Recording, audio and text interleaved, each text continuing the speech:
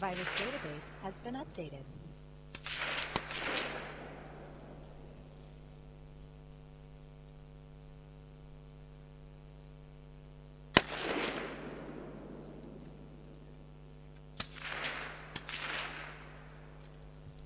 No niin. Oikein aurinkoista huomenta täältä Jyväskylän Tikkakosken ampumaradalta. Pienien, kuinka suurten, mutta pienten ongelmien jälkeen olemme saaneet äänemme kuuluviin. Niinkin isosta asiasta kuin sähköstä oli pula. Samanaikaisesti kuin siellä Juha Hilkamo sai oman suoritettua. Ja avaappa sinäkin Mauri, kollega Kittilästä, eli Tammelan Mauri. Voit myös esitellä sitten minut, niin avaappa äänessä. Ja oikein hyvää huomenta minunkin puolestani täältä Tikkakoskelta tällä kertaa. Meillä oli tässä vähän häikkää, mutta nyt kaikki häikkää on ohitse ja meillä on täällä menossa jo miesten sarja aivan siellä 50 kisailijat, numero 50 kohta ja siitä eteenpäin ovat kohta ampumassa tuossa. Ja näin me seurataan tätä tilannetta koko ajan. Harri Mehto on sitten tuo toinen kaveri, joka on tässä äänessä. Ja me seurataan silmä kovana tuonne ampumaan paikalle ja katsotaan, onko siellä nyt sitten Juha Hilkamohan tuossa äsken meni. Hän oli viime vuonna Vaalassa viides ja, ja sitten tuossa katsotaanpas noita tulevia tulevia kisailijoita. Siellä ainakin 56 numerolla Mika Tattinen, Pessalompolon vitonen toissa vuodelta on tulossa ampumaan kohta puoliin tuossa. Tässä ha- Harri katselee tuolla kikarilla ja tsekkaa noita numeroita, saadaanko sieltä sitten näitä, näitä tuota, tilannetta. Tuossa nuo numerot hieman ovat menneet kippuralleen, kun, kun tuolla hiihtäjät hiihtävät siinä numero 42. Miikka Annunen Keski-Pohjasta juuri sai oman ammuntansa tehtyä ja lähtee, lähtee ladulle. Vai ei menekään ladulle, vaan menee nyt juuri ampumaan. Korjaan, eli meni ampumaan tällä kertaa vielä. Täällä on pakkasta sellainen 5-16 astetta täällä Tikkakoskella tällä hetkellä, jotenka ilma on mitä parhain.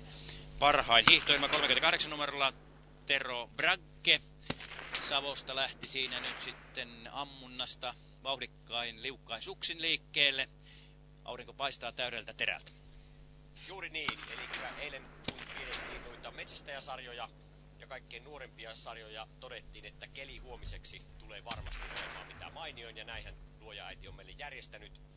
Eli tosiaan 14-15 astetta päivän mittaan se varmasti laskee tuonne 90.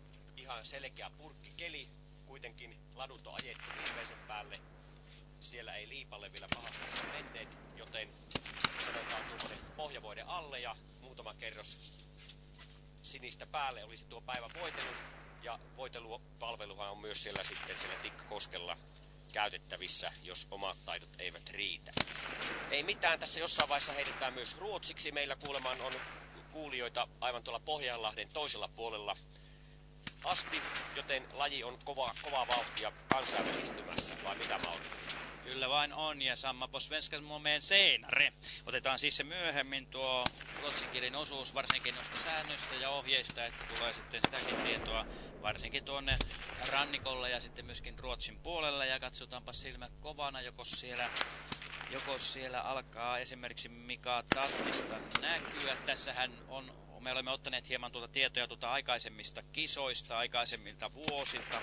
Ja, ja sieltä sitten saadaan, saadaan uutta tietoa. Harrilla on tuossa nyt sitten tietoa. No, oma poikasi Masi Tammela juuri ampumassa. Aha, sielläkö poika on. Katsotaan nyt, miten tänään eilen ase hänellä ei ollut kohdallaan. Ja käytiin illalla kohdistamassa. Toivottavasti tänään onnistuu. Vielä tuosta ammunnasta. Eilen, eilenhän ihailtiin tuota ampumatulosta ja näin oli 99 mies tuosta sadasta mahdollisesti ainoastaan yksi pois. Monta 98 tulosta, muutama 97 tulos. Eli kyllä täytyy sanoa, että ammuntataito näillä hirvehiihtäjillä on, on, on aivan loistavaa, kun ammutaan kuitenkin aivan ilman tukea, niin lähes täysiä pisteitä. Tuossa juuri kuvaruudussa on, on Mika Miikka Annunen Keskipohjasta. Hän siinä ampuu viimeisen laukauksen ja lähtee sitten viimeiselle lenkille tänä päivänä hänen, hänen takanaan sinne numero 44, Sami Siimestö. Ja näin siinä äsken juuri Harri sanoi tuosta ammunnasta, että siinähän kymmenen laukasta ammutaan tuonne 100 metrin tauluun ja seisataan ammutaan ja se on suurin piirtein se kymppi osuma vastaa ampumahihtotaulun tai ei suurin piirtein vaan tarkalleen ampumahihtotaulun pysty ammuttaa. Ja nyt siellä numero 55, ottakaapas hänet, Jarkko Huttunen, Keski-Pohjanmaan vakio viestimies aina näissä kisoissa ja ylituomari myös tällä hetkellä. Eli hän on Pyhäjärveltä ja viestittää Vaasasta 2012. Eli nyt seuraavaksi, jos pystyy sitten ottamaan tuon numero 55, siellä kova kaveri. Ja samoin komakka kova kaveri on 56 numerolla Mika Tattinen, Vessa Lompolon 2011 viidenneksi sijoittunut kisailija. Sillä on kaksi kovaa. Kyllä, Kai. Kyllä. Tämä 56 olen saanut tällaisen tiedon, että hänellä on lempinimi myös tämä sarjakuvasankari Tex Willer. Eli on, on ampunut ilman lonkka tukia suoralta, suoralla otteellakin jossain vaiheessa, eli todellinen aseenkäyttö. Kyllä, näin on.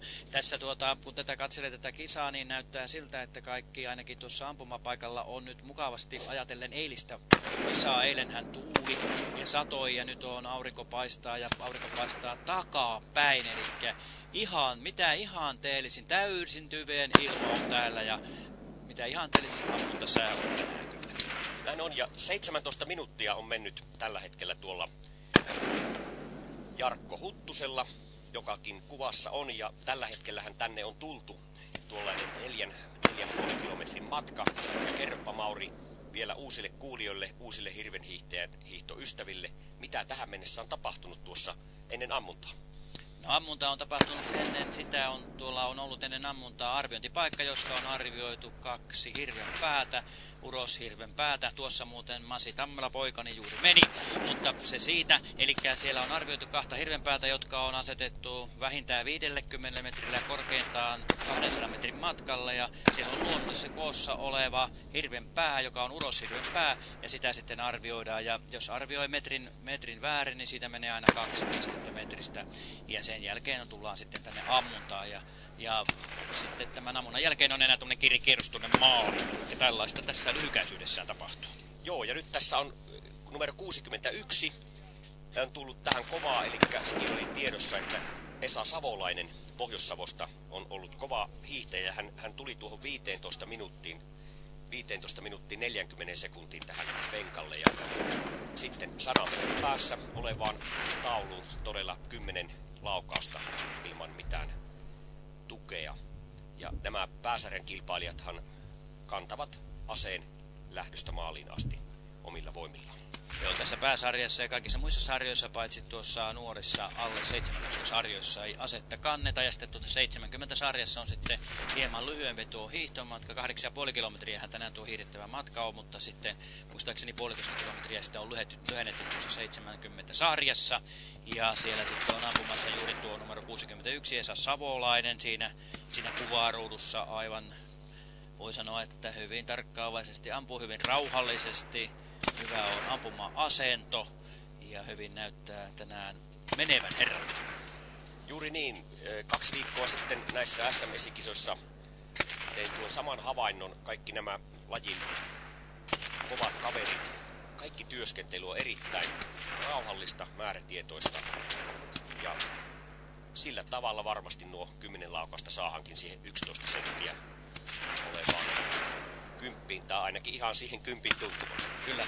Ja sitten siellä on tulossa numerokohtan ampumaan varmaankin, ja onko jo tullut tuonne penkalle numero 64 Vesa Perunka tuolta Lapista. Hän on tällainen monipuolisuusurheilija sillä tavalla, että hän, hän kyllä tuota harrastaa muitakin lajeja ja on niissäkin hyvä. Pitkän matkan juoksujakin välillä käy juoksemassa numero 64. Ja sitten siellä on ruotsalainen, ruotsalainen numero, numero 66, numero 66, Peter Dahlback. Sverige kommer, kommer Nesta, ne, ne ei Nesta, mutta tulee kyllä aivan kohta tuonne.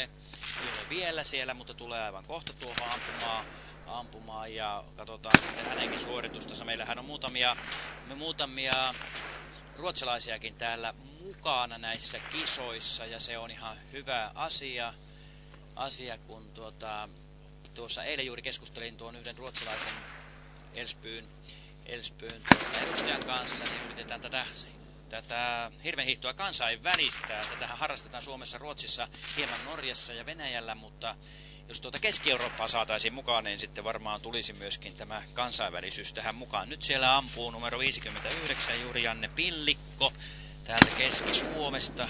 Sivingin erämiehet on hänen seurassa. Joo, tämä Harri, kun on täältä, täältä Keski-Suomesta, täältä paikalli, paikallisia suuruisuuksia, niin hän tuntee näitä se, ketkä kuuluvat minkin seuraa, se on ihan hyvä asia sekin. Mutta sitten, sitten kuvaruutuun varmaankin meidän täytyy saada jossakin vaiheessa, kun tässä varoittelen jo tuonne kuvaajille, kun 69 numerolla saapuu saapuu erään, erään tuota, meidän kuuluisan miehen poika, joka myöskin on kuuluisa siinä mielessä tässä lajissa, Juhani Ikola, 69 Heikin poika Ikola. Hänellä on hopeamitaleita tästä hirven hiihdostakin ja hirven juoksusta, pari kappaletta hopeaa, tänään mieli varmaan kultaan, ja myös hän on jonkin verran ampumahiihtoa harrastanut, mutta ei niin laajamittaisesti kuin isänsä. Joo, ja arvonta on heittänyt hänelle hienon numeron, 69, ja todella myös hyvä hirven juoksia ja varma ampuja, eli olisikohan tässä tullut isänsä Heikki? Kyllä varmaan on isänsä tullut ja tuosta ampumahiidosta sen verran tämän aamulla juttelin Heikin ja Juhanin kanssa tuolla majapaikassa, niin viesti, viesti mestaruuksia hänellä on myös, myös Juhanilla tuossa ampumahiidossa. Palataan Heikkiin sitten siinä vaiheessa, kun Heikki on paikalla. Ja kovasti on hiihtänyt myös numero 67 sinne Pohjois-Savon Timo Lemmetty hän aloittaa juuri ampumisensa.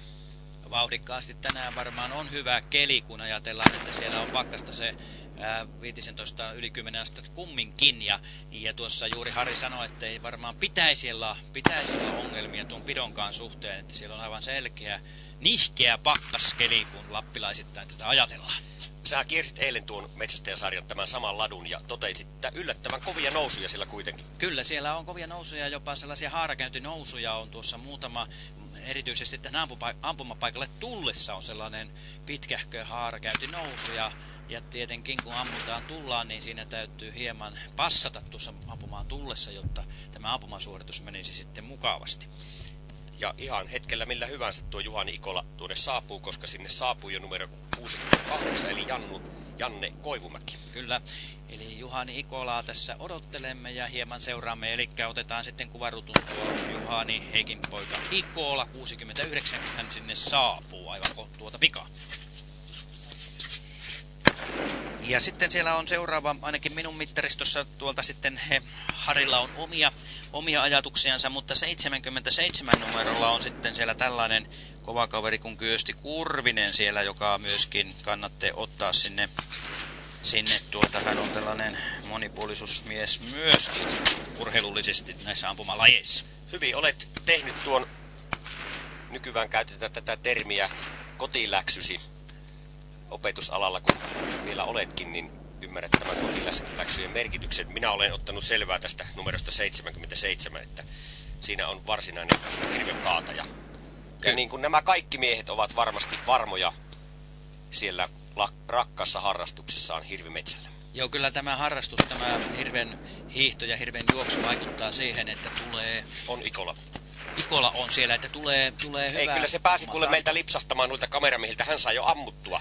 Ikola lähtee nyt sitten jo tuossa, no siinä nyt oli tietysti sillä tavalla, että siinä on tuota ruuhkaa, mutta tässä menee sitten Heikin poika Juhani Ikola, vauhdikkaasti hyvin urheiluisen näköisenä. Hän tuossa, tuossa voisi sanoa, että tämä hapitus on urheiluisen näköinen ja näyttää olevan tyyliä ja tekniikkaa tuossa hiidossakin. Kyselin aamulla, että onko tuota sileää tullut paljon hiidettyä, että ei oikeastaan kisailumielessä, kyllä se on aina ollut tämä ampuma, ampumaharrastus hänelläkin, hänelläkin mukana ykköslajina ampumahiihto ja sitten tämä hirvenhiihto nykyisellä. Joo, ja jos mennään vielä tuohon Heikki Ikolaan, niin Heikkihän oli niitä ensimmäisiä suomalaisia, jotka omaksuivat tämän pienoskivärin, kun ampumahiihto muuttui korkeapainekivääristä pienoskivääriksi. Joo, ja hän on ainoa, jolla on maailmanmestaruus sekä korkeapaineissa painekiväärillä että, että tuota pienoskiväärillä. Kellään muulla maailmassa ei ole maailmanmestaruus. Näin on. Kahdella eri aseella, mutta palataan hänen myöhemmin. Jokuhan Kurvinen kyösti. Koitettaisiin nyt työ, tuo monipuolisuusmies tuo kyösti Kurvinen saada tuo 77, että hän ei lipsahda meiltä kameramiehiltä. Toivottavasti saadaan 77 on hänen numeronsa siis. Joo. No 7, 78 siellä jo on, että 78 Ari Säisä, Pohjois-Savo.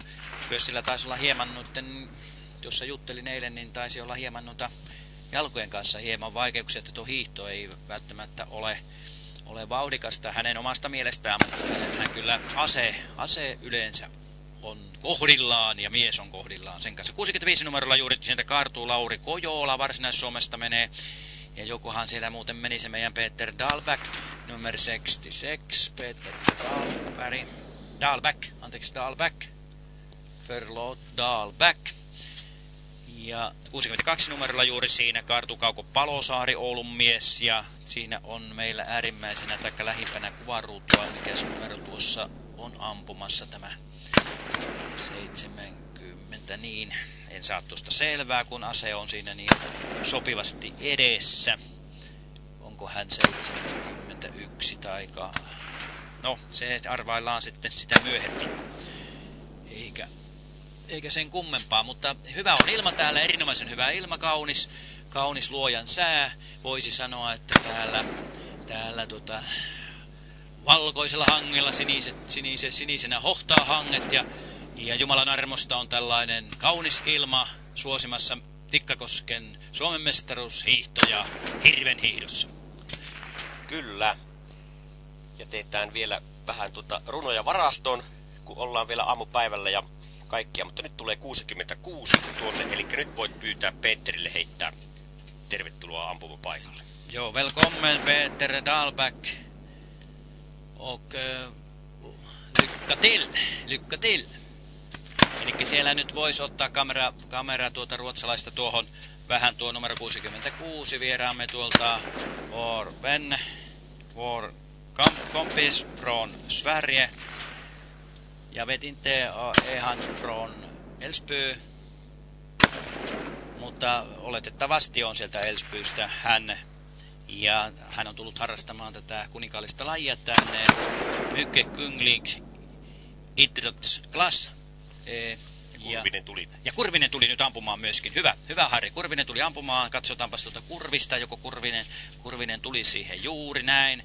Tuli Kurvisen kanssa, kun juttelin eilissä päivänä, niin hänellä on yli 70 Suomen mestaruus, mestaruutta lajeissa. Ja myös, myös puolustusvoimien ampuma valmennettavana ollut ja rajamies, ex-rajavartija, Luodikon moninkertainen Suomen mestari ja ihan mahoton hirvenkaataja. Joten nyt katsotaan, miten niitä napoja lähtee tulemaan tuohon hirven keskikuvioon. Ja vasemmalta ampuu Kurvinen niin kuin huomaatte ja siinä lähti ensimmäinen laukaus. Ja katsotaanpas hyvin tarkkaan, siinä lähtee pitkään, tähtää, ei kovin pitkään tuo hieman pitempään oli toinen laukaus kuin tuo ensimmäinen, ja Kurvinen siinä ampuu. Kurvisen, Kurvinen, jolla siis on yli 70 Suomen mestaruutta ja sitten muut mitalit päälle. Kyllä, eli todellinen lajifanaatikko. Kyllä näin on, että Suomen maassa on muutamia tällaisia hurjia kavereita, jotka harrastavat hänen, hänen hyvä ystävänsä Juha Julkunen, tuota Sallan Sallan rajamies myös, niin on tämmöinen samanlainen monipuolisuusmies, mutta nyt hän ei ole näissä kisoissa mukana, mutta Kyösti on, ja Kyösti ampuu siinä vielä. Siinä voi mallia nyt sitten katsoa, että millä niitä kymppejä ammutaan. Ja hyvä huomio, että tuo vasen puoli oli hänellä, niin se on mullakin, vaikka muuten oikeakätinen olen.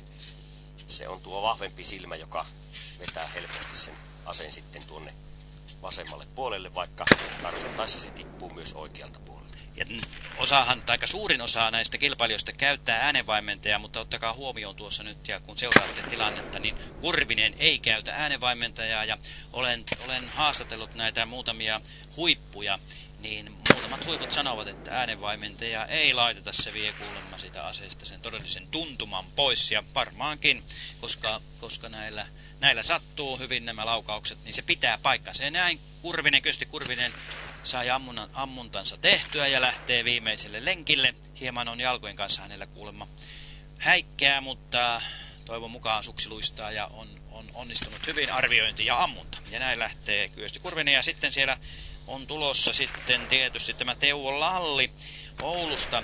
Lallin perhehän on sellainen todellinen hirvenhiihtoperhe. Eilen he ottivat hopeaa tuossa Jotos-kisassa Ja perheen voimin siellä oli äiti ja siellä on isä ja siellä on pari tyttöä harrastamassa tätä, vai oliko kolmekin tytärtä, eli perheen voimin harrastetaan tätä lajia. Ja hyvä näin, tämä on todella kaiken ikäisille soveltuva laji. Riippumatta siitä, onko mies vai nainen, tyttö tai poika, niin tämä laji sopii erinomaisesti aina tuolta nuoresta siitä saakka vaikka 10-vuotiaasta tuonne niin kauan kuin ase pysyy, pysyy kädessä ja silmä tarkkana.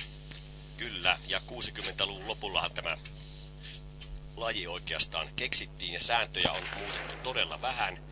Ja erittäin hyvät säännöt varmaan heti kerralla keksittiin, koska itse tuohon pistelaskuun ei ole tarvinnut tehdä juuri minkäänlaisia muutoksia.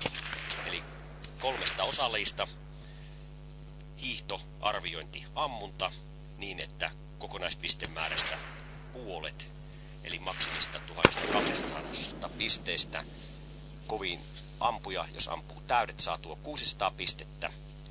Ja hiihdon paras 300 pistettä, eli nopein hiihtäjä. Ja sitten arvioinnista tuo 300 pistettä, joten maksimipisteet 1200 ja monissa kisoissa on tuo 1150 pisteen raja jo rikottu, vai mitä? Kyllä, kyllä, ja se on erinomainen saavutus, ja varmaan näissäkin kisoissa tapahtuu. Ja näin. nyt saapui jo penkalle Suomen ennätyksen haltija, eli niin. Janne Liimatainen numero 89, 1171 pistettä. Ja nyt jos saataisiin tuo 89 siihen keski-Suomen omaamiin, sieltä näkyy ja myöskin siinä, hän oli, Janne Limatainen oli Pesalompolossa vuonna 2011 kuudes. Tämä on niin kuin tässä voi sanoa, että ihan kahden viime vuoden paras saavutus. Ja myöskin numero 87 saapuu siihen ampumapaikalle. Ja hän puolestaan on viime vuoden Vaalan hopeamitalisti Eero Lampela Lapista. Kyllä, ja nyt tuo Liimataisen, kaksi kovaa. Liimataisen Janne, eli jalaka, jalakaisinkin mies liikkuu kovasti Konginkankaan metsästyksen yhdistystä ainakin aikaisemmin, kun aloitti lajin. Ja muistaakseni se oli tuolla Vaalassa silloin 2010 tuo temppu, eli Suomen ennätys 1171 pistettä, joten se on semmonen lukema, jota ei helpolla panna paremmaksi. Se on todella kovan luokan tulos. Siinä on täytynyt kaikki onnistua nappiin. Ja nyt saapuu ampumaan myöskin numero 87 Eero Lampela, eli siinä on kaksi kovaa kovaa yhtä aikaa 89 Janne Liimatainen ja 87 juuri saapui viime vuoden hopeamitalisti Vaalasta Eero Lampela, joka on nyt tässä kuvaruudussa aivan voi sanoa, että meidän parhaiden nähtävänä. Ja oli siellä myöskin ampumassa käsittääkseni Simo Ruuskanen. 86 numerolla Lasse Kuitunen ampuu sinne myös. Keski-Suomen mies. Ja Lauri Väisänen myöskin 85 numerolla on siinä ampumassa juuri Kainuun mies. Kyllä, eli ympäri Suomea tänne on tultu tänne entisen Jyväskylän maalaiskunnan nykyään kaupungin Tikkakoskelle, joka on tullut tuosta Luonnetjärven varuskunnasta ja myös tuosta meidän keskisuomalaisten ainoasta isosta lentokentästä. Ja nyt näyttää siinä Eerolla olevan, olevan tuota, niin vaikeuksia. Tuossa on huurtunut kiikari. Hänhän eilen ampui, nimenomaan tämä Eero numero 87 ampui eilen tuossa metsästäjäsarjassa 99. Kyllä, ja Eerolla on ongelmia tuossa, mutta nyt hän sitten saa siinä kaverin vieressä, vieressä ampuu täyttä häkää ja kohta Eero, Eero saa tuossa nuon viime vuoden Vaalan hopeamitalisti, siis Eero Lampela. Ja 97 saapui juuri penkalle Keski-Pohjanmaan mies, kova hiihtäjä, pohja-aika useimmiten. Eli hänelle tuo 300 pistettä, eli 97, muun muassa SM viestissä 2012, joten ja tänään, tämän vuoden Finlandia hiihi on 14. Eli hänkin monipuolisuusurheilija. Sitten odotetaan myöskin siinä, pitäisi varmaan kohta tulla 94. Numero 94 puolustava Suomen mestari viime vuodelta Vaalasta Vesa Haikara Keskipohjasta. Pessalompolossakin hän oli neljäs, mutta puolustava mestari Vesa Haikara 94. Hänet me haluamme tuohon ruutuun tietysti myöskin näkemään, että minkälaista, minkälaista taitoa ja tekniikkaa. Hän kuuluu tähän Haikaran perheeseen, jossa, jossa harrastetaan täällä kisailemassa on kolmessa polvessa. On isä, pappa Haikara, isä Haikara ja tyttö Haikara. Ja sitten on vielä vaimo Haikara. Niin, haikara on, haikara on tuonut kovat keirit ammuntaan. Kyllä, eli kolmessa polvessa. Tässä juuri toteutuu se, se että nuorten sarjoissa Sanni, Sanni kilpailee ja sitten isä Vesa kilpailee ja sitten pappa Matti. Ja haikara on tuolla ihan äärimmäisenä vasemmalla Hyvä. toimitsijoiden takana. Jos saataisiin sitä haikaraa tuonne kuvaan tuolta äärimmäisenä vasemmalta, niin nähtäisiin viime vuoden Suomen mestarin tyyliä ja nyt saatiin kiitoksia oikein. Meillä pelaa hyvin tämä noiden kuvaajien kanssa tämä, eli äärimmäisenä vasemmalla paikka numero yksi ampuu viime vuoden Suomen mestari, puolustava Suomen mestari Vesa Haikara. Ja kyllä vakaalta näyttää hänen ammuntansa. Hän ampuu, tässä on näitä tyyliä ja tekniikoita monen tyyppisiä, niin kuin huomaatte, osa ottaa aseen sitä alas jokaisen laukauksen jälkeen, mutta Vesa Haikara, Haikara ei sitä ota, ota sieltä. No nyt siinä taisi tulla aseessa pieni häikkä. Vesa pitää tuota asetta tuolla koko ajan taulle päin suunnattuna ampuma-asentoa asentoa muuttamatta. Ja näin paikka numero yksi siis ampuu viime vuoden mestari Vesa Haikara. Tietysti nyt on uusi kisa ja välttämättä aikaisemmat mestaruudet ei aina paina, mutta kyllähän kovan luokan mies on. Hän on sijoittunut usein. Toissa vuonnakin Pessalompolossa oli neljäs ja sitäkin ennen näitä Suomen mestaruusmitaleja on tullut useita. Ja vielä Vesa Haikarella muutama laukaus tuossa on, eli siinä nähdään nyt sitten Suomen mestarin tyyliä viime vuodelta. Katsotaan miten tänään menee. Pientä häikkeä on nyt aseessa jotain on tuossa. Tuossa on tuo pussi, minkä näette, hyvät katsojat, näette tuommoisen pussukan tuossa, niin se on hylsyn kerääjä. Kyllä. Siihen kerää hylsyjä, koska äh, sellaiset henkilöt, jotka paljon harrastaa ammuntaa, niin totta kai ladataan panokset itse. Meilläkin perheessä, kun harrastaa viisi, viisi henkilöä tätä ammuntaa aktiivisesti, niin ladataan. Kyllä se tulee huomattavasti edullisemmaksi ja niistä tulee niistä panoksista tarkempia oikeastaan kuin ne tehdasladatut panokset minun mielestä. Joo, tästä ollaan monta mieltä ja kyllä uskon, että ketkä hallitsevat tuon latauksen ihan ruutirakeen tarkkuudella ja ovat testanneet oma aseensa sopivat luodit, niin kyllä varmasti näin on. Tässä loppupuolella minä en tiedä, onko sulla siellä Harri merkintöjä näistä seuraavista kisailijoista, jotka ovat tulossa, kun Vesa Haikara, Suomen mestari viime vuodelta, sinne lähtee juuri viimeiselle lenkille, niin numero 101, Hannu Jussila Lapista, hän on aina yllätysvalmis rajamies myöskin, että onnistuessaan hän menee kyllä suksilla todella lujaa ja onnistuessaan ammunnassa hän on korkealla. Katsotaan, miten Hannu tänään, onko siinä loppupuolella sinulla merkintöjä sieltä? Kyllä. Kerroppa heistä. No, minä olen poiminut tuosta 102, eli Anssi Tuovisen Suursavon miehen viime vuoden öö, viesti ykkönen, anteeksi, Pessa Lompolossa 2011. Ja sitten vielä Jukka Varis, joka eilenkin ampui mahtavasti 103, Pohjois-Karjalan mies. Hän oli Vaalassa sarjassa M40 SM2, joten kyllä ihan kovia ukkoja on vielä odotettavissa tänne ammuntapaikalle. Ja sinne häipyi siis Vesa Haikara tasatyöntöä työntäen tuonne viimeiselle lenkille viime vuoden Suomen mestari ja odotellaan sitten vähän myöhemmässä vaiheessa, miten tuloksia sieltä tulee, että, että miten tänä päivänä on hänellä mennyt. Kovaa kisahan tässä. Tässä on 106 kilpailijaa tänään osallistuu tähän Suomen mestaruus hirven, hirven hiihtoon ja kaikilla 106 tässä vaiheessa on vielä mahdollisuus mestaruuteen, mutta todellisuudessa siellä ovat ne parikymmentä, 20, 25, jotka voivat kuka tahansa tänään ottaa sen mestaruuden niin kysymyksessä oli tietenkin tuo miesten sarja vai? Kyllä, miesten sarja 106, kyllä, yleinen sarja 106. Niin. Meillähän kaiken kaikkiaan on näissä kisoissa, katsotaanpa huvikseen tuolta tuo viimeinen lähtönumero, se on iltapäivällä, pitkään iltapäivän mennään, niin se on 600, 638, noin ja 6, noin 6500 kilpailijaa. Eilen, oli, eilen kilpaili noissa sarjoissa 400 kilpailijaa, mitä oli eilen harraste metsästäjäsarjat ja sitten jo tuossa sarjoissa siellä, niin ihan kiva määrä, kun ajatellaan ja tuossa Perttu, Perttu Hietanen sanoi kilpailun johtaja, että kyllä tarvitaan tuo kolmas päivä, että kun on harrastekilpailut, niin silloin pystytään järjestämään kohtuullisesti myöskin nämä kaksi muuta päivää myös taloudellisessa mielessä. Ja Anssi Toivenin juuri ammunta paikalle. Ja siellä numero 91 myöskin on ampumassa. Otetaanpas tuosta 91, kun kuvaruudussa on Kimmo Illukka Kymistä ja hänen tyyliä ja tekniikkaa myöskin. Ne tuossa äsken kerroin, että erilaisia tapoja, tapoja ampua osaa ottaa tota laukausta tuolta ylhäältä alaspäin asetta, liikuttaa osaa vasemmalta oikealle, osaa toisin päin sitten, eli oikealta vasemmalle tai vasemmalta oikealle. Osa ottaa alhaalta ylöspäin ja osa sitten pitää sitä asetta vakaasti siinä, voisi sanoa, kohdistettuna sinne kymppiin koko ajan. Joo, näin olen kuullut, että nämä parhaimmat kyllä pyrkii ampumaan ihan täyteen pitoon tuon laukauksen, toisin kuin ampumahiihossa, jossa parhaat ampuu aina niin, että kun ollaan tulossa siihen mustaan, niin silloin pitää laukauksen jo lähteä. Kyllä, kyllä tässä, tässä lajissa, jos laukaisee, laukaisee liian aikaisin niin, aikaisin, niin se yleensä menee sinne liian aikaiseen paikkaan, kun ajatellen sitä kymppiä. Sen verran tätä lajia olen itsekin harrastanut, että tulee olla, tulee olla hieman hätäinen tuossa. Ei malta odottaa sitä, kun se, se ase kohdistuu sinne kymppiin. Ja nyt nuo 103 Jukka Varis Pohjois-Karjalasta ja Keski-Suomen Sumiasten urheilumetsästäjien Hirvehio erikoisseuran Jukka Heinonen penkalle. Eli hän on numero 104. Ja vielä kaksi kilpailijaa hänen jälkeensä tulee tuohon penkalle tässä yleisessä sarjassa Jouko Arkkola ja sitten viimeisenä Seppo Immonen.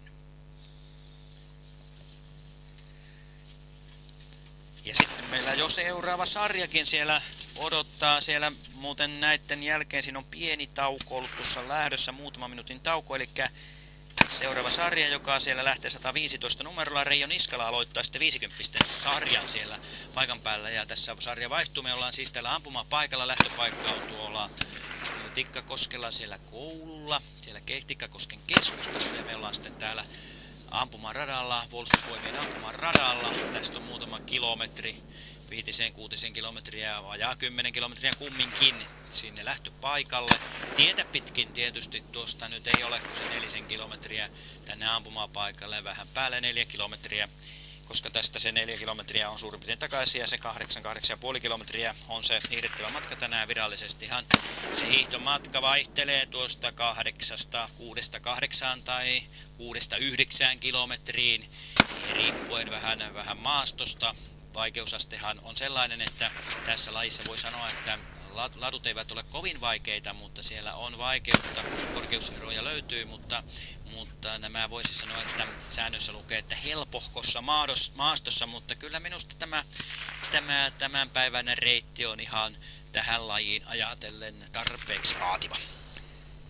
Ja varmasti arvokilpailulle arvoisat puitteet. Muutenkin tänne on laadittu kova määrä vapaaehtoisia, niin kuin laji henkeen kuuluu. Ja seuraava sarjahan on sitten Miehet 50 sarja. Ei ole tässä monta vuotta, kun muutettiin sääntöjä niin, että ennen voimassa ollut 40 sarja jätettiin kokonaan pois, johtuen siitä, että yleisen sarjan ja 40 sarjan tulokset menivät jatkuvasti ristiin.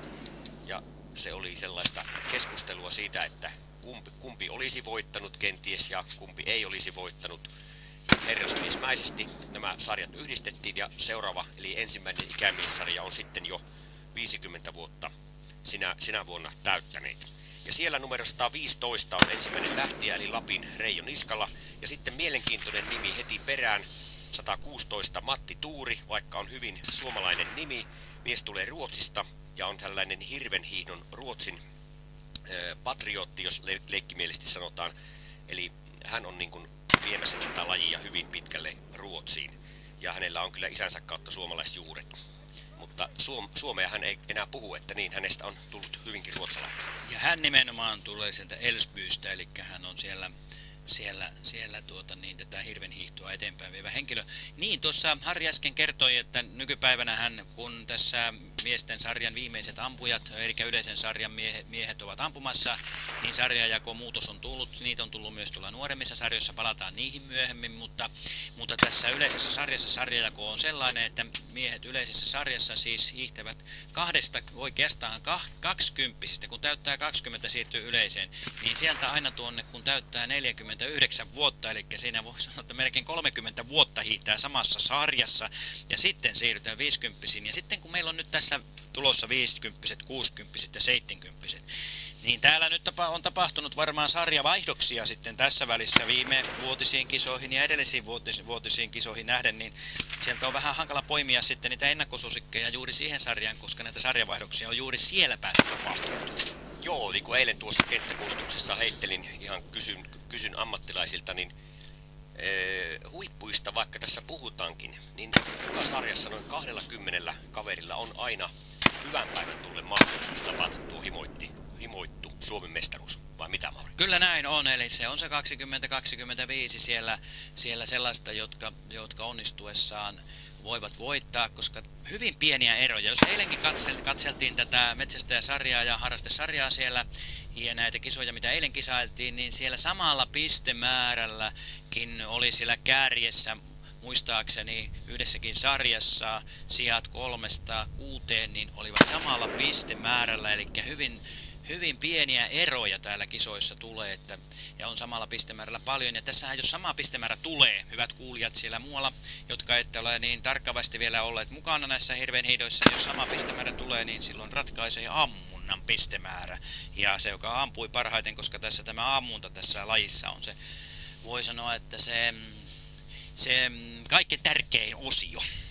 Ja tuohon muuhun pisteytykseen nyt, kun ammunta tulos tulee niin, että tuo kerrotaan tuo ö, kuudella, eli kun 100 on maksimi, kerrotaan kuudella, eli 600 pistettä tulee todella siitä, niin sitten tuo arvio suoritetaan niin, että kun lapulle on laitettu metrin tarkkuudella arviot hirvenpäähän, jotka sijaitsevat 50-200 metrin etäisyydellä, apuvälineiden käyttö sal, kielletty nimenomaan, ja silmämääräisesti kun se arvioidaan, niin yksi virhemetri antaa kaksi miinuspistettä. Ja jos arvio osuu mielestämme nappiin, puhutaan tuommoista 10 metrin yhteisvirhettä, virheestä, niin se on, kerrotaan kahdella ja silloin tulee tuo 280 pistettä tuosta arviosta, joka on jo hyvä tulos vai mitä? Juuri näin, kyllä erinomainen tulos, juuri ampuma paikalla numero 100, Sant tuttu kivistö Varsinais-Suomesta.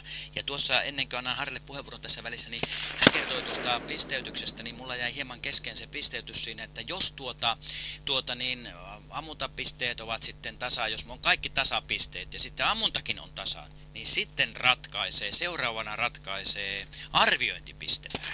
Mulla on, on sellainen kokemus toissa vuodelta, jolloin poikani sijoittui hopealle, niin sekä kultamitalistilla että että hänellä olivat pistemäärät samat ammunnasta, samaa hiihdosta ja sitten, sitten ratkaisi arviointipisteet. No niin, ja nyt ollaan saatu avatuksi tuo M50-sarja, eli siellä on ensimmäisenä matkaan lähtenyt Lapin mies Reijo Niskala ja sitten numerolla 117 Vesa Happonen Pohjois-Karjalasta jo tuossa pakalla ja sitten odotellaan tuota Ruotsin hirvenhiidon, mister Ruotsin hirvehiihtoa. Eli hän on numero 116 hirvenhiihton, niin kuin sanoi tuossa Harri, hirvenhiidon ruotsin mies, taikka tällainen ei nyt maskotti, vaan esimerkki siitä, eli hän harrastaa tätä kuninkaallista urheilulajia Kynlig Idrottsklass. Ja tuo värikkyyttä tähän meidän kisaan tuolta Ruotsista ja, ja katsotaanpa sitten, kun hän tuohon tulee, että minkälainen ampumaan tekniikka on tuolla naapurin, länsinaapurissa, että onko se samanlainen kuin meillä täällä Suomessa. Jo Ruotsihan on tuottanut ihan näissä pohjoismaisissa ampumalajeissa ihan maailman valioita, koska pitkät perinteet on Ruotsin pojillakin metsästysammunnassa. Kyllä, kyllä ja sitten jos katsotaan tämän päivän tämän päivän esimerkiksi ampumaa hiihtoa, niin kyllähän siellä ruotsalaiset tällä hetkellä kepittävät meidät suomalaiset mennen tulle. No niin, tässä päästiin jo ensimmäiseen pieneen tämmöiseen propaganda-asian.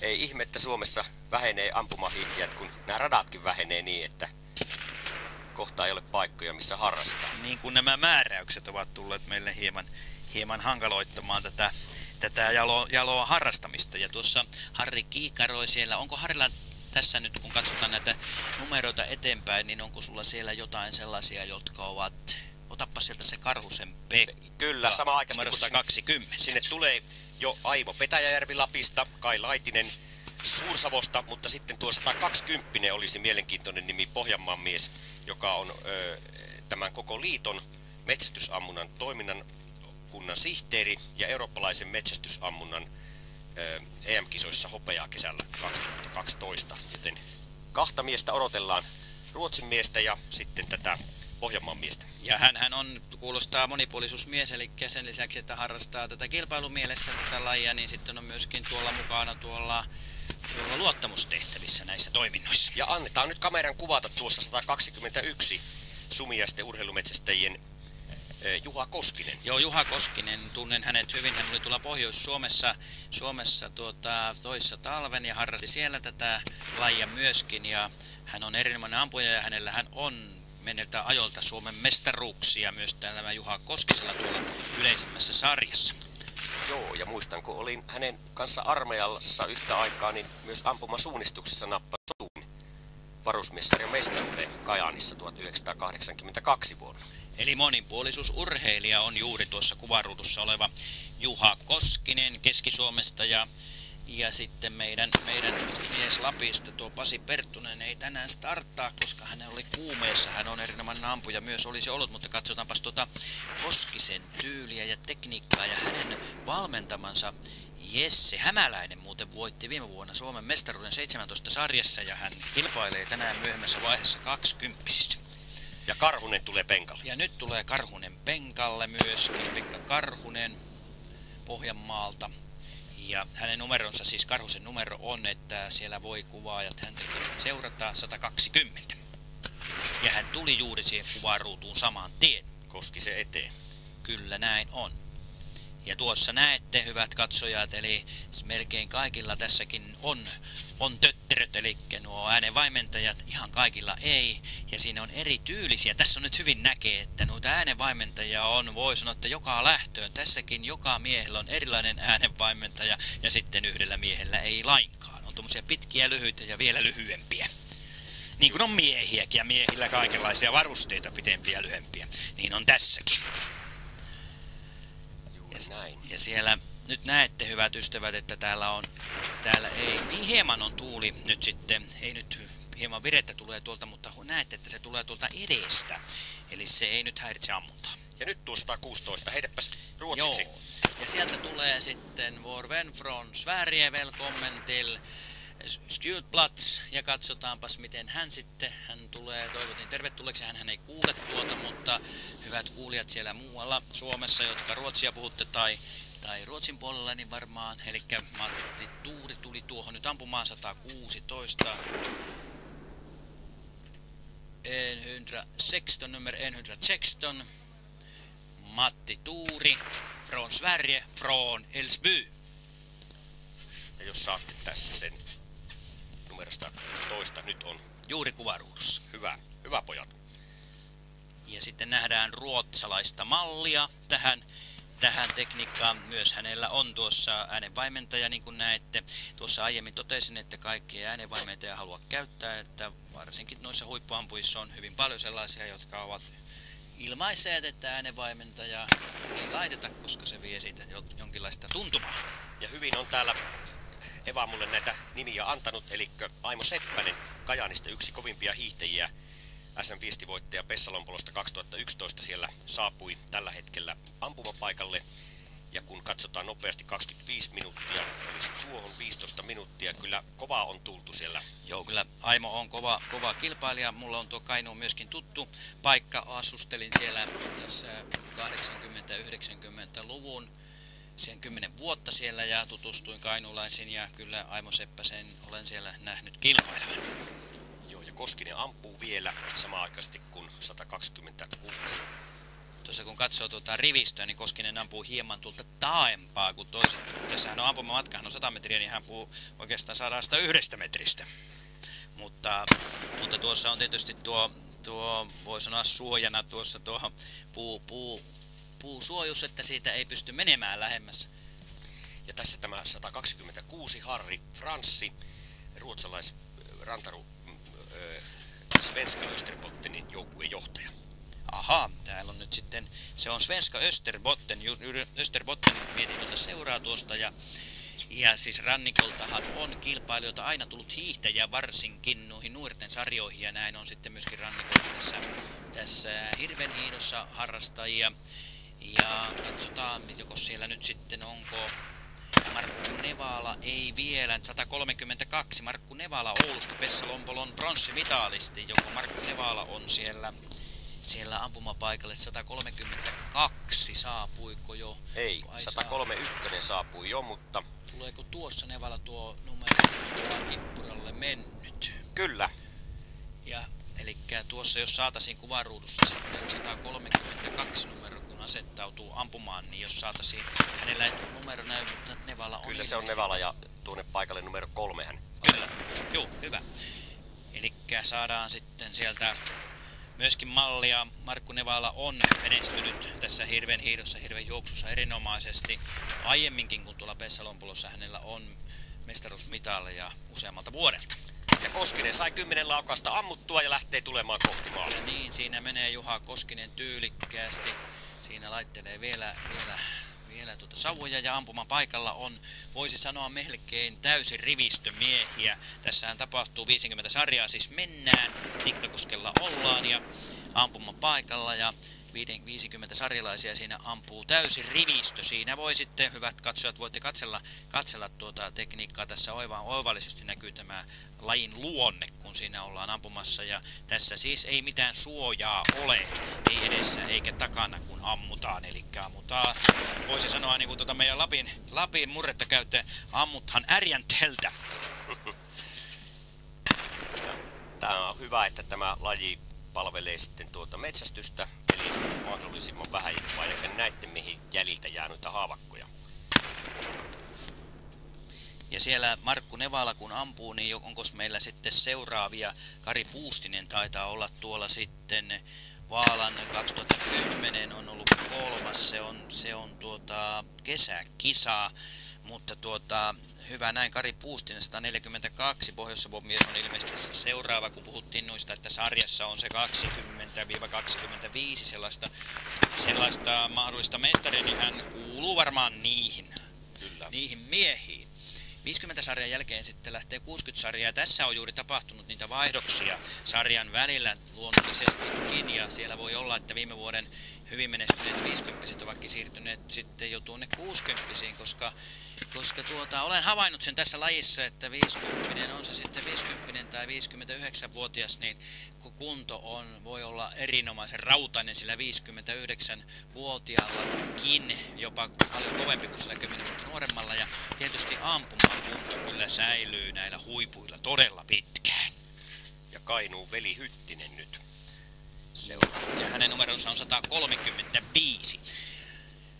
Ainoa mies veli Hyttinen siis 135 ja sitten siellä, siellä tulee koko ajan miehiä. Tuossa oli sulla joku merkintä, oli, oliko siellä, Markku Nevala siellä on, Markku Nevalasta jo puhuttiinkin oikeastaan tuossa nyt meillä ei, meillä ei noita, mutta siellähän voi yllättäjiä olla, yllättäjiä voi olla kyllä näissä sellaisissakin nimissä, jotka eivät ole aiemmin menestyneet, että ei se ole semmoinkin välttämättä.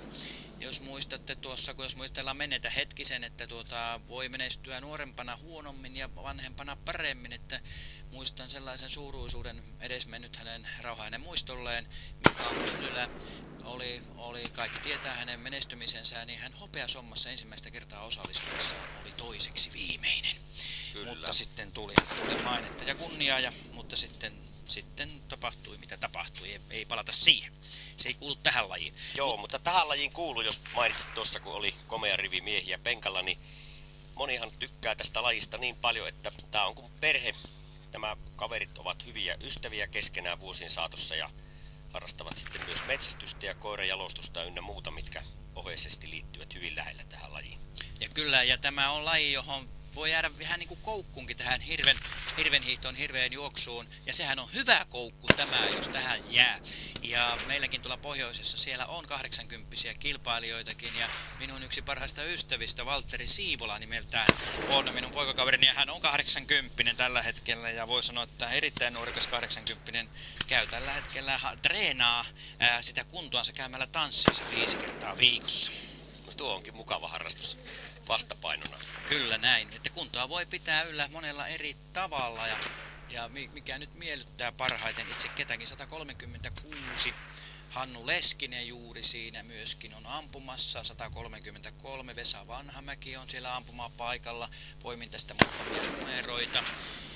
Ja seuraavaa, seuraavia, voisi sanoa tästä kun listaa mennään eteenpäin, niin tuolta tulee sitten seuraavana viime vuonna Vaalassa neljänneksi sijoittunut Osmo Nevaalainen. On ainakin minun, minun listassani tuossa ihan niitä kärki, kärkihenkilöitä ja on siellä sitten myöskin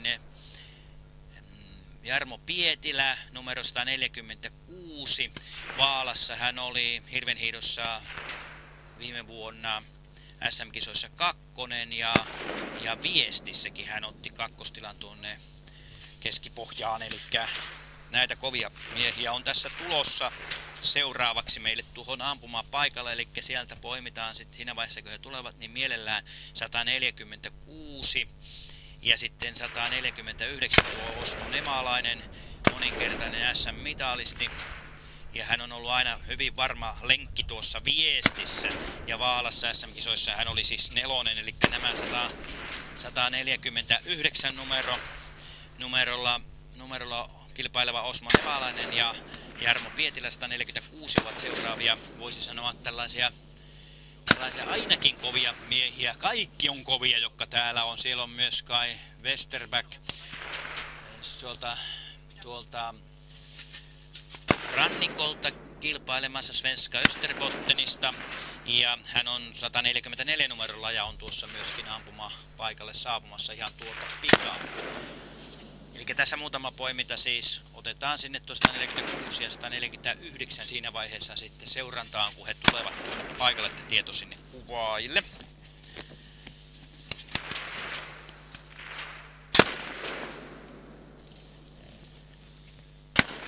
Joko siellä nyt niitä meidän äsken mainitsemme miehiä alkaa näkymään 149 numerolla ja 146 Jarmo Pietilä.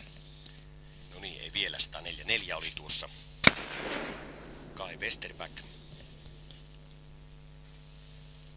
Ja tässähän näitä kilpailijoita tässä sarjassa muuten on runsaasti kilpailijoita, 50 ja 60 on näissä kisoissa todella paljon. Eli kun ensimmäinen numero tässä sarjassa on 115 ja viimeinen numero on 256, niin reilusti toista sataahan näitä tässä tulee, näitä kilpailuja kaiken kaikkiaan 140, yli 140 kilpailijaa, 141 kilpailijaa, jos oikein tarkkaan lasketaan, on mukana tässä sarjassa, eli sievoinen määrä kilpailijoita, kun ajatellaan, että kuitenkin on laista kysymys, jossa nyt varmaankin Suomen maassa metsästäjiä meitä on paljon, mutta harrastajia nyt ei tähän laji mahtuu vielä, vielä harrastajia paljon, mutta että 50 ja 60 on se puolitoista sataa, mutta on ollut joskus näissä kisoissa. Muistan aikoja, kun tuossa ensimmäisiä kertoja parisenkymmentä vuotta sitten kisailtiin ja kuljettiin kisoissa, niin nyt kun SM-kisoissa on 6500, niin minulla on sellainen mielikuva, että lähellä tuhatta siellä oli silloin parhaimmillaan nämä, nämä kisailijat. Ja toivottavasti saadaan nuoria mukaan. Nuoria näissä, näissä iäkkäämmissä sarjoissa, ei vanhoissa, mutta iäkkäämmissä sarjoissahan täällä ihan hyvin näitä kilpailijoita on, mutta tuolla nuorissa, nuorissa ja yleisessä, mutta erityisesti nuoret, nuorten sarjoissa on, on, on toivetta, että sinne saataisiin vielä enemmän. Totta, ilahduttavastihan täällä tänäänkin on kilpailemassa nuorten sarjoissa, mutta toki voisi olla vieläkin enemmän kilpailijoita. Ja joko sinä sait Kiikarin Harri tuolta ne meidän seurannassa olevat, ja jos saadaan, saadaan heidän tyyliä hieman tuohon ammuntaankin, eli joko siellä Osmo ja Jarmo on tulleet vielä, ei näy, odottelemmeko me tässä malttamattomana näköjään. Onko Osmo siellä? Osmo tuli sinne ampumaan. Eli ykköspaikalle ja on sitten siellä seurannassammekin hyvä näin. Ja kysymyksessä on Osmo, Osmo Nevalainen nimenomaan. Ja hän on monen, moninkertainen SM-mitallisti. Yksi varma lenkki näissä Pohjois-Karjalan miesten viestissä. Muun muassa Vaalan 2012 eli edellisessä kisossa SM4. Ja siihen hänen viereensä. Siinä on nyt rauhallinen ampua, kun kummallakaan puolella ei ole häiritsevää tekijää ainakaan. Ei voi mainita, mainita, että siinä vieressä, kun ei ollut äänenvaimentajaa, niin plosahti. Olen sen verran harrastanut tätä lajia, että jos itse käyttää äänenvaimentajaa ja sitten tulee, niin kuin tässä nyt Osmo ei käytä äänenvaimentajaa, niin tulee siihen viereen ampuja, ampuja jolla ei ole sitä äänenvaimentajaa. Kyllä sitä säikähtää sitä laukausta aivan varmasti. Mutta tuossa Osmolla kiväärinä Tikkakoskelainen, eli Tikkakosken Tikka Sporter, Aika hyvin näet kyllä, tarkka näköinen on tämä Harri. Minulla on jo se näkö mennyt sellaiseksi, että minä nyt näen nuo miehet tuolla, mutta minä nyt aseesta näe kyllä merkkiä. Ja tämä on Ville Ylönen. Siellä on Virttimäki ollut suunnittelemassa tuota asetta ja valmistettu ihan tuossa, kun lähdetään kilpailukeskuksesta tänne ampumaradalle. Siinä on tämä nykyinen kirjasto ja Tikkakosken pienteollisuutta, niin niissä tehtaissa tuokin ase on joskus uskoisin 70-80-luvulla. Siinä on tuo korotettava po poskipakka, niin kyllä se on tuota 80-luvun lopun valmistusta.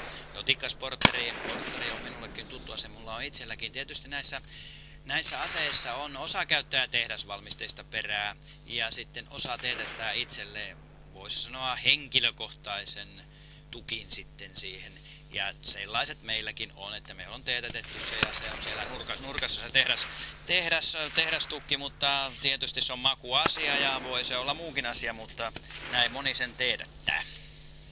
Ja ampumapaikalla myös 150 Pohjois-Savon Erkki Karhunen. Mutta katsotaan nyt tuota 149 eli Osmo Nevalaisen suoritusta. No, siinähän tuossa nyt on kaksi ampujaa paikalla, niin huomaatte hyvät katsojat, että siinä on aivan erilainen eh, sanotaanko tuota tekniikaksi, erityinen tapa, ampuma-asento oli molemmilla. Nyt tässä keskitytään tähän Osmon ammuntaan, mutta kun ne olivat vierekkäin äsken tuossa kuvaruudussa, niin siinä huomasi sen eron, että minkä, minkä tyylinen voi olla. Voi tulla yhtä hyvä tulos molemmilla tavoilla. Ei se ole tyylistä tämä kiinni, vaan kyllä siinä tarvitaan ampumaan taito. Mennäänpäs tuohon suurennukseen nyt, kun tässä on vähän rauhallisempi. Eilen heitin ihan ö, entisenä harrastajana, että kympin, kympin suurennuksella ollaan jopa jotkut alle, mutta onko ihan huippumiehillä, että ollaan jopa yli 20 suurennuksella? Kyllä näin on, eli ne huippumiehethän voi sanoa, että ne melkein näkee sieltä, sieltä tuota sen reijän ennen kuin se on lähtenytkään, eli suurennus on niin, niin suuri, eli kyllä varmaankin vähän siihen suuntaan voisi ajatella, että mitä parempi ampuja, sen suurempi suurennus, mutta ei välttämättä suoraan näin, mutta yleisesti No se kieli varmasti justiin siitä, että ammutaankin sitten tuohon täydelliseen pitoon, että itse myönnän, että en pysty näillä laukaisumäärillä pystyisin laukaisemaan noin suurella suurennuksella, että käytän tuommoista seiskaa paikalleen ampumisessa ja sitten hirvestyksessä ihan puolta, puolta toista suurennusta. Joo, kyllä olen samoilla linjoilla, että minulla on ase, jo, jo, jossa käytän yhdeksän suurentavaa, kun ammun näissä kisoissa. Eli aivan samalla tavalla en pystyisi ampumaan, ampumaan siitä. Tietysti tämä laji, kun tätä harrastaa pitempään, niin jos ampuu paljon, niin se taito kehittyy. Tämä on laji, jossa voisaan suoraan verrannut, niin on, siihen, että miten tätä, varsinkin tätä ammuntaa harjoittaa. Ja olen kuullut ja olen itsekin käyttänyt, mutta erityisesti huipulta, että erityisen tärkeää on nämä pitoharjoitukset, eli napsutellaan, ei välttämättä käydä ampumaradalla, vaan napsutellaan ja harjoitellaan pitoja siellä kotioloissa. Ja siinä on myöskin tuota tekniikkaa ja taitoa. Se on juuri tämä. Se on tämä Osmo Nevalainen lähikuvassa. Ja siinäkin näette tuommoisen pussukan tuossa aseen kyljessä. Se on nimenomaan se hylsyn kerääjä. Nyt siinä otetaan takaisin tuossa.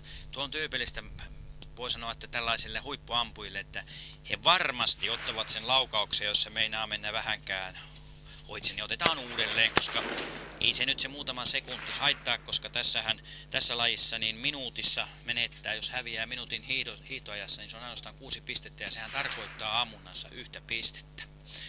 Eli siinä kannattaa olla tarkkana. Joo, 155 Osmo Siukola tulee myös.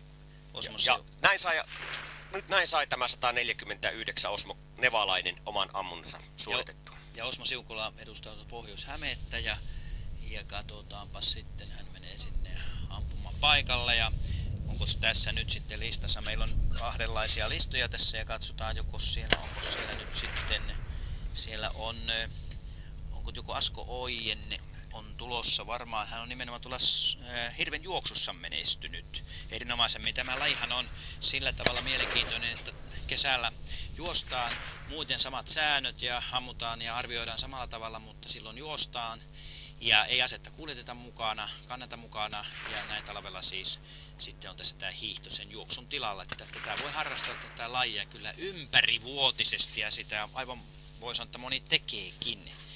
Ja toiset ovat parempia hiihtäjä, toiset on parempia juoksijoita ja osa sitten ei la, lainkaan harrasta tätä hiihtopuolta, että keskittyy tuonne kesälle. Kyllä. Ja tällainen ö, mainio lisää tähän hirvi, hirvenhiihtoon on kuin www.hirviurheilu.com, joka on laatinut vuosien saatossa erinomaisen palvelun nä- tähän tuloslaskentaan. Ja netistä voi seurata reaaliaikaisena tämänkin kilpailun tuloksia. Juuri näin.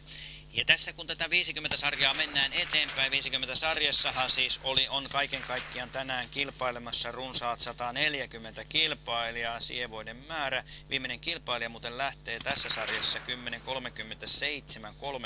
Esko Holopainen. Niin ollaan nyt sitten, ei olla vielä tässä sarjassa, kun suurin piirtein ei olla vielä puolessa välissäkään. Ollaan vasta tässä alkupuoliskolla ensimmäisellä kolmanneksella 50 sarjalaisten ja heidän jälkeensä sitten lähtee välittömästi nonstop-maisesti 60 M60-sarja. On tuossa muutama paikka jätetty, jätetty väliä, mutta minkälaista sarjavälejä täällä ei ole lainkaan näissä kisoissa noudata, vaan non-stopistit näitä kisoja me tässä seurataan ja kisaillaan, kisailevat nämä kisailijat. Ja sieltä saapuu ampumakikarilla 166 tulee nyt. Ja on, tuossa on vähän järjestysmiehiä edessä, niin en näe, että on- onko tuo 163 tuolla ykköspaikalla. Se olisi kova kaveri. Markku Mikkola. Kyllä, jota kyllä se on 163, joten nyt vähän siinä ohjatte niitä muutamia miehiä sitten sivuun, niin saadaan hyvä kuva numerosta 163. Oulun mies Markku Mikkola. Hän on todella, todella niitä, voisi sanoa niitä, niitä suosikkeja, jotka... S-mitalleita niin hiidossa kuin juoksussakin ja myös luodikossa ja hirvessä, eli monipuolisuusmies. Eli tällainen todellinen metsästysammunta mies, kun harrastaa myöskin noita ammuntoja, pelkkiä ammuntojakin.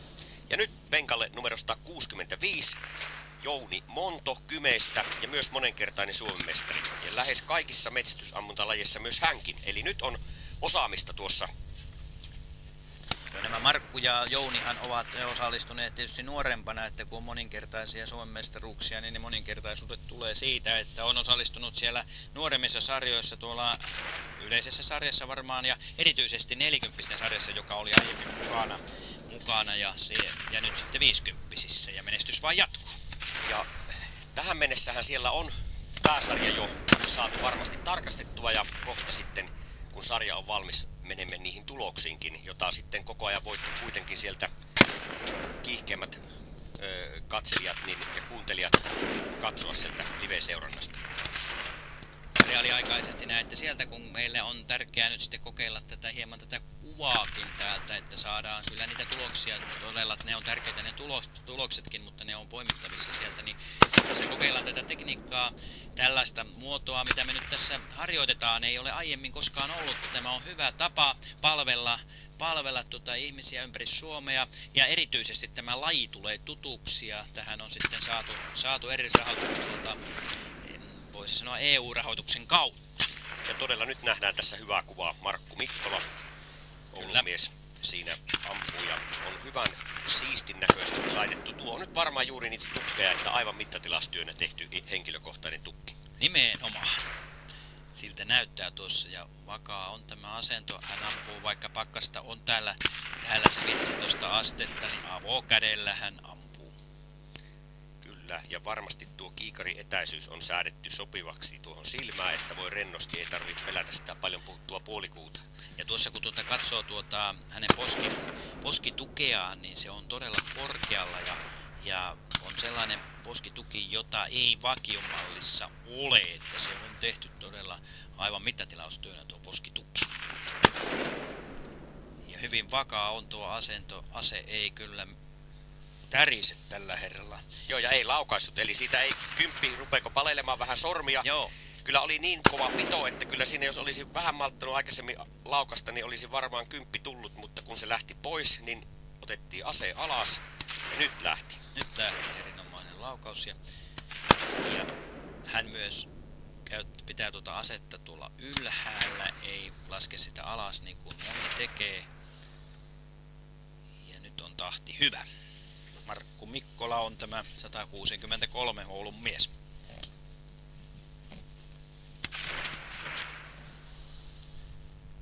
Puisti vähän päätä.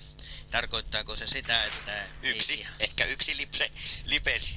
Kyllä. Nämä ovat kaikki ennakkosuosikit tuosta yhdestäkin pienestä kasista tai seiskasta, niin ne ovat vähän aikaa harmissaan, kun ne näkee tuolta kiikarista sen, että ei ihan onnistunut, mutta siellä silti voi olla se 96 pistettä, joka varmasti onnistuneen hiihdon ja erinomaisesti menneen arvion päätteeksi saattaa riittää vaikka ihan Suomen mestaruuteen. Nimenomaan näillä huipulla ne sanoi, että tuli yksi kärpänen ja se kärpänen saattaa tarkoittaa sitä, että tuloksiksi tulee 99, eli kaikki muut kymppiä ja yksi ysi. Minä, minä käsitän maalikkona sen kärpäsen vähän toisella tavalla. Ihan samoin. Heikki Lintunen 168 Keski-Suomen mies, Lanneveden jahti ja perinteikästä metsästysseuraa edustava kaveri kipusi siinä juuri penkalle ja puoli minuuttia hänen taaksensa lähteneet Pohjois-Karjalan Matti Hassinen oli ajanut jo kiinni, mutta niin kuin tuossa äsken Mauri kertoi, puoli minuuttia, sehän tekee vaan sitten sen kolme pistettä, että kyllä, kyllä se on tuossa ammunnassa helppo saada kuitattua. Kyllä näin on, eli tässä hiihtoajalla, taikka hiihdolla tätä kisaa ei yleensä pärjätä, mutta jos on kova hiihtokunto, niin totta kai se vaikuttaa tuohon ampumasuoritukseen sillä tavalla, että mitä kovempi kunto, niin sen paremmin onnistuu myös se ammunta. Sehän on selvä asia se. Ja kyllä se sitten tuo, niin kuin kuulin näistä lajifriikeistä, jotkut tuota vähän kritisoivat sitä, että 48-vuotias mies on 25-vuotiaan miehen kanssa samassa ja se päivän kovin hiihtäjä joskus tiputtaa sitten näiden vähän hitaammin kiiruhtavien pistemäärää Eli tuo 300 pisteen, jos se on mielettömän kova aika ja ammutaan nopeasti laukaukset, niin sitten se taas vastaavasti vähän tiputtaa noita muiden pisteitä niin, että Janne Liimataisen SM-pisteet ei varmasti ole vaarassa.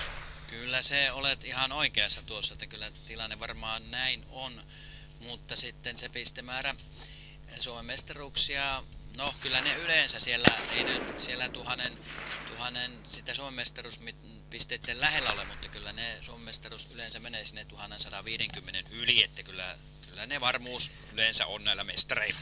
No niin, meinasinkin tuossa heittää, että heitäpä veikkaus tänään päivänä kovimmat pisteet Tikkakoskella näissä SM-kisoissa. Tehdään pieni tämmönen, kumpi osuu lähemmäksi. No minäpä veikkaisin tämän päivän kovimman pistemäärän.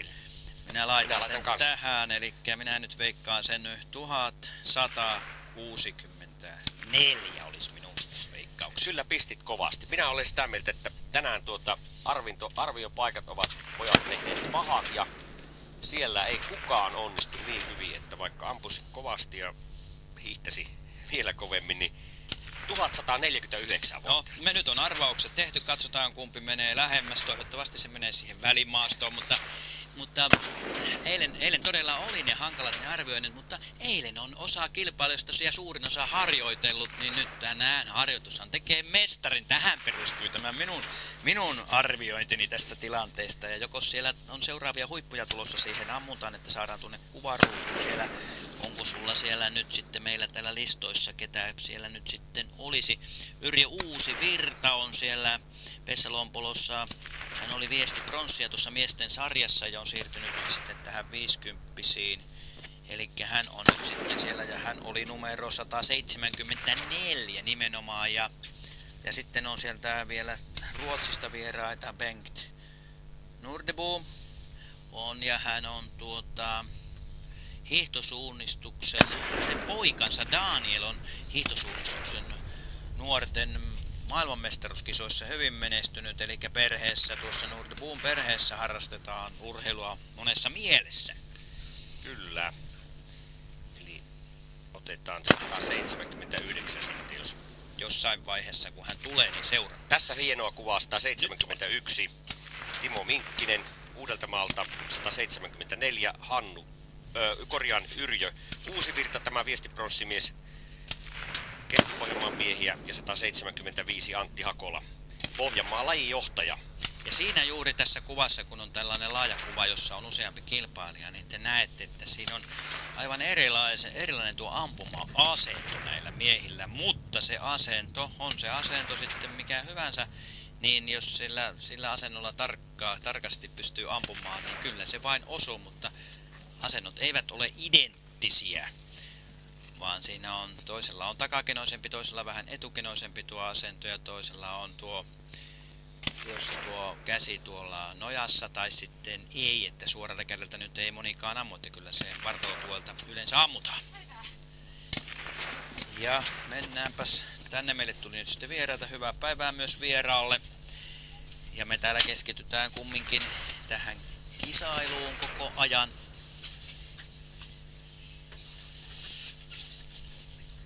Jaha, ja nyt tämä vieras toikin meille mukavaa, mukavaa tuliaista me saadaan tänne tulosmonitori nyt, eli me päästään nyt sitten sieltä niitä yleisen sarjan kilpaili, kilpailijoille, taikka kilpailijathan kyllä tietää, kun ne on siellä paikan päällä tuolla kilpailukeskuksessa, mutta saadaan sitten välitettyä tämä tieto vähän laajemmalle tuonne ympäri Suomea. Siinä juuri kuvaruudussa 176 on tässä meillä 176 Tapio Kajaan. Ja hän on tuossa äärimmäisenä, tai lähimpänä kuvaruudussa parhaiten näkyy. Jälleen tästä yleiskuvaa tästä ampumapaikasta ja hieman siellä on etutuulta nyt sitten, vaikka aurinko siellä paistaa ja ilmeisesti lämpötila on vielä, vielä aika, aika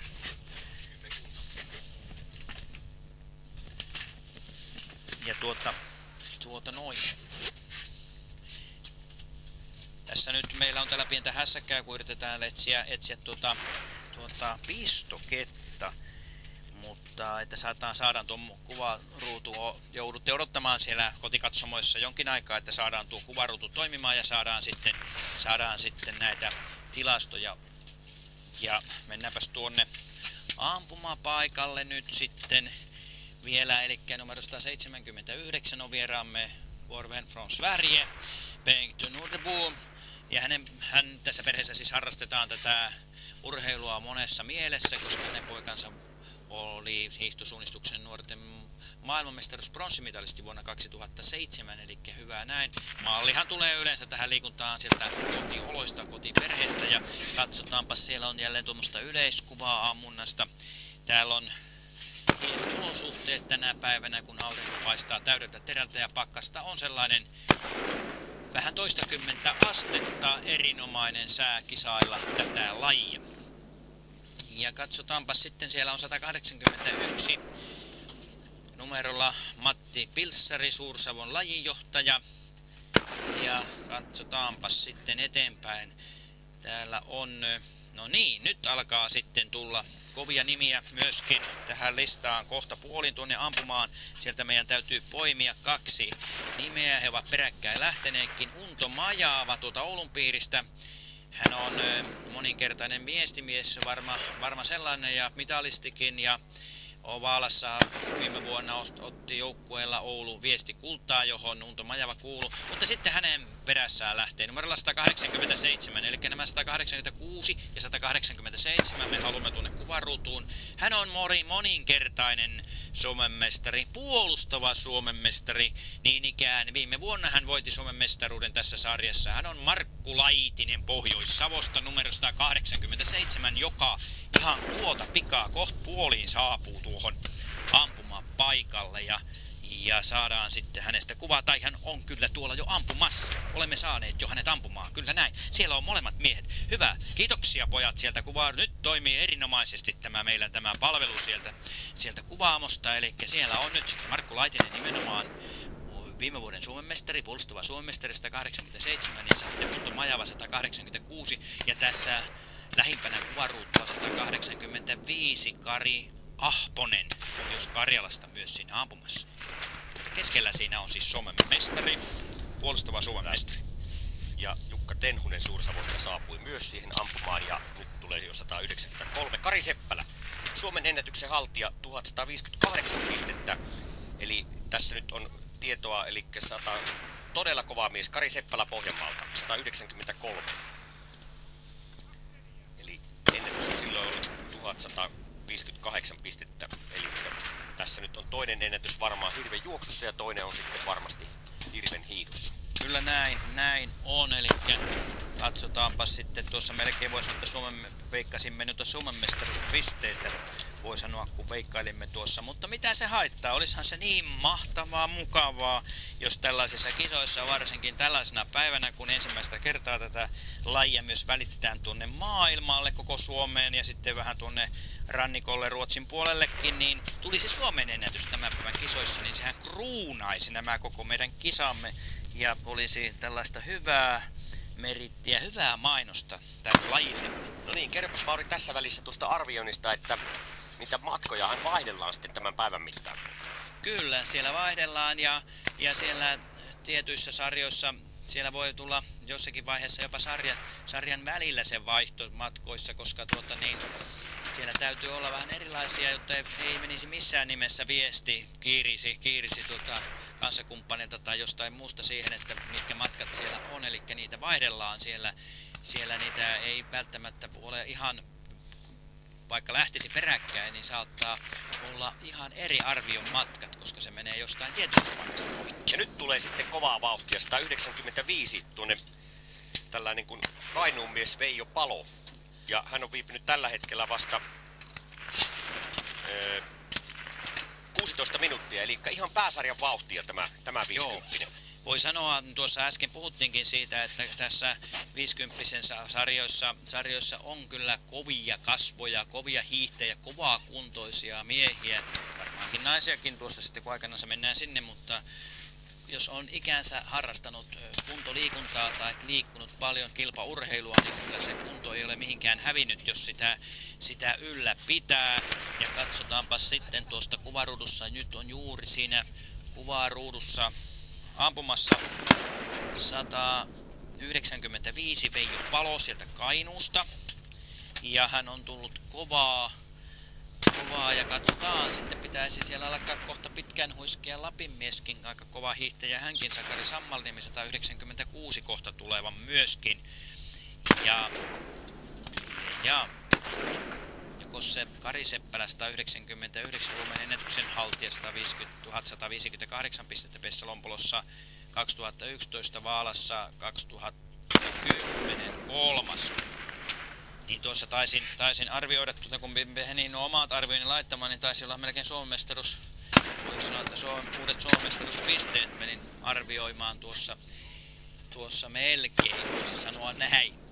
Mutta katsotaanpas, kun mennään tuonne ampumaan paikalle. Siellä nyt sitten Jari Ahola on Lapista myöskin numero 201, jonka, jonka meidän kannattaa tuohon kuvaruuduun saada, koska hän oli viime tai 2011 mestaruudessa nimenomaan. Hän oli siellä neljäs.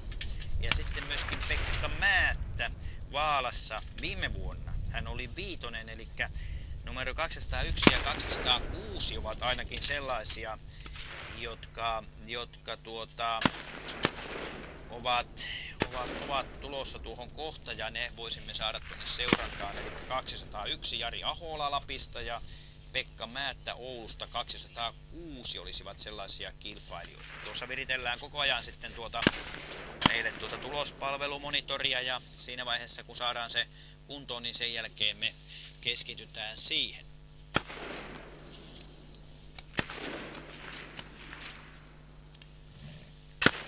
Ja kuvaruutuun kun katsellaan siellä, siellä tapahtuu, voisi sanoa, että vilkkaasti siellä ammutaan ja vilkkaasti siellä tapahtuu koko ajan tuolla, tuolla kentällä, eli sinne tulee kilpailijoita, lähtee kilpailijoita ja ampu, ampumassa on jatkuvasti. Meillä on tässä sarjassa 141 kilpailijaa tässä miehet 50 sarjassa ja se on, se on todella hyvä määrä. Määrä kisailijoita, on innokkaita kilpailijoita ympäri Suomea ja Ruotsin puoleltakin. Ja voi sanoa, että joka puolelta Suomea, kun katsoo tätä listaa, niin on lännestä, on idästä, on etelästä, on pohjoisesta. Hyvin on, hyvin on edustettuna koko Suomi tässä lajissa. Ja näin Veijo Palo 195, Kainuun mies oma ammunta suoritettu. Te varsin hyvässä vauhdissa täällä Tikkakoskella tämän, tänään nämä SM Hirvenhiihdot ovat. Keli on mitä parhain. Ihan tällaista keliä ei voi kun ihailla itsekin, että sattui juuri tähän. Eilen oli aikamoisia lumi puuskia ja ladulle vähän tuiskuttikin lunta, mutta nyt on kyllä niin hyvä ja keli vaan iltapäivää kohti paranee. Ja tuolla kun äsken sitä puhuttiin, niin osa ampuu harvempi kylläkin vasemmalta puolelta, mutta muun muassa tuolla 198 Matti Nyyssinen Suursavosta on tällainen vasemmalta puolen ampuja. Välttämättä hän ei ole vasuri, mutta vasemmalta puolelta ampuu. Ja suurin osa on oikea oikealta puolelta ampuvia, mutta sitten on näitä mu- muutamia, jotka harrastaa tätä minun, minun ajatuksen mukaan väärältä puolelta, mutta hänen mukaansa siltä oikealta puolelta varmaankin. Jari Ahola Lapista ammunta paikalle viime vuoden SM4. Ei kun, anteeksi, Pessaslompolossa 2011 SM4. Kyllä, ja hän on erinomainen onnistuessaan, erinomainen ampuja ja erinomainen hiihtäjä. Ja juuri tuossa nyt on, eli hän on seurantaa, jos saisimme Jari Ahola 201, tuollainen kilta, kiltainen asuu. Varmaan saamme ihan kohta, hän siinä juuri valmistautuu omaan ammuntaansa. Ja Mistä päin Lappia, tiedätkö? Hän on tuolta Sallan perältä. Ja Pekka Määttä Oulusta viime vuonna Vaalassa viides. Pekka Määttä numero 206 on myöskin tulossa, eli tässä kaksi kovaa kasvua. Voisi sanoa varmaan kohtuullisen. Nyt tuli Jari Ahola siinä kuvan 199. Kari Grunström Kainuusta on siinä myöskin kuvassa, mutta siinä on sitten Jari Ahola. Ja Jari siinä nyt sitten ensimmäistä laukausta etsii. Ja tuossa näkee nyt sitten molemmilla miehillä on aivan erilainen tekniikka ampua. Näin. Ja juuri Pohjois-Savon Pauli Ruotsalainen 192 ammunta suoritettu. Ja Paulikin tuolla Pessalompolossa 2011 oli SM2. Joten kova, kova, kovia miehiä jatkuvasti tässä. Kyllä, kovia miehiä tuossa ampumavallilla parhaillaan ampumassa ja Jari Ahola siis 201 Lapin mies siinä omassa suorituksessaan ja, ja katsotaan tänään aikanaan nähdään sitten, että mihin, mihin tämä suoritus tänään riittää, mutta hyvin rauhallisesti hän siinä ampuu. Niin kuin ampuu tuossa vieressä oleva myöskin 199 numerolla Kari Grundström, Kainuun mies.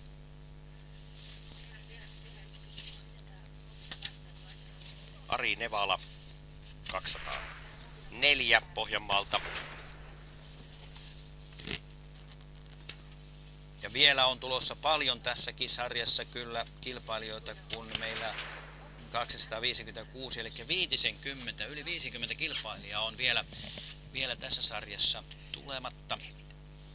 Jari Ahola siinä edelleenkin ampuu. Ja samoin ampuu myös tämä Kainuun mies, Kari Grunström. Ja siinä edelleen kuvaruudussa on Jari Ahola. Hän ampuu tuonne paikka numero 19. Ja 204 numerolla juuri siinä valmistautuu Harri mainitsema Ari Nevaala. Ja tuossa on nyt 1, 2, 3, 4, 5, 6 miestä yhtä aikaa ampumaan paikalla. Ihan mukavasti näkyy tuossa jälleen niitä erilaisia tapoja, tapoja tuota asetta, asetta käsitellä tuossa ajatellen osumatarkkuutta. Ja ilma on edelleenkin erittäin hyvä ampumista ajatellen. Hieman tuulee edestä, mutta se edestä tuuli ei haittaa. Joko siellä tuloksia sitten näyttäisi olevan, olevan ja Kohta Har, tulee. Harri sitten pääsee kaivamaan sieltä tulokset ja pääsee ääneen näisten tulosten osalta.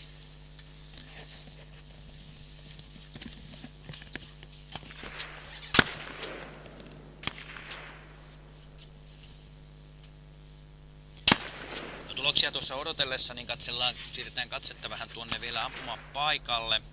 Joko siellä se Pekka Määttä 206. Siellä voisi seurannassa tuolta kuvaruudusta tai tuolta mm, siellä kameramiehet, jos löytävät numeron 206, kun tuli ampumaan, hän on Pekka Määttä viime vuoden vaala vitonen, niin siinä 203 saapui siinä juuri Hannu Jänkkälä Lapista ampumaan. Tähän tuli, on ensimmäisenä tässä taikka kuvaruudussa aivan tässä keulilla. Hannu on kova kisojen järjestäjä tuolla Lapissa, on tällainen aktiivinen ja hänen, hänen hänen tyttärensä ovat erinomaisia, erinomaisesti menestyneet tässä lajissa. Ja Hannu on henkeen ja vereen kyllä hirven hiihtomiehiä. Eli 206 minä tässä odottelen Pekka Määttää, Oulun miestä tuonne. Ja joko hän... Siinä on Pekka Määttä. Kiitoksia pojat. Jälleen toimii erinomaisesti tuo tieto tuonne Pekka Määttä. Viime vuoden vaalan viitonen. Hänellä mieli on varmaan kirkastaa mitalia tai kirkastaa sijoitusta ja päästä tuonne todellisten mitalimiesten sarjaan, eli kolmen parhaan joukkoon. Sinnehän se mieli on. Sehän on luonnollista, että eihän sitä lähdetä hakemaan kisoista huonompaa sijoitusta, mihin viime vuonna päästiin. Eli me ollaan täällä ampumapaikalla Tikkakoskella varuskunnan ampumaradalla.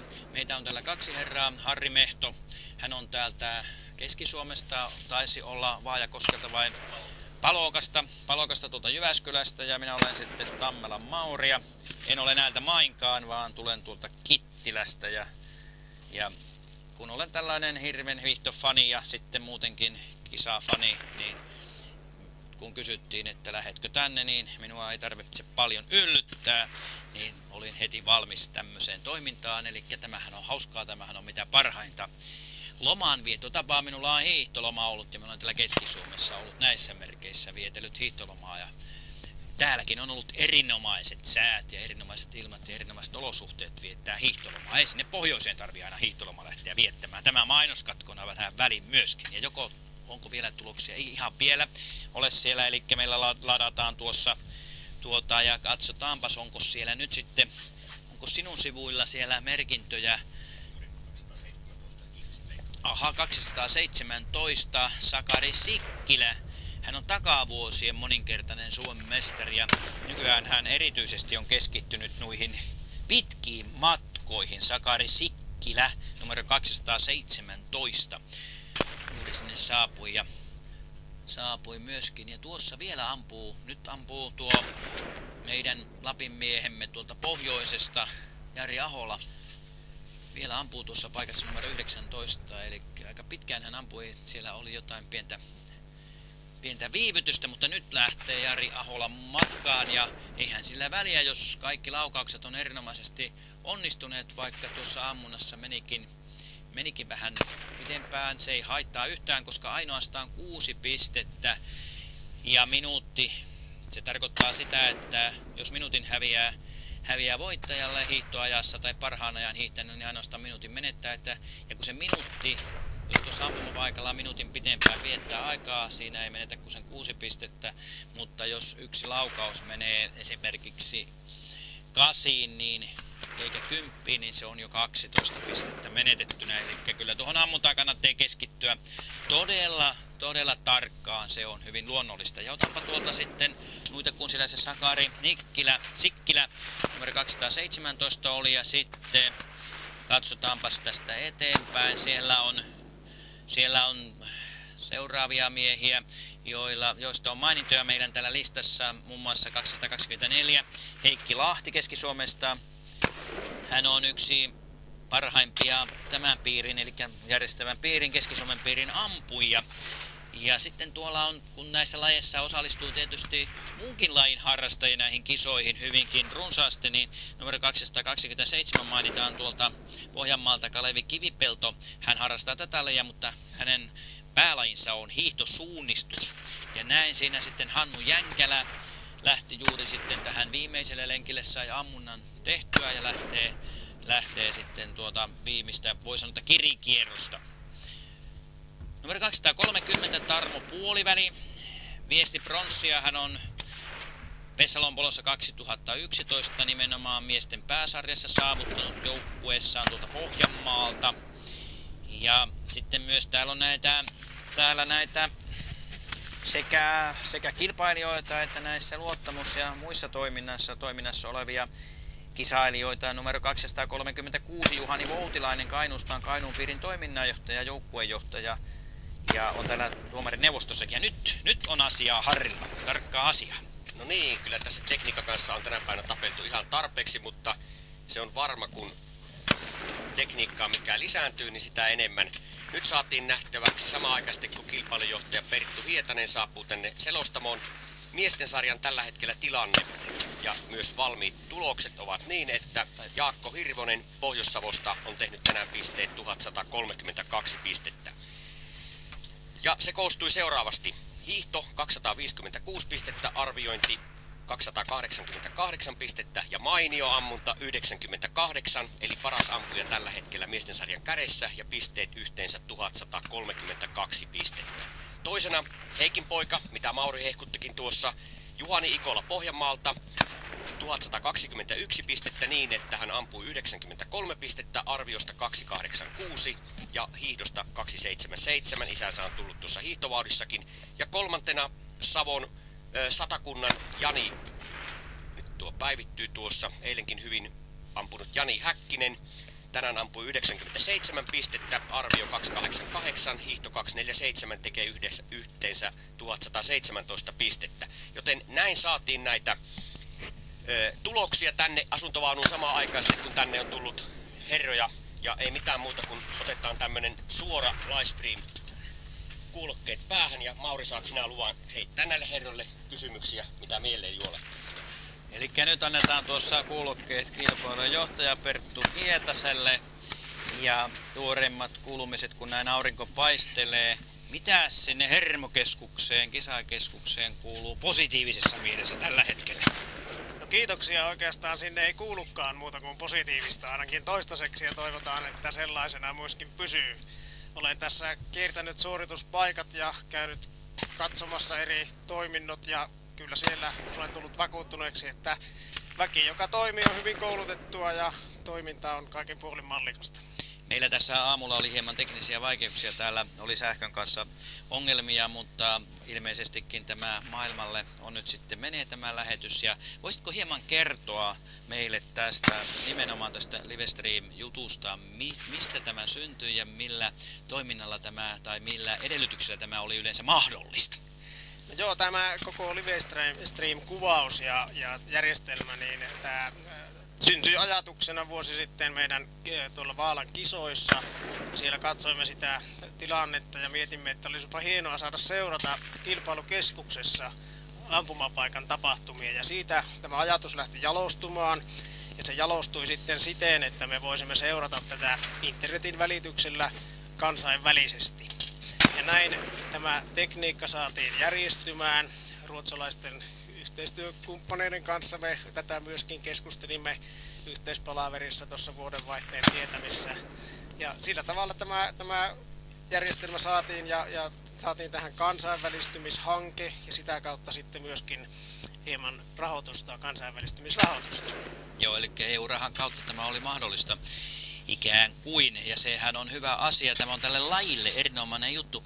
Tuossa eilissä päivänä keskustelin ruotsalaisten kanssa siitä, että miten saataisiin tämä laji vielä kansainvälisemmäksi. Tämä on yksi muoto. Mitäs mieltä sinä olet esimerkiksi, jos ajatellaan, tai mitenkä se olisi mahdollista, varmaan olet positiivista mieltä siitä, miten me saataisiin aikaan tässä lajissa Pohjoismaiden mestaruuskilpailut?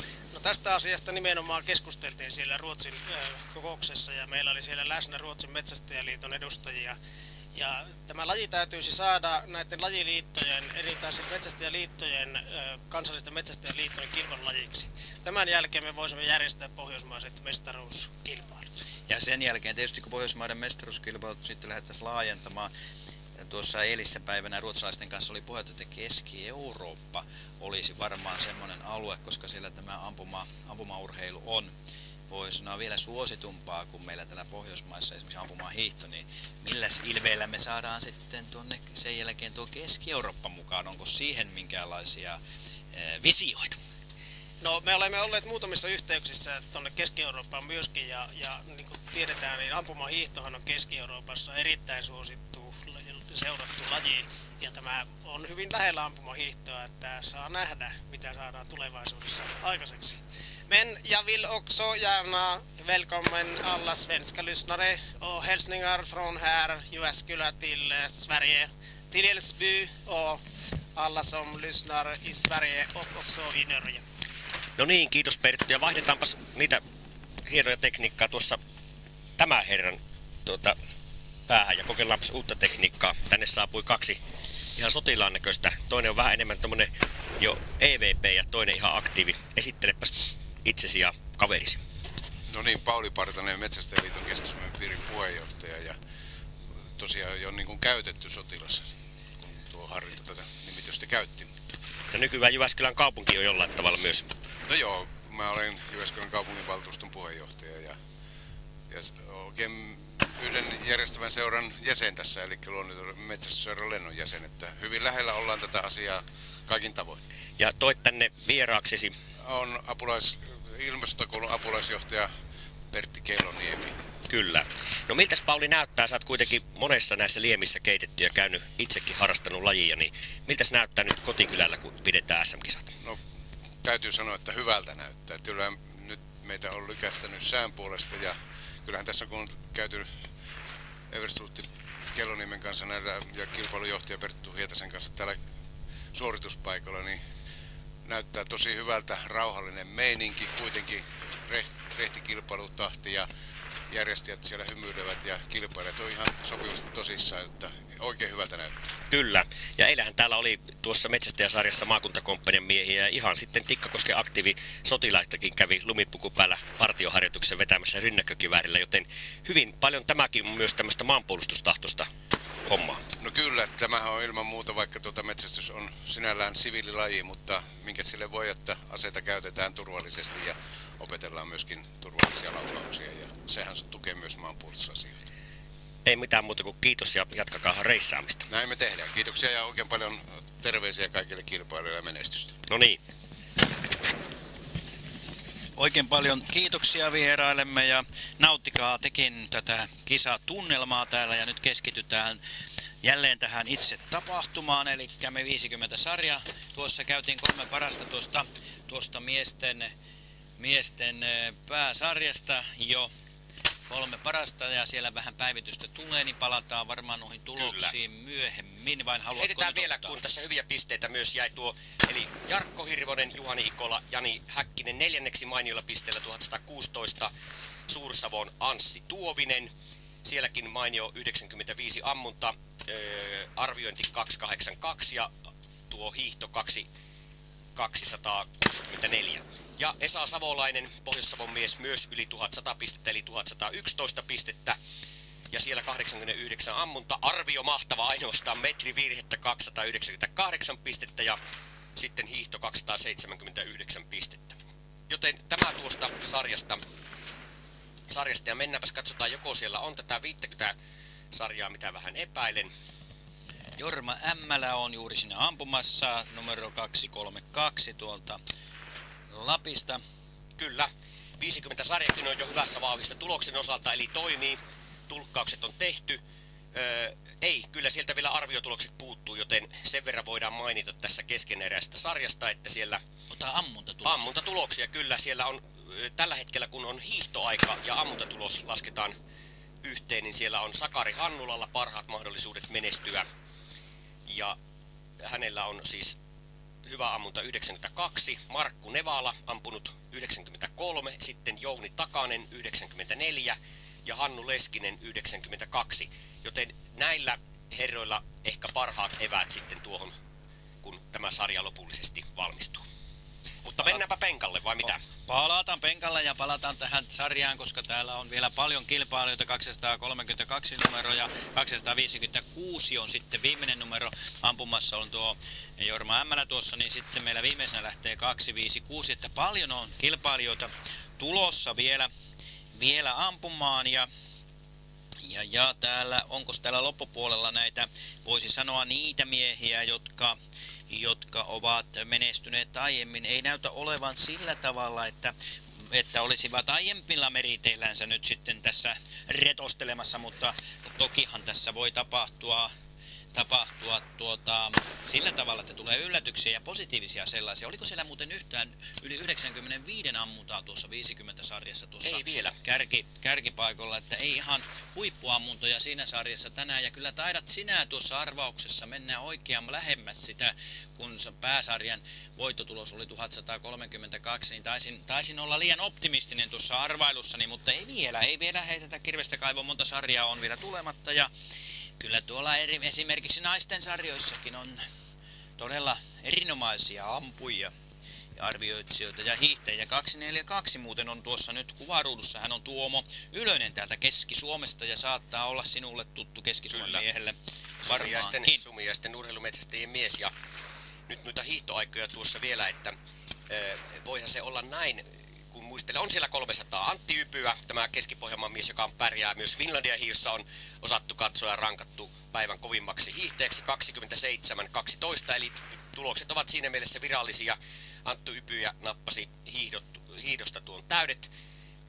Täydet arvio oli hänellä 248 ja ammutakin hyvä 88 pisteet, 1076 pistettä, mutta taso on niin mieletön, että näin hyvällä suorituksella vain 18 sijaa tuossa pääsarjassa. Ja kyllä minä, kun aamulla juttelin tuossa hopealle sijoittuneen Juhani, Juhani Ikolan kanssa tuolla majapaikassa, niin hän oli kyllä niin varman oloinen tuossa lähtiessään reissuun, että, että siltä vaikutti, vaikutti, että siellä näkyy olevan sitten tuttu kaveri 25 on poikani ja 90 ihan kelpo ammunta tänään näyttäisi olevan ja ihan kelpo sijoituskin, ei mitenkään, mitenkään huono, mutta tuosta tuossa todella tuosta Juhanista hän oli rauhallisen oloinen ja varman oloinen tuossa aamulla ja, ja niin hän yleensä menestyjät ovat, eli, eli tässä nyt toisessa polvessa tätä ampumaharrastusta maailmanmestari, useampi kertainen maailmanmestari Heikki Ikola tulee sitten myöhemmin mukaan. Ja, mutta tuo voittaja tuossa, niin tuo Jarkko, onko hän sinulle tuttu sillä tavalla, että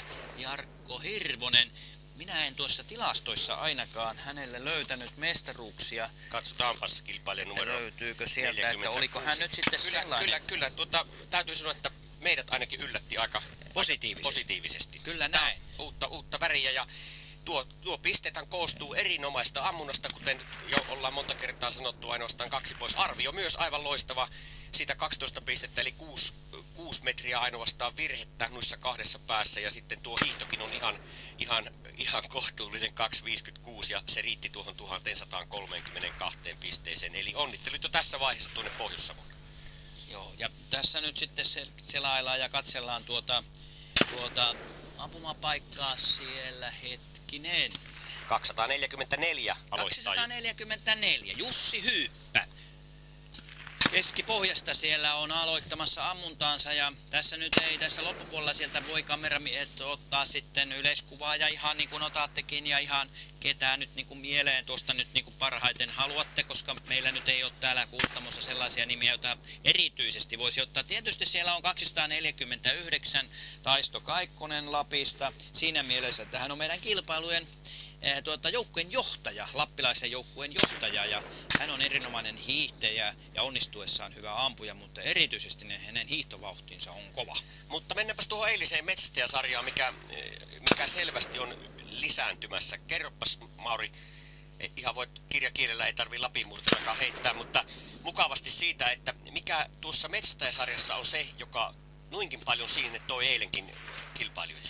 Nimenomaan se metsästäjäsarjassa varmaan on se, että kun siinä ei tarvii tämän hiihdon kanssa rehkiä, liikaa kesällä on juoksun kanssa sama juttu, niin se tuo uusia harrastajia, sellaisia harrastajia, joilla saattaa olla esimerkiksi sellainen tilanne, että, että heillä on joku sellainen pieni sairaus, joka estää sitten hiihtämästä, on joku, joku voisi sanoa lujaa hiihtämästä. Kyllähän tässä on pakko hiihtää tämä reitti jollakin tapaa, mutta saattaa olla jotain, jotain tuota, liikuntaelinsairauksia tai muita sairauksia ja silloin voi tulla edetä tässä ihan rauhassa ja tulla ampumaan ja tämä tuo uusia ystäviä. Ja nyt tulee Taisto Kaikkonen 249 Kyllä. ampumaan.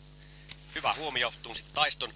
Vielä tuohon, mennään kuitenkin tuohon miesten pääsarjaan, kun tiedän, että näistä piiristäkin aina kilpaillaan piirin parammuudesta. Siellä Noitten vitosen jälkeen Esa Savolainen siis viides, erinomaisesti myös Keski-Suomen oma poika Janne Pillikko.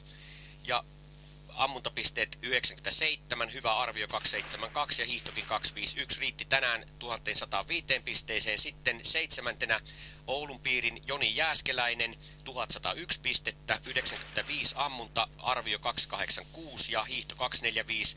Vesa Haikara, Keski-Pohjanmaan miehiä tai Keski-Pohjanmaan piiriä edustava Haikara 1096 pistettä ja Keski-Suomen oma poika Ari Pitkänen hienosti yhdeksäs, 1087 pistettä. Ja otetaan tuo kymppi vielä Hannu Jussila Lapista, 1086 pistettä. Ja samoilla pisteillä Timo Seppä 11, joten kyllä kova tasoinen on tuo miesten pääsarja. Joo, ja Pohjois-Savo näyttää siellä olevan, niin kuin jos katsotaan tuonne 15-17 joukkoon, niin tällä hetkellä silmämääräisesti katsottuna tuossa miesten pääsarjassa se menestynein piiri, mutta, mutta niihin palataan sitten Palataan, myöhemmin. ja tehdäänkö nyt semmonen, kun tuossa päästään kohta 50 tuloksiin ja sitten 60 oikein, oikein lajin niin kuin moni, moni kymmenvuotiset harrastajat, heistäkin ollaan otettu tietoja, niin eiköhän, haluatko aloittaa kahvittelun vai aloitanko minä? Aloita sinä hätäisempänä miehenä ja minä sitten tässä otan sen myöhemmin. Pitää käydä tuolla erässä paikassa, johon kaveriakaan en ota sitten yleensä mukaan sen jälkeen, kun sinä olet kahvistellut, mutta kyllä minä siihen saakka pärjään. Ja tuossa juuri ampumassa 241, hänkin Lapin miehiä. Tietysti minä tunnen nuo Lapin miehet näöltä. Kisakumppanit Esko Pulju on siinä nyt ampumassa myöskin. Hän on tällainen monipuolisuusmies tässä tässä, voi sanoa tässä metsästysharrastuneisuudessa hän on erinomainen, hän, hänellä, hän ampuu itse, mutta hänen tyttönsä on erinomainen ampuja, mutta hän on myös aseseppä. Eli meillä on omassa, omassa joukku, joukkueessa tai joukossa myöskin tällainen, tällainen aseseppämies ja esimerkiksi hän tekee näitä, mullekin monen aseeseen on laittanut näitä, näitä tuota äänenvaimentimia ja, ja, ja muutenkin tässä, täsmännyt näitä aseita. Ja Viimeisiä miehiä siis on lähdössä, ei lähdössä, vaan tulossa tähän ampumapaikalle. Miehet 50 sarjassa ja tuossa Harri juuri mainitsi, että nämä 60 kun nyt alkaa, niin siellä on kuulkaa sitten sellaisia harrastajia, jotka ovat saattaneet harrastaa tätä lajia melkein niin kauan kuin tämä laji on ollut voimassa. Tuossa Harri puhui että aikaisemmin, että 60-luvun loppupuolella tämä laji alkoi sitten niin kuin saada enemmän tulta purjeisiin. Tämä lajihan on jo keksitty 1950-luvulla, mutta, mutta varsinaisesti ihan totta silloin 60-luvun loppupuolella tämä alkoi sitten saada, voisi sanoa, että räjähdysmäisemmin tätä joukkoa mukaan ja ja, ja kyllä tämä edelleenkin on sellainen laji, niin kuin tuossa olen todennut aikaisemminkin, että laji soveltuu kaikille, kaiken ikäisille, riippumatta siitä, onko se nyt se hiihtokuntu paras mahdollinen.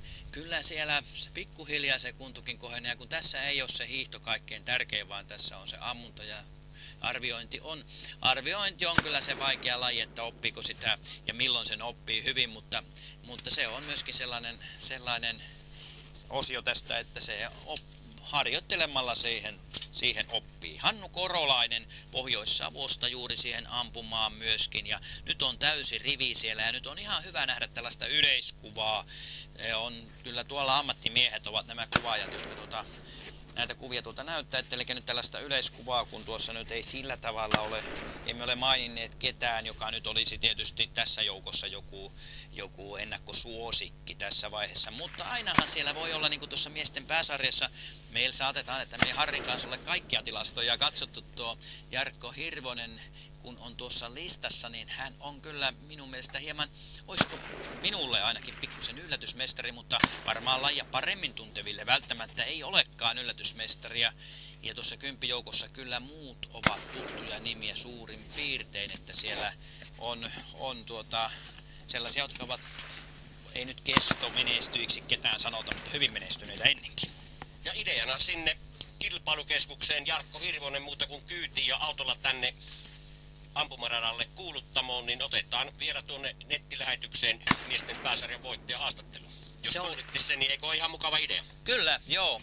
Toistan sen, että Jarkko Hirvonen, jos on mahdollista, että tulisit tänne meidän live estykseen suoraan, niin saataisiin tuoreeltaan mestarin tunnelmat ja, erityisesti sen vuoksi, että saataisiin miehestä irti myös asioita, mihin perustuu tämän päivän voitto ja onko, onko taustalla sitten jotain muita lajeja, joita harrastat ja, ja, ja miten se, ne muut lajit tukisi tätä hirvenhiihtoa tai miten hirvenhiihto tukee jotain muuta harrastuneisuutta niin olisi ihan mielenkiintoista. Tuo oli erinomainen idea, eli jos saamme sinut tänne, niin haastattelemme mielellään. Otamme tuoreet tunnelmat, kun olet siellä kuivaa laittanut päälle, ja jos sulla aikaa suinkin on tulla tänne. Jarkko Hirvosta pyydetään siis tänne paikan päälle. Kiitoksia jo etukäteen. Ja nyt kis kisa on siinä vaiheessa, että jokohan meillä siellä alkaa 60 kohta tulemaan ja siellä on heti Tuossa ensimmäisellä sivulla on siellä kolme kovaa lähtee peräkkäin. Siellä on numero 280 Teijo Rauhamäki, 281 Esko Hytönen ja 282 Seppo Malila, jotka ovat menestyneet erinomaisesti Vaalassa.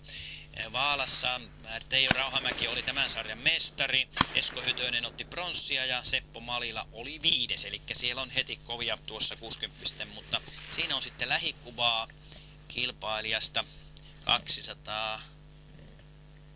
Mikäs tuossa on tuo numero, tai kun on vanhoja? No ei, kyllä se on uusi numero. Se on 255 numerolla on tuo kilpaileva. Hän on Markku Olkkonen tuosta numeron näin tuosta aseesta. On tarkastuksessa on ase käytetty, koska leima on tuossa ja numero näkyy siinä. Eli täällähän täytyy ase tietysti tarkistaa, kun on tällaisesta, varo, tällaista laista kysymys, jossa voi olla tällaisia tekijöitä, jotka aiheuttavat tai tarkkana täytyy olla, kun on aseesta kysymys. Ja nyt siellä mennään etsimään. Ja vielä ei ole tullut noita arviopisteitä tuosta 50-sarjasta, ja nyt, nyt Mauri ei, mutta kun nyt on sinun paikkasi hypätä kahville, ennen kuin ruvetaan noita 60-sarjalaisia sitten lähemmin seuraamaan, sieltä odotetaan muun muassa 271 Keski-Suomen Kaarle Pasonen, ja Kerropa vielä tässä nyt, kun 60-sarja on kysymyksessä, niin tässä on eräänlainen ikähyvitys. Joo, siellä on ikähyvitys sillä tavalla, että kun tässä hiihtoaikahan lasketaan sillä tavalla, että aina sarjan paras hiihtäjä saa sen 300 pistettä ja, ja sitten siitä eteenpäin niin vähennetään aina niitä pisteitä, minkä verran häviää se kuusi pistettä minuuttia kohti häviää, eli parhaasta ajasta. Mutta tässä 60 sarjalaisissa on sellainen ikähyvitys, että henkilöt, jotka ovat 65-vuotiaat ja siitä vanhemmat, 69 saakka, niin heille lasketaan omat pisteet, eli 65-vuotiaiden paras saa sen 300 pistettä ja sitten siitä eteenpäin. Eli tässä sarjassa lasketaan niin kuin kaksi kilpailijaa saa sen 300 pistettä, eli 60 ja sitten 65. Erittäin oikeudenmukainen, kuka sääntönikkari tämmöisen on keksinytkin, että otetaan huomioon tuo lievä vauhdin hiljeneminen. Kyllä näin on, ja nyt minä sitten hetkiseksi tässä vaikenen ja käyn tuolla haistamassa, haistelemassa tota, raikasta ulkoilmaa muissakin merkeissä kuin haistelun merkeissä, mutta en kerro siitä sen enempää. Palataan asiaan kohta. Harri, ole hyvä jatka. Kiitoksia. Joo, nyt, nyt pikkuhiljaa tuossa tekniikka pelaa, tulokset toimii, keli on hieno ja tuota, iso, isojen kilpailujohtaja ilmeistä oli pääteltävissä, että hommat toimii. Terveisiä todella vielä sinne kilpailukeskuksen kuumaan päähän ja tuota, tämä miesten sarjan voittaja sitten, jos saataisiin tänne Jarkko Hirvonen paikalle, niin otettaisiin vähän kuulumisia tämän kilpailun tuiskeessa. Siis 50 sarja on tällä hetkellä viimeisiä miehiä tuossa penkalla. Ja kun he hiihtelevät maaliin, sinne saapuu sitten myös arviotulokset tuolta arviopaikalta ja saadaan sitten tuon 50 sarjan tuloksiakin. Ja 60-sarja alkaa ihan näillä näppäimillä. Siellä todella ensimmäinen kaveri lähti 10.43 ja se oli numerolla 267 Heikki Punju, Kainuun piirin mies. Ja kun parhaat yleisen sarjan miehet tulivat tänne 15-16 minuutissa, niin nyt kiikari napsasti. Ei, kyllä ei ole 60 vauhtikaan hidastunut. Juuri tällä hetkellä, kun sanoin Heikki Punju siihen, saapui ja pyydänkin kuvaa, jos saisin siitä 267 saapui juuri äsken siihen ampumapaikalle numero neljä nähtääkseni, vai oliko, eikö kyllä tuli tuonne kasille. Siinä kahdeksan paikalla on nyt kaveri, niin siihen lähikuvaa. Eli 60 sarja on saatu ala- avatuksi ja todella kovasti tuohon 18 minuuttiin eh, Heikki hiihti tänne ja tähän mennessä, tähän mennessä, tähän mennessä hän on tehnyt, tehnyt, ö, tehnyt todella arviosuorituksen ja nyt alkaa tämä tärkein eli ammuntasuoritus.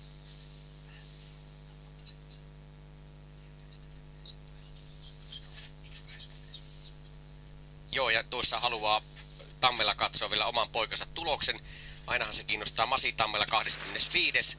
Ja koostuu y- hyvästä ammunnasta 90, arvio 262 ja, ja hiihtokin hyvä 256, mutta on taas kovatasoiset kisat, ei riitä tällaiset yli 250 hiihtoaika, hyvä arvio 262 ja hyvä ammuntakin 90. Pisteet 1058, ei tuon korkeammalle.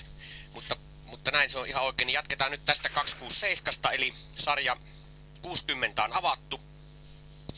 Ja nyt, nyt tehdään sitä tärkeintä työtä tässä lajissa. Eli pyritään ampumaan kaikki 10 laukausta tuohon 11 senttiä, vain 11 senttiä olevaan kymppiin. Ja niin kuin parhaat tänään muutama lipeää ysiin ja yksi nypläys ehkä tuonne kasiin. Muut on hyvin pienessä kasassa tuossa taulun keskellä. Eli nämä, nämä miehet, jos mitkäkin pystyvät, jos mennään suoraan tuohon metsästystilanteeseen, ampumaan esimerkiksi metsäkananlinnun vapaalta kädeltä 100 metrin päästä, että naps alas. Ja nyt saatiin tänne varmasti valokuvaajakin. Otapas Mauri vastaan tuo meidän kilpailun valokuvaaja, niin, niin, niin katsotaan mitä hänellä on asiaa. Hän zoomaa tässä meidän hermokeskukseen ei mitään muuta kuin terveisiä vaan sinne valokuvaukselle. Täällä toimii hommat hyvin ja ei mitään muuta kuin tässä vaiheessa jo sitten kiitoksia tälle tekniikka-osaajille. Tekniikka toimii nyt loistavasti. Varmasti se, että kaksi viikkoa sitten vaikka harjoiteltiin, niin sähkön, sähkön kulutus ei ollut läheskään sitä tekniikka, mitä lisääntyy, niin silloin aina ollaan sulakkeiden ja muiden takana, mutta hienosti menee, ladut ovat hyvässä kunnossa. Ja nyt tulee jo seuraavakin sitten 60-sarjalainen ja hän on jo 65 vuotta täyttänyt äh, Oswald Finne. Eli siellä on nyt sitten kilpailemassa jo kaksi kilpailijaa. Heikki Punjo ja Oswald Finne ovat juuri ampumassa siinä. Ja koko ajan mennään eteenpäin ja sieltä, sanoin jo tuossa aikaisemmin, odottelemme sitten 280 Teijo Rauhamäki, 281 Esko Hytönen ja 282 Seppo Malila, jotka ovat todellista tämän lajin kärkeä Suomen maassa ainakin olleet aikaisemmin. Ja he ovat niin sanottuja ennakkosuosikkeja, jos Joo, ja jos muistelen, nyt sitten voin olla väärässä, mutta tuo Keski-Suomen lajifriikki jo vuosien vuosien takaa, eli Teijo Ra- Rauhamäki, muistan silloin 70-luvun lopussakin jo, hän edusti silloin, muistaakseni, no en, en, en lähde arvailemaan hänen seuransa, niin tehtaiden metsästysseura joka tapauksessa, niin Teijo Rauhamäki niin Keski-Suomesta, niin viime vuonna sitten napsahti tuo Suomen mestaruus ykkönen tuolla Vaalassa. Että todella hienolta tuntuu sellaisesta kaverista, joka on 25-30 vuotta jahdannut jotakin tavoitetta. Ja sitten kun se tulee, niin aivan varmasti siinä myös lähipiiri ihan liikuttuu siitä tuntemuksesta, että kaveri toteuttaa sen unelmansa siitä, että kerrankin menee kaikki nämä kolme osalajia nappiin. Ja Teijo Rauha- Rauhamäen pisteet olivat viime vuonna 1133, eli jos katsotaan tämän päivän yleisen sarjan, niin pisteillä hän olisi lyönyt tämän päivän voittajan, tämän päivän voittaja tuossa yleisessä sarjassa 1132, eli kovia pisteitä on tuolla 60 sarjassa. Kyllä. Ja kova hiihtäjä ö, saapui juuri penkalle Suursavon 275 Seppo Luoma-aho.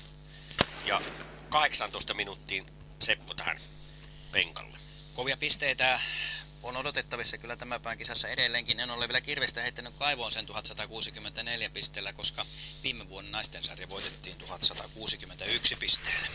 Kuka oli tämä viime vuoden? Viime vuoden naisten sarjan voittaja oli Arja Huovinen. Kyllä. Joten naisetkin tässä lajissa pystyvät tasapäisesti kilpailemaan miesten kanssa. Että siinä mielessä on kyllä tuo järkevää tuo 300 pisteen katto per sarja. Ja kyllä, ja sitten kun mennään tuonne nuorempiin sarjoihin, jossa tuossa nuoremmissa sarjoissa, mitä meillä tänään kisaillaan, niin niissähän kilpailevat sitten samassa sarjassa sekä tytöt että pojat, tai nuoret naiset ja nuoret miehet. Ja heille sitten hiihtoaika vai lasketaan erikseen tytöille ja, tai naisille ja pojille ja, tai miehille siinä niissä sarjoissa, mutta niin kuin sanoit tuossa Harri, niin tämä soveltuu erinomaisesti kummallekin sukupuolelle, sukupuolelle että ammunta, ammunnassa on erinomaisia, todella erinomaisia naisampujia. Kyllä. Omaan on. Mutta mennäänpä tuota huomista viestiä ajatellen jo vähän spekuloidaan öö, miesten sarjassa ja sinun piiriäsi tuossa, kun mainitsin nuo kymmenen ö, kovaa kaveria, niin siinä on heti jo 11 Timo Seppä, Suursavon mies, sitten Petri Saalasti, Kymenmies, hyviä pisteitä. Sitten parivaljakko, yllättääkö?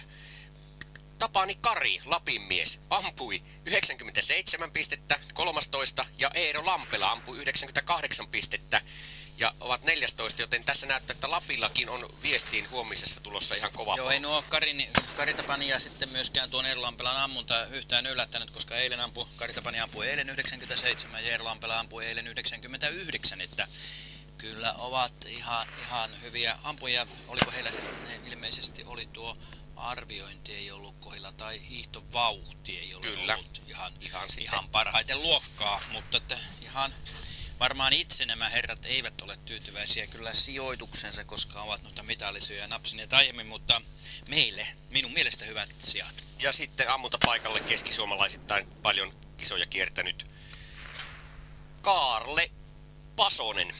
Ja hän on Tikkakosken oma poika, eli Tikkakosken erämiehet ja tämän vuoden SM-kisojen yksi puuhamies. Joten nyt halu, haluankin, että kunnia sille, jolle kunnia kuuluu, eli 271 siitä kuviin. Tikkakoskelainen Kaarle Pasonen, M65-sarjan mies siinä. Hienoa työtä ja ei muuta kuin lähikuvaa vaan puuhamiehestä, joka näiden kisojen eteen varmasti on tehnyt myös lukemattoman määrän tunteja. Ja kun tuossa totesi Harri, että M65, niin vielä toistan, että tässä sarjassahan lasketaan M60-sarjassa niin hiihtopisteet 65-vuotiaille ja siitä ylöspäin tuonne 69 niin omat pisteet ja, ja sitten 60 omat pisteet. Eli ja nyt sinne tuli ampumaan myös 282, jos nyt oikein katsoin, niin Seppo Malila. Kyllä, kyllä en, tai voisiko olla, kyllä se on tullut jo, kyllä sitten näitä aivan oikein. Minä, minä en häntä huomannut, mutta en ole nähnyt Teijo Rauhamäkeä vielä saapuvan, joten Eli tuossa noita ennen kuin se Teo, Teo, Teijo Rauhamäki, Esko Hytönen ja Seppo Malila olivat niitä meidän, meidän tässä, tässä vaiheessa tämän ensimmäisen sivun heitä, jotka kyllä, ovat kyllä siellä pojat varmasti ovat jo nyt ja nyt olisi mukava Juuri nähdä. siinä on 281 Esko Hytönen, No niin, Esko Hytönen tuli nyt siinä viime vuoden pronssimitalista tässä sarjassa. juuri. Ja Teijo Rauhamäki sitten varmasti siellä jo on, mutta mitenkä Teijo pääsikin livahtamaan?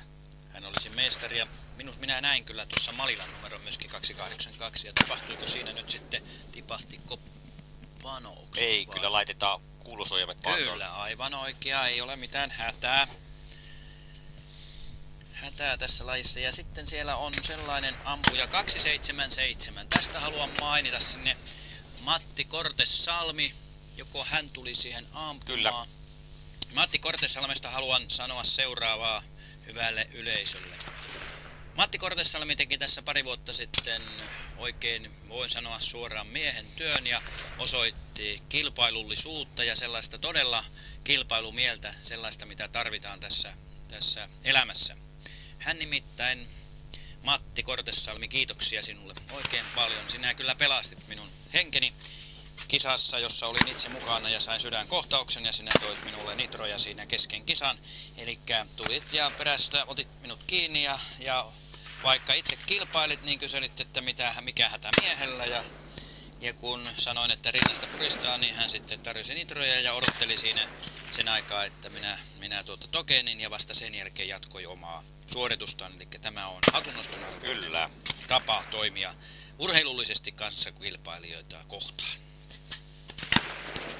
Tämä mainospalana tai tämmöisenä ei mainospalana, vaan, vaan voisi sanoa tällaisena toteamuksena elävästä elämästä ja siellä Matti ampuu. Joo, siinä tosiaan Esko Hytönen Suursavon mies viime vuoden SM3 varsin ampumahihtomaisella tyylillä. Joo, kun tuossa Hari toteaa noita ampumahihtomaisella tyylillä ja sitten toinen on tuossa vieressä, niin katsokaa, niin aivan erilainen on tuo ampumatyyli tai tekniikka näilläkin herroilla tässä. Ja Mutta siitähän ei pisteitä tule. siitä ei tule pistettä, tässä ei tyylipisteitä jaeta niin kuin jossain, jossain muussa lajissa niitä tehdään, mutta tässä, tässä riittää taito. Kyllä harmittaa, jos me päästettiin tuo Rauhamäen Teijo. Se, Kyllä se, ei kun Esko Hytönen sai suoritettua ampunnansa. Mutta missä se Teijo Hautamäki on? Rauha. Anteeksi, Rauhamäki. Rauhamäki. Rauhamäki. Teijo 280, häntä me tuohon nyt sitten kiivaasti kanssa. Kyllähän on, kyllähän on päässyt meiltä lipsahtaa. Kyllä eilen oli tuolla kierti radan ja oli kyllä hyvin tyynin näköisenä, että Onko tässä Rauhamäki? 280. Kyllä. Teijo Rauhamäki siinä. Siinä se oli niin täällä oikealla ammunnassa, että se ei tänne asuntovaunuun näkynyt ja Teijo Rauhamäki hyvällä vauhilla kyllä siitä meidän ohitsemme meni ja hän on tällä hetkellä aikaa mennyt tuo 12 minuuttia 45 sekuntia, joten anteeksi 22 minuuttia 50 Ja tuossa juuri nyt lähtee ampumapaikalta aikaisemmin kertomani hengenpelastaja Matti Kortesalmi. Juuri nyt hän oli meillä joukkueen johtajana pitkään, pitkään ja tuota, kerroin jo sen tarinan tuossa äsken ja siinä urhea Matti lähtee matkaan. No niin, eli tässä oli hyvin ja arvottu peräkkäin näitä tekijämiehiä. Ja sieltä katsotaan nyt ihan tasapuolisesti ihan jokaistakin sen verran, mitä keretään. Nyt tulee 290 ja se on Pauli Ratilainen, Pohjois-Karjalan mies. Kyllä. Siellä on, voi sanoa, että ei nyt ihan täynnä, mutta puolet ampumapaikoista on nyt käytössä, käytössä ja, ja hyvältä näyttää tässä vaiheessa nämä, nämä kisat, kun ajatellaan olosuhteita. Olosuhteet ovat erinomaiset talvinen sää. Pakkasta on se, se vielä varmaan rusa 10 astetta ja lumeessa tietysti se on hieman pakkasempi. Ja nyt ei pitäisi olla kyllä tänään, ei nyt ole ihan varma, mutta ei pitäisi olla sellaisia suurempia voiteluongelmia. Mutta kyllä tuo päivä paistaa siihen malliin, että minä kyllä täh- tähän heitän pienen mainoksen. Siellä on Poikalaisen Leksa ja Äänekosken Niskasen huippumiehet valmiina voitelemaan. Tietenkin ottavat siitä pienen maksun, niin mä iltapäivän sarjoilla kyllä löysin pulverisuksen alle. Kyllä se tuolla alamäessä niin helposti ne muutamat pisteet, ehkä ne ratkaisevat pisteet sitten tullaan sen verran paljon kovemmin, mihin tuo aurinko on jo ottanut päivä paistanut ja siinä missä lumen kosteus on suuri, niin kyllä, kyllä fluorivoitelu niin aina nopeuttaa tuon suksen liukua. Voin paljastaa tässä, että kyllä minä pojilleni olen voidellut jo illalla niin sanotun paktaskelin pulverin Hyvä, kaikille hyvä. pojille valmiiksi. 279 juuri tuossa Pekka Timonen kaivosta.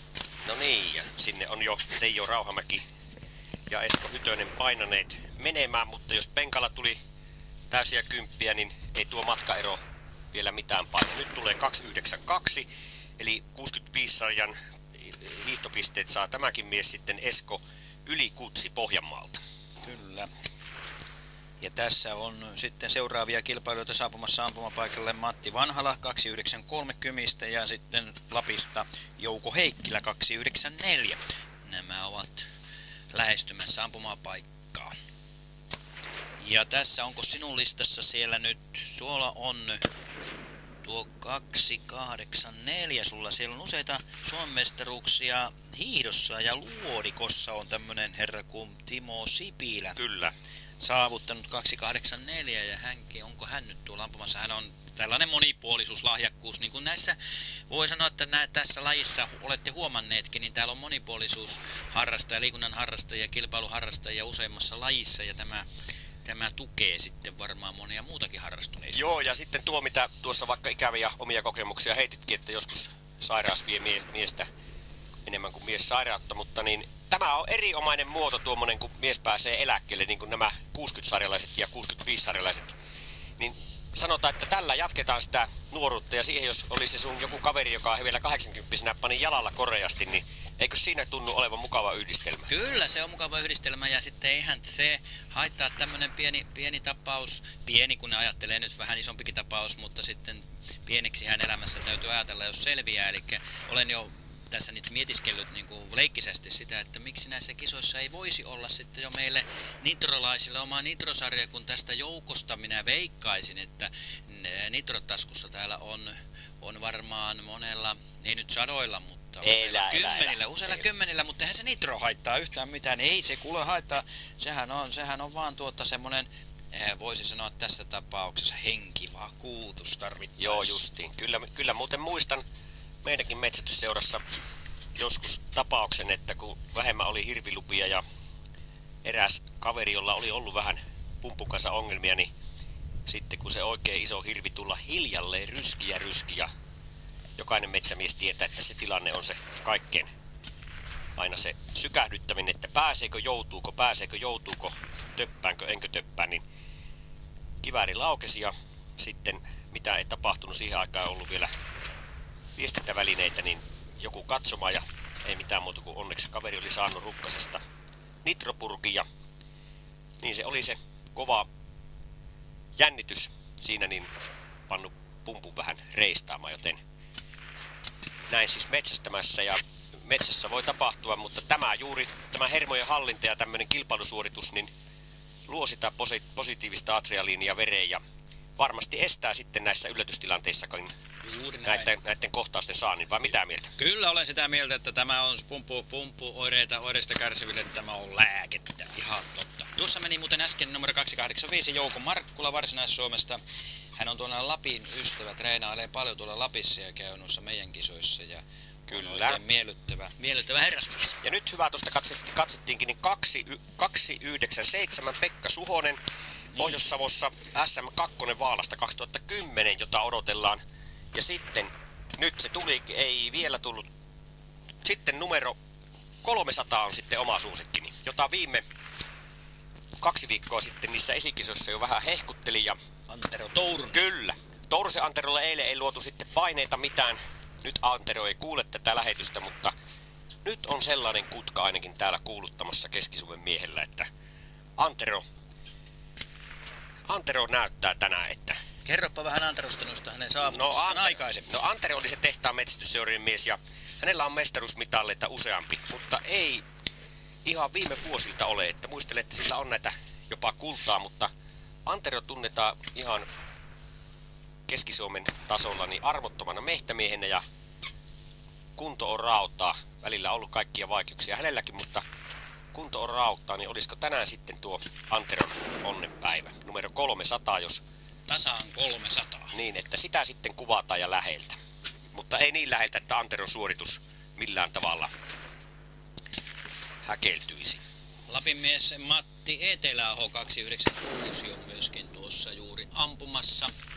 Sieltä muutamia poimintoja pystytään nappaamaan. Toki tässä me emme kaikkia numeroita, vaikka meillä kiikari on ja kuvaruutukin on, niin sitten kun siellä on tuo ase ja ase mukana ja se on selässä ja sitten tuossa kun käännytään tuonne toisinpäin, niin, se ei, niin me emme aina kaikkia saa, mutta valitettavasti ihan kaikkea ei saada siinä Jouko Heikkilä Nyt, myöskin. nyt tulee, ampuu. nyt tulee. Ja nyt tulee numero 300 Antero Tourunen ampumaan ja mihinkä paikkaan hän menee. Ja millekä järjestäjät käskee tässä. Juuri näin.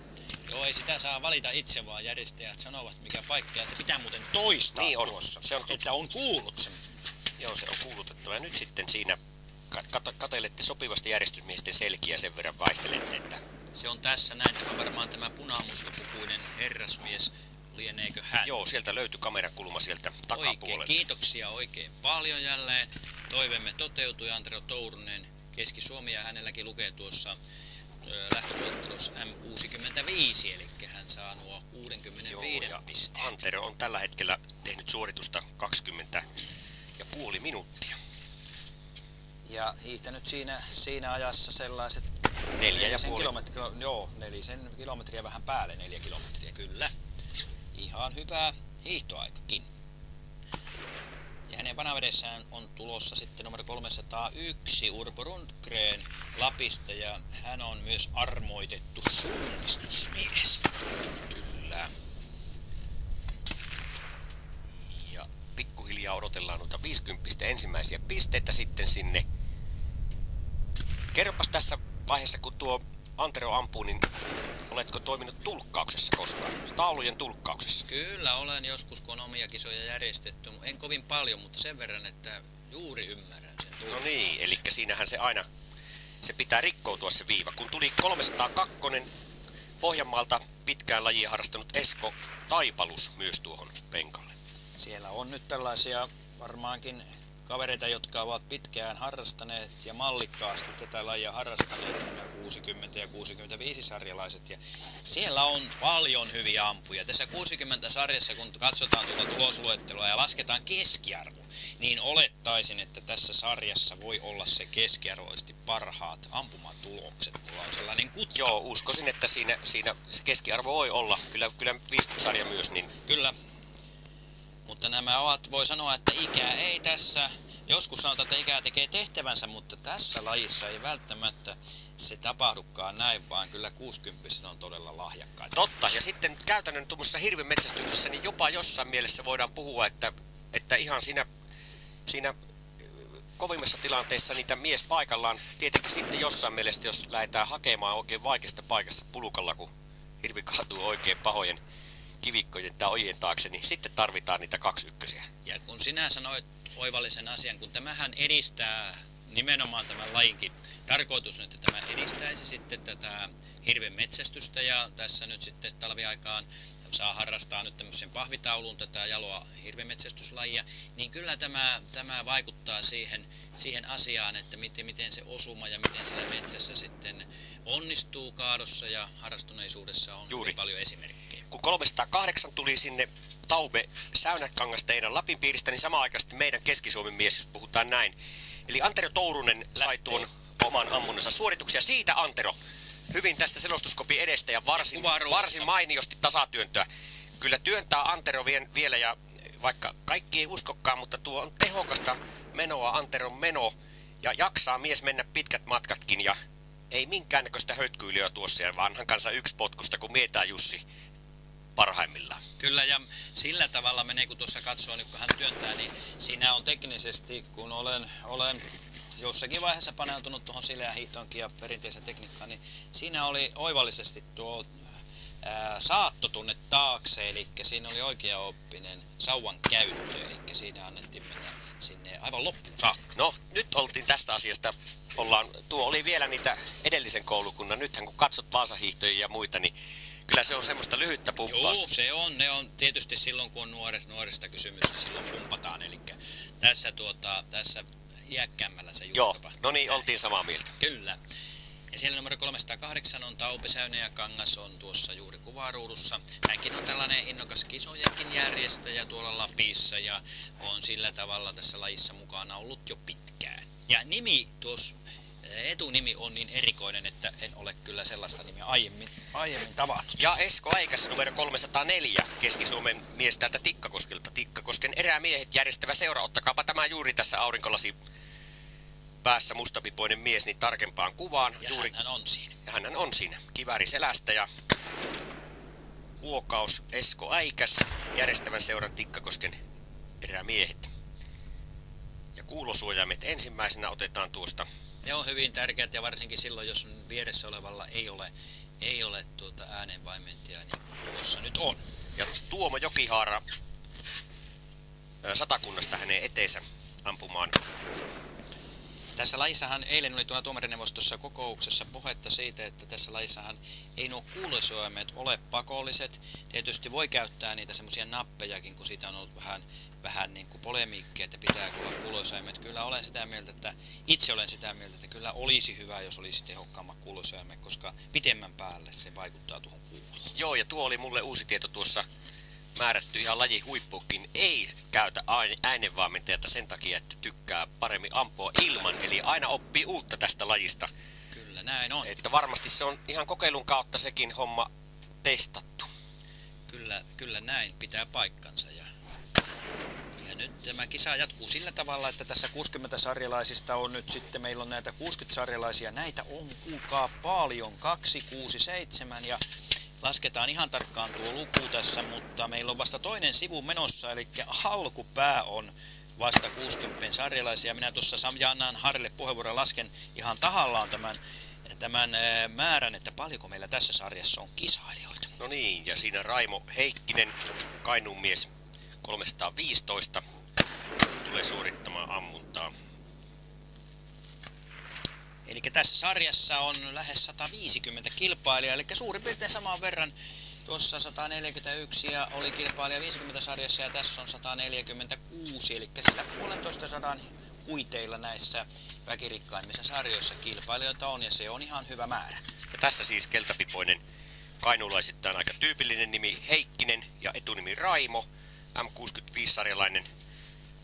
Äsken mainitsin tuota Mietajussin tyylistä, niin vähän tuonne Mietajussimainen partakin nyt Ramilla siinä on. Ja kun asuin tuolla Kainuussa, niin en malta olla nyt. Ja nyt siellä sellaiset kuulijat, pistäkää, pistäkää korvat tukkoon, jotka ette halua tällaista alatyylistä termiä sanoa. Kainuussa on sellainen sanonta, että, että Kainuussa on helvetisti heikkisiä ja toinen puoli tolosia.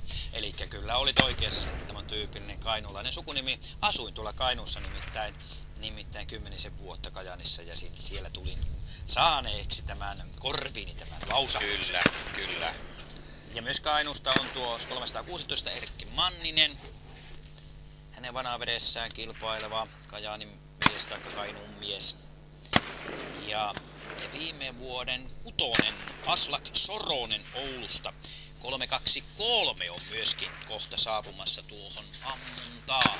Kyllä. Ja nyt sinne saapuu Veijo Heiskanen Oulusta 317 ja hiihtänyt kiinni 316 se eli Erkki Mannisen. Hänkin Kainuun miehiä. Kyllä, siellä on tuota, Veijo Heiskanen on oululaisia, Manninen nimenomaan Kainuun miehiä. Että kyllähän tässä, tässä kun katselee näitä listoja, niin täällä on ympäri Suomea paljon Pohjois-Suomesta, Lapista ja Oulusta ja tätä Keski-Suomesta eri piireistä on runsaasti kilpailijoita, että ei ole väliä sillä, sillä missä päin Suomea asuu. Kyllä tätä voi harrastaa ympäri Suomea, varsinkin tietenkin edellyttää sen, että sitä lunta siellä on näin kesälajia, ei kun talvilajia ajatellen. Kyllä. Paavo Eskelinen juuri kuvaruussa numero 311 Pohjois-Savosta ampumassa ja tässä myöskin vasuurimies. Näitä vasuuriampuja on ei prosentuaalisesti ei kovin paljon ole tässä 10-15. Joku 10-15 prosenttia ja jossain vaiheessa oli vaikea saada, saada niitä vasemmanpuoleisia aseita, että lukko, lukkokoneisto olisi ollut, eli osa ampuu, vaikka he ampuvat vasemmalta puolelta, niin heillä on lukkokoneisto oikea puolimainen. Mulla on vasemmanpuolimainen. Keskisuomalainen aseseppä teki sen Juu, kun, sporterin. joo, kun niitä täytyy vähän erikoistilauksesta tehdä, se on totta se. Ja siinä jälleen lasketellaan tyylikkäästi. Siinä on myös, voi sanoa, että kunto on kohillaan tällä miehellä. Työntö Ja- on sellainen. Mainitaan tuolta tuo 293 Matti Vanhalla Kymestä.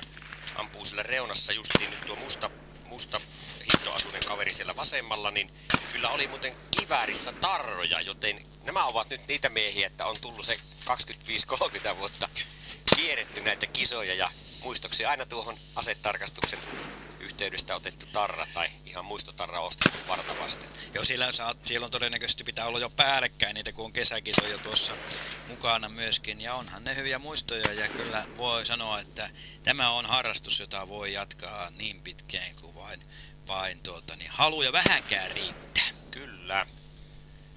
Ei ole estettä ainakaan. Siellä on numero 311 tuossa juuri hänen aseensa, Paavo Eskelisen aseen nyt kuvaruudussa. Jo. Joo, nyt hyvä tällaista kuvaa nyt vaan rohkeasti ennen kuin opetellaan tätä hommaa ja, ja siinäkin siinäkin se- naisetkin tulee tän. Ja siinäkin oli se sinun tikkasportterinakin. Kyllä, jota, jota vielä vain mainostaa, että kyllä mahtava homma, kun näistä kilpailukeskuksesta ihan tunnelimäessä tuo Suomikonepisto oli sitten tuo tehdasalue Tikkakoskelta, joka teki näitä niin haulikko, hyviä Tikkakoski haulikkoja, joka oli ensimmäinen tuote, kuuluisa yksipiippunen tikkakoskelainen. Sen jälkeen tuo kiväärituotanto lähti käyntiin. Toki Sako teki aina vähän suurempia eriä, mutta Tikkakosken asemiehet Vilho Ylönen, Pirttimäki muun muassa testasivat ja laittoivat aseet siihen malliin, että olivat kuuluisia tarkkuudestaan. Yksinkertainen rakenne, liekkö peri, peryä tuosta suomikonepistoolista Aimolahden suurteoksesta, mutta erittäin tarkkoja ja hyviä piippuja, ja luodikkomiehet sen tietävät ja muistavat, että ihan tuonne 100 metriä asti, kun ammutaan oikein hyvää piippusella aseella, hyvältä tuvelta, niin samaan kasaan ne melkein menee. Ja nyt tuli tuohon ampumapaikalle numero 323 Aslak Soronen. Hänet haluaisimme tuohon kuvaruutuun. Hän oli nimittäin viime vuonna tässä sarjassa Vaalassa kuudes. Ja hän on ihan ehdotonta elittiä tässä sarjassa kyllä. Mikäs tämä Aslakin Sellas- numero nyt? Aslak 323. Kyllä. Ja hän tuli juuri tuohon ampumaan paikalle äskettäin. Ja, ja jos hänet saadaan tuohon ruutuun, niin nähdään vähän hänen mallia, tämän päivän mallia. Miten hän tänään, tänään sitten... Viime vuonna, viime vuonna hän sai 1107 pistettä, 92 oli hänen ampumatuloksensa viime vuonna. Siinä on 324 tässä Aarre Lehtoranta ja ilmeisesti siellä hänen takanansa 325 Markku Tuovinen Pohjois-Savosta myös siihen ammuntaan. Siellä pitäisi olla, oli näkevinäni Aslak Sorosen 323 myöskin, ne on tuolla vähän tuonnempana tuonne eteenpäin, ei ole tässä ihan, tässä on tämä ensimmäinen mies 325 Markku Tuovinen Pohjois-Savosta. Tässä on nyt monta miestä, kymmenkunta miestä yhtä aikaa ampumassa ja pauketta kuuluu koko ajan niin kuin pitääkin ja mukavaa pauketta näin tämän lajin, lajin tuota innokkaalle, ainakin seuraajalle, miksi vähän harrastajallekin, niin se pauke kuulostaa aivan kotoisilta. Kyllä tuota metsästysharrasta. Nyt tulee 323. Kiitoksia pojat. Ei ollut vielä Aslak paikalla, mutta nyt tulee Aslak siinä. Tulee Sorosen Aslak siihen ja menee ampumaan.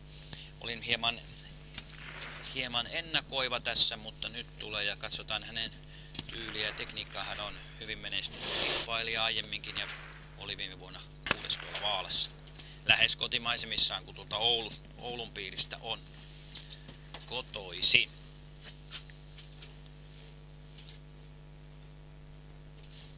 Ja meillä täällä hieman taitaa olla nyt sitten, onko virtaongelmia, kun tuossa Harri vähän vaihdetaan välillä tuota piuhaa ja nyt kuvaruutu meni siinä meillä vähäksi aikaa. Katsotaan, saadaan vähän täällä lisää noita.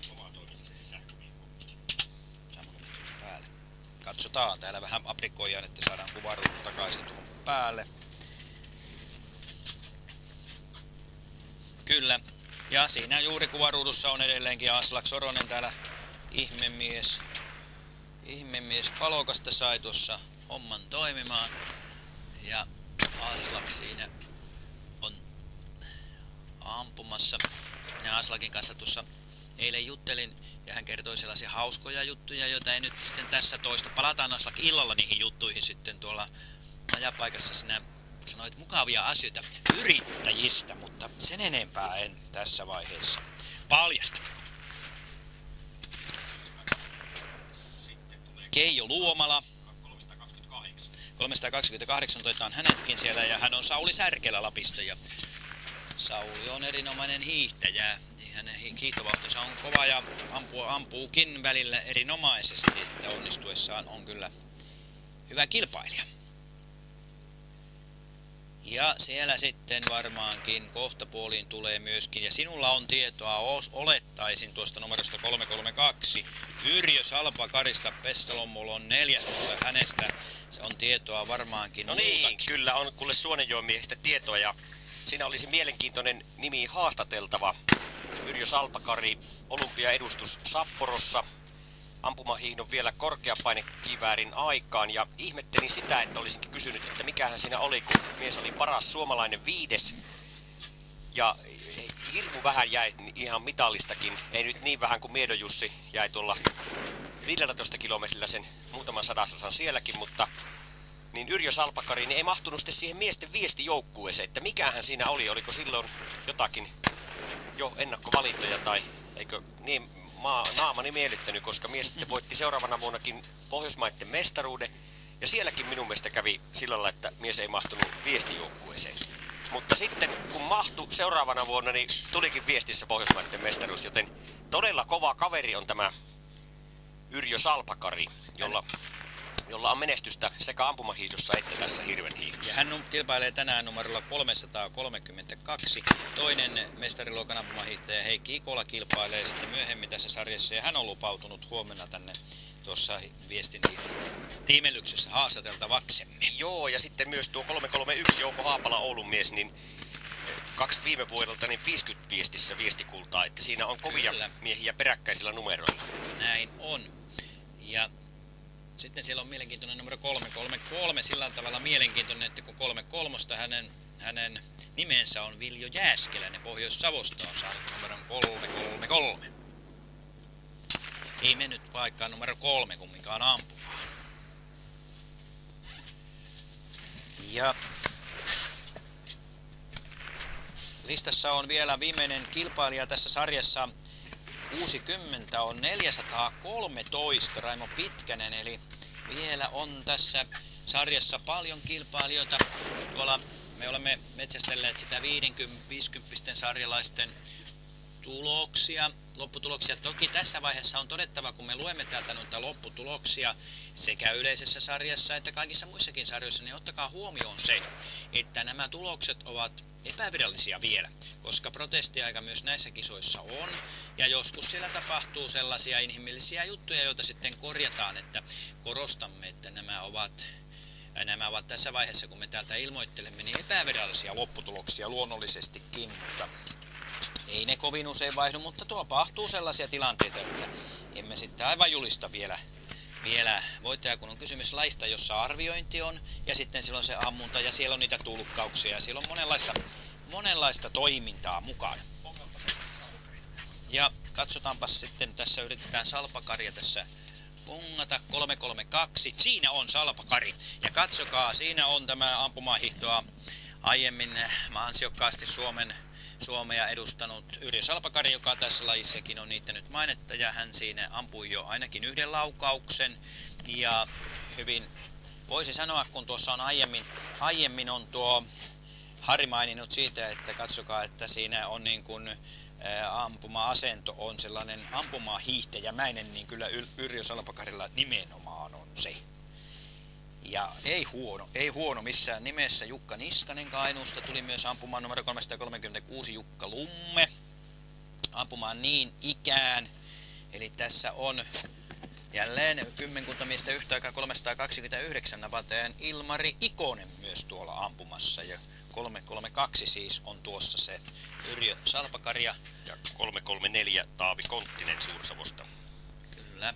Mutta näin, näin lajifanatikko Suonenjoen mies Yrjö Salpakari siinä 332 ja tämä mies Mauri Röppäset ja Juhani Suutariset ja muut tuntee kyllä varmasti ja Ikolat ja Antilat.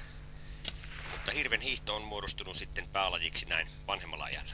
Samoin kuin Heikki Ikolalle, eli he ovat kyllä sellaisia miehiä, kun ajattelee heidän uransa taaksepäin, ovat ikäänsä harrastaneet kilpailijat ampumaan lajeissa. Näin on.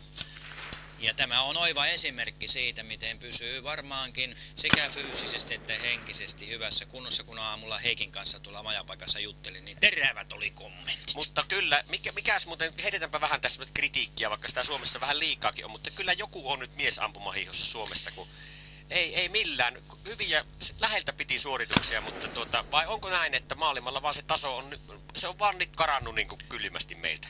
Minä en tiedä, miten vastaisin tuohon, mutta olenpas ajatellut, että kun huomenna saamme tänne Heikin, niin kylläpä kysyn jotain. Olen minä sauna, saunakeskustelussa hänen kanssa keskustellut kyllä tästä aiheesta, mutta otetaan sitten nämä tuoreet kuulumiset huomenna, että mitä sanoo tällainen todellinen Grand Oldman ampumahiihto.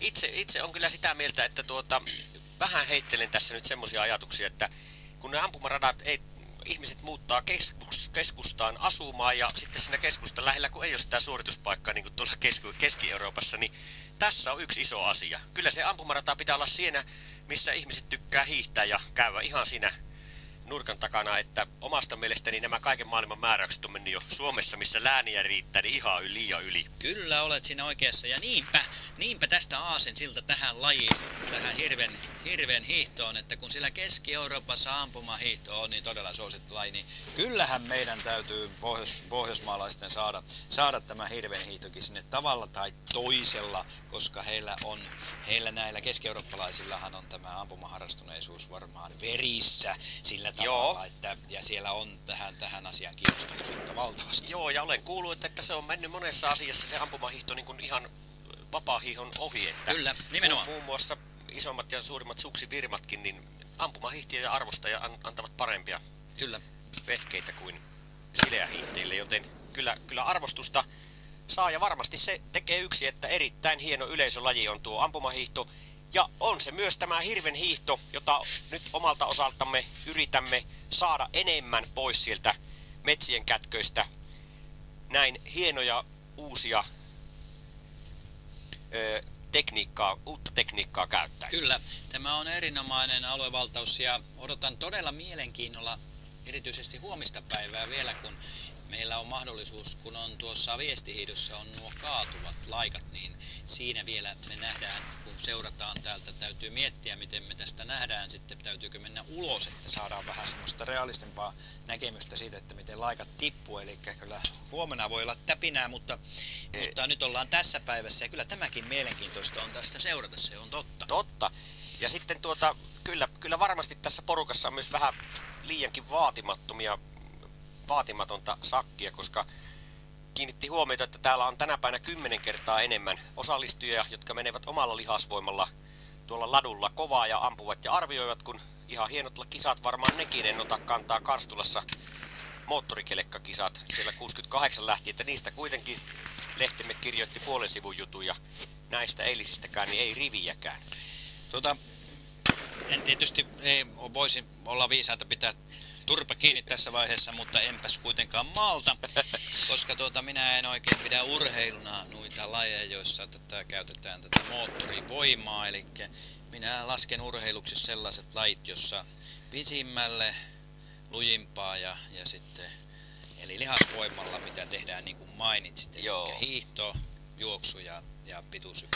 Mutta säästetäänpä, säästetäänpä todella huomiseksi sitten nuo Kyllä. vielä nuo oikein, että annetaan nyt pääosissa olevan nämä 60 65 Näin teemme. tuonne 60 asti olevat miehet ja huomenna todella olisi hieno haastatella näitä salpakaria Kyllä. ja ikoloita ja muita. Ja nyt Jukka Veteraani. Lummi ja toinen Jukka, Jukka Niskanen lähtevät tuonne ladulle. Ampunta on, ammunta on tehty ja nyt ei ole enää kuin tämä pieni vajaa neljän kilometrin pikataival ja mennään maaliin.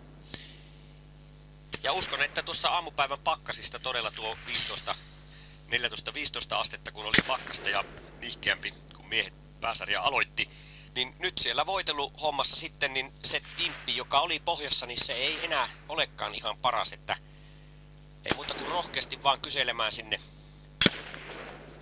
kilpailukeskuksessa oleville ammattilaisille, niin sieltä tulee vinkkiä ja ohjetta ja pienellä rahalla pojat laittavatkin sukset sitten liukkaaseen kuntoon. Kyllä. Kauheasti tämä keli ei ainakaan tuon pidon osalta varmaan ole muuttunut, mutta kyllä olet oikeassa siinä, että varsinkin luiston osalta on tapahtunut varmaan muutoksia. Ja sitten tietysti tuossa suksivalintahan tähän on, että, että sattuuko sellaista suksia, kun tuossa voitelusta puhuit, niin minä olen tuossa parisenkymmentä vuotta kanssa paneutunut noihin suksihommiin ja se on taidetta ja se on vaikeaa. Ja eikä onnistu paljon milloinkaan se voitelu, vaikka sitä kuinka harjoittelisi, mutta en mä sitä nyt sen enempää, vaan katsotaanpas tässä. Meillä on nyt sitten 60 sarjassa menossa 300 ja 350 välillä olevia numeroita tai 330 ja 350 välillä olevia numeroita. Onko meillä siellä nyt sitten, ei ole sinun listassakaan, minulla on nyt sitten täällä seuraava mies, joka on Kalervo Jänkälä 358 Pohjois-Savosta. Hän oli Pessalompolossa parisen vuotta sitten kuudes, eli hän lienee se seuraava nimi, joka kun puhut, me olemme puhuneet siitä 25, 20-25 mahdollisen mestarin joukosta, niin hän siihen lukeutuu, mitä, mitä ilmeisemmin ja aivan varmastikin. Joku muukin voi lukeutua, jota me emme tiedä, mutta, mutta me täältä poimitaan. Ja tuolla on sitten 249 Taisto Saukko. Hän oli eilen tuossa, tuossa Lapin, Lapin tuota Jotosarjassa ottivat pronssia, niin Taisto on kyllä erinomainen ampuja, samoin kuin tuolla 356 Toivo Holm, joka oli myös siinä joukkueessa. Ja Toivolla, Toivo eilen sitten vähän kertoi, että yksi laukaus sinne vähän lipsahti ja se jäi harmittamaan.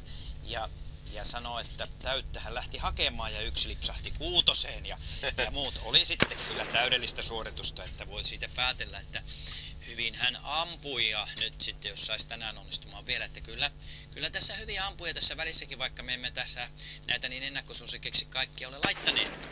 Joo, ja tuo pääsarjahan, jos se kertoo ja odotellaan missä vaiheessa tuo asuntovaunun Jyväskaravaa, niin asuntovaunu ovi avautuu ja sieltä tuo yleisen sarjan mestari tänne, tänne joko järjestäjien toimista tai sitten omaa toimisesti tänne ampumaradalle uskaltaa tulla haastatteluun. Eli Jarkko Hirvonen, kilpailija numero 46, Pohjois-Savo, pisteet 1132, niin nyt on varmasti jo syöty ja kuivat vaatteet on pää, päällä ja muuta, niin ei muuta kuin rohkeasti tänne.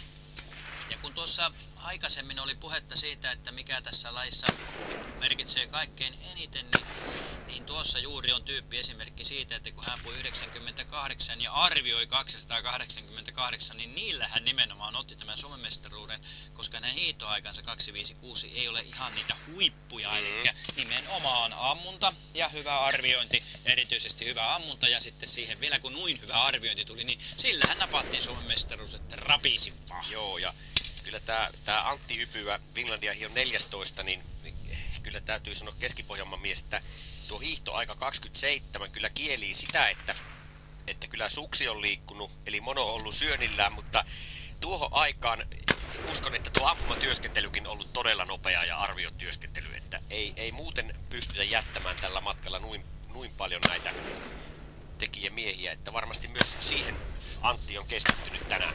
Kyllä joo, ei pelkällä, pelkällä hiidolla tosissaan, että se on totta, että kaikki täytyy napsauttaa kohdalleen. Tuossa joskus olen ollut tuolla ampumahiidossa, kun on tullut sileään hiihtäjä hiihtämään, niin vaikka hän hiihtäisi 10 minuuttia, 15 minuuttia kovempaa kuin muut, niin jos ammunta menee huonosti, niin ei se kyllä siinäkään lajissa. Sama se on tässäkin. Joo, kyllä tämä erikoislajit on aina erikoislajia. Kyllä näin on. Ja sitten joko siellä nyt on näitä, mikähän numero on, joko Nyt siellä... tuli semmonen 350, olisiko vitonen nyt tullut jos 355 Jouko Tikkanen, joko siellä on nämä äsken puhuin Taistosaukosta ja Toivo Holmista, joko he ovat siellä, Varmasti ovat olleetkin. tai ovat ampumassa parhaillaan, eli ilmeisesti, tai riippuen siitä minkälaista vauhtia ovat ladulla pitäneet. 354 on tuossa Antero Leppänen on tuo lähimmäinen, lähinnä meitä oleva ampuja. Ja tästä kun menee ohite sitten tuonne maaliin päin, niin sekin tuo kiväri peittää aina sopivasti. Niin tekee, me ei nähdä sitä numeroa, ei, ei kun selän takaa katsotaan, niin sitä ei sitä numeroa näy, kun lähtevät miehet. Timo Val- Törmänen sai juuri ammuttua. Timo Törmänen Lapin mies, ne 343.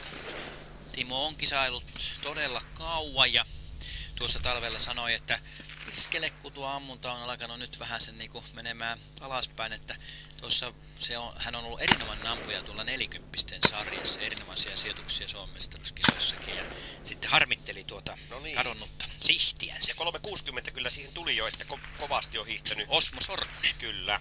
Pohjois-Karjala. Nimi kyllä sanoo. Ja 362 siinä. Nyt, nyt, nyt oli urheilijan näköinen mies tämäkin, eli Esko Rahkola. Esko Rahkola viime vuoden Vaalan hopeamitalisti, kyllä. Esko käy kisailemassa Eli tuolla tästä nyt kuvaa sitten, Lapissa. Lapissa juuri, juuri saapunut vihreä yläosainen. Tuleeko paikalle numero 10? Joo, hän Esko on tasainen kilpailija.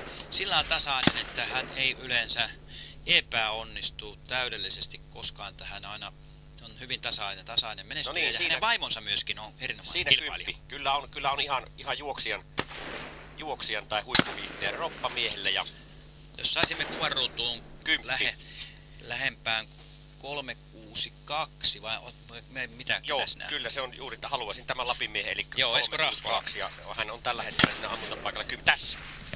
Ja näin. 11 tietenkin, mutta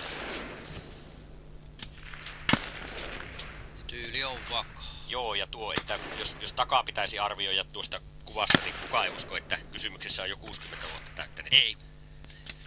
Tässä viime, viime viikolla, kun, tai toissa viikolla, kun oli kisoja ja hän oli samassa paikassa, oltiin kisailemassa, hän saunassa kävi, niin hänen kroppaansa kehtasi katsella. Minä peittelin omaani. Joo, mutta vielä säkin kerkiet itses kuntoon laittaa.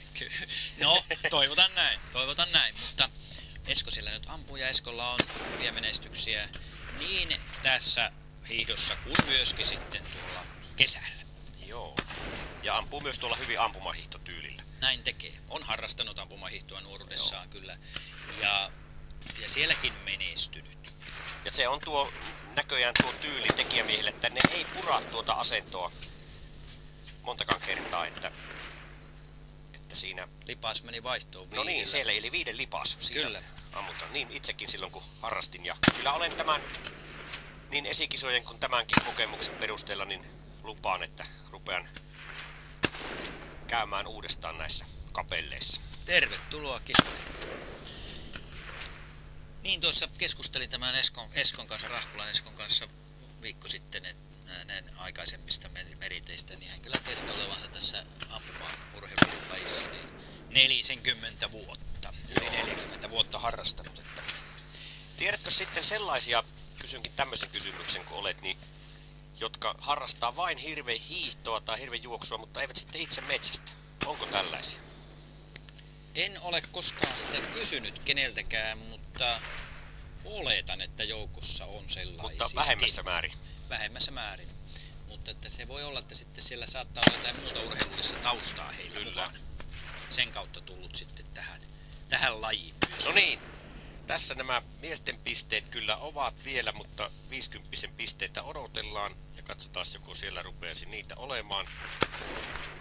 Päivän kovimmat pisteet siis pääsarjassa. Kyllä, nyt on tullut jo pisteitä. Ja katsotaan, ei mennyt minun arvio vielä sinulta lähemmäksi.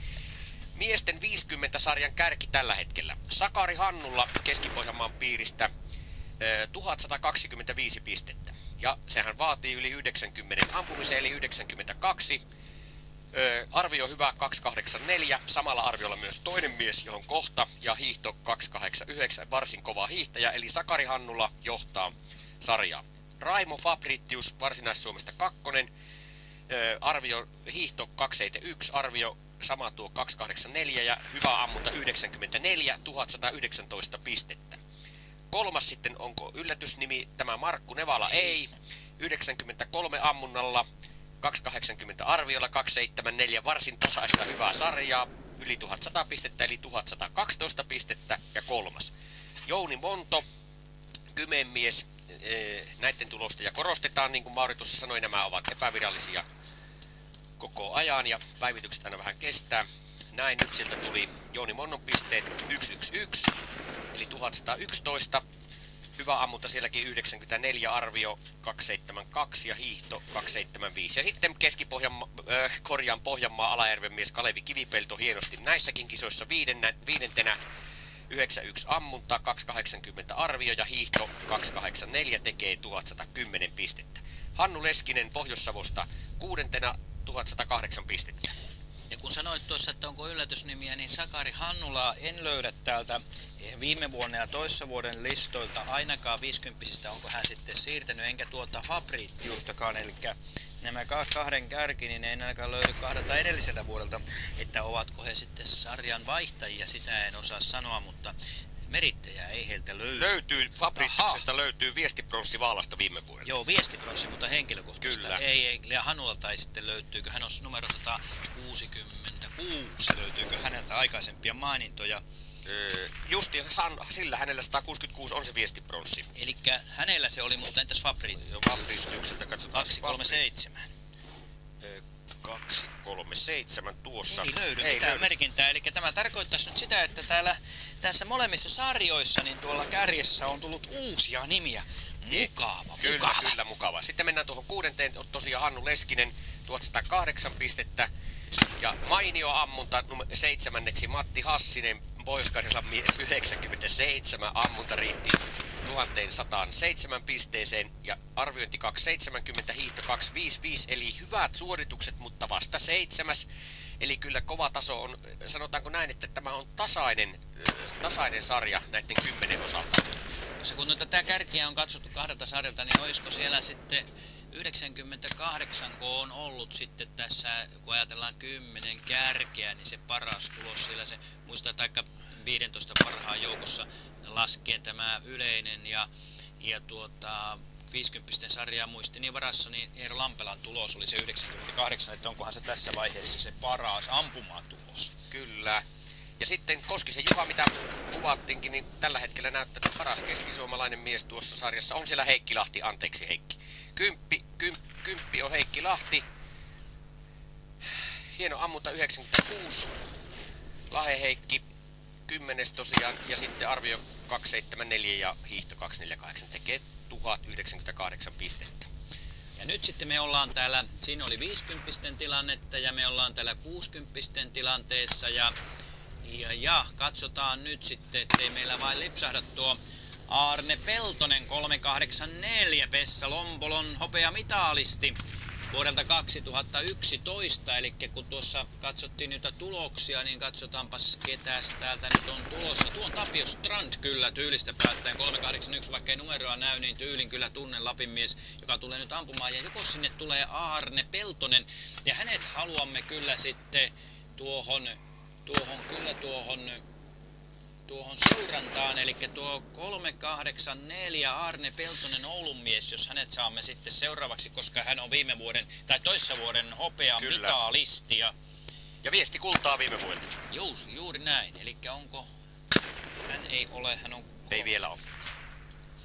368, Viipynytkin vasta, kat- katoppa kun lähti, niin 41, niin vasta 15 ei minuuttia. tässä vielä, minä ennakoin, ei Tapio Strand ollut vielä tuo, Ei. vaikka tuulia ja tekniikkaa, tuossa oli samanlainen tyyli ja tekniikka tällä yhdellä herralla, joka tuli. No se ei herra oli An-. Antero Rahja, Kajanin mies. Kyllä, kyllä varmaan näin oli. Oli näin, eli tuota, vähän samanlainen tyyli ja tekniikka oli molemmilla miehillä herroilla. Ja sieltä kuvaruutu poimii nyt sitten tuolta, tuolta ampumapaikkaa lähestyy seuraava kilpailija.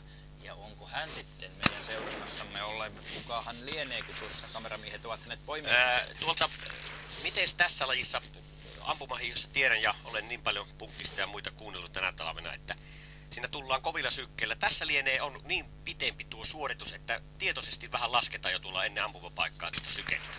Kyllä se on ja tämä rata, tämän päivän rata on sellainen, että siinä on pakko laskea sykettä, kun tuossa on sellainen pitkä nousu, harkentin nousu juuri ennen ampumapaikkaa. ja Sitten tuo, tuo pieni lasku, joka tullaan tänne ampumaan paikalle, niin siinä on pakko löysätä tai sitten ei kyllä onnistu. Se on ihan sata varma. Joo, ja nyt sitten luettelepas miehiä, minä luettelen numeroita, siinä tulee 374 ja 37. 373. Ää, Jari Gröndal 373 ja Reino Peltonimi 374. Eli ei jäävä vielä ollut tuolta nuo 380 vähän ennakoin liikaa, eli olin vähän etuajassa, kun katsoin Joo, vähän väärin tuota kelloa, niin Joo, pojat olisivat silloin tullut nämä 60 Aivan lentämällä. Niin, kovemmin kuin yleinen sarja. Joo, näin on, näin on, kyllä näin. Mutta siinä nyt sitten tuli siis ampumaan Jari Gröndal. Hän on Pohjois-Karjalasta ja Savon mies Reino Peltoniemi ampumaan. Ja hyvin näyttää olevan ainakin tässä vaiheessa, kun on seurannut tätä kilpailua, niin hieman napakasti tuossa käydään, käydään vähän Erittäin neuvomassa. hieno homma oli tuossa, nähtiin ihan järjestysmiesten toimintaa, eli valvojat täällä ei oikeasti ole vaan ottamassa päivää ja katselemassa, vaan he koko ajan seuraavat, että kaikki menee ohjeiden mukaan. Ja nimenomaan siinä oli se, että ei saa käyttää tukea, Joo. ei saa tuota Ees asea lepy- laskea. ei- ees- ees- ees- ees leputtamalla. Joo, ei. Joo, se oli hyvä ja siinä käytiin heti sanomassa, että ei tulisi sitten diskauksia. Juuri näin, niin pitää ohjaista, ohjeistaa kilpailijoita. Koska tuo houkuttelee tuossa tuo, se täytyy tukea leputtaa saa, mutta ei saa tuella leputtaa. Juuri niin. Vaikka joskus eikö ihan mukava kova suorituksen jälkeen vähän leputtaa. Kyllä, kyllä. Näin on, on kova suoritus mikä hyvänsä. Niin juuri. On mukava leputtaa ja vähän nukahtaakin Vaikka päälle. pienet nukoset siihen Mm. päälle. Kyllä. Ja nyt me koko ajan tässä odottelemme sitten hetkisen päästä varmaan Joo, tulee kolme. Arne Peltonen 384 Vessa Lompolon hopeamitalisti ja hänen, hänen ampumasuoritustaan mielenkiinnolla odottelemme Joo, seuraavaksi. nyt, nyt sieltä tuli Pertti Halonen, Pohjois-Karjalan mies nousi. 376 on hänen numeronsa, eli Joo. vielä jonkin aikaa odottelemme. Ja Antti Vilikkilä sitten olisi tuo 377. Siinäkin perheessä on ladattu panoksia paljon, eli Keski-Suomen mies Soipa erää Pylkönmäeltä. Ja Pylkönmäkihän on vielä pitäjä, joka on liitetty Saarijärveen, mutta Pylkönmäkille sillä on oma henki ja he järjestävät edelleen Keski-Suomessa tuon Pylkön 50, joka on yksi legendaarisia hiihtotapahtumia näin keväällä ja kuuluisa hyvistä palkinnoista. Ja eilen kun oli noita perinneosastomiehiä tuolla maakuntakomppaniassa, niin Pylkönmäkihan kuuluisa siitä, että vähemmän hieno tilanne se, että yhdestä pitäjästä meni paljon poikia tuolla isommissa ampumahiihtokisoissa. Kyllä. Näin on, ja sitten tuossa näyttää olevan numero 378, niin ainakin hänen kaimansa on erittäin kuuluisa, kuuluisa suomalainen tällä hetkellä ja varmaan tämä on sitten kuuluisa hirvenhiihtäjä, tämä Timo Soini. Kyllä. Ja hän, Onpas kumma tuota, en tiennytkään, että täyskaima on. kyllä, pisti silmään tuossa. 367 näyttää olevan. Siinä on vieraamme tuolta Pohjanmaalta Juhan, Lars Juhan Steins. Siinä Antti Vilkkilä justiin sai ammunnan suoritettua. Ei kun Antti Vilkkilä, Antti joo. Vilkkilä siinä 377 sai ammunnan suoritettua tämä mainitsemani pylkärivän mies. Ja, ja, Ja siinä katsotaanpas, katsotaanpas Antin tyyliä tässä näin. ja Vikkilästi lähtee Vilkkilä. Kyllä. Joo, ja lyödään, lyödään. Vauhtia löytyy, kyllä. Kyllä lyödään ihan tuota... Siinä voi, siinä voi nuoremmat katsoa mallia. Nyt tuli 380 jo, eli kyllä se Hannu 384 kohta varsinaisessa 382 siinä jo, Eino Pihakari, 383kin. Pekka Vepsäläinen. Ja nyt sitten se 384 missä vaiheessa sitten, niin siitä, sitä kuvataan, jos Joo. saa pyytää. Kyllä, näin, näin toivoisimme. 384, kun tulee Arne Peltonen Oulusta. Ja hän oli siis Pessalompolossa pari vuotta sitten hopealla tässä sarjassa ja, ja hän, hän. Katsotaanpas tuota huvikseen hänen tulostaan.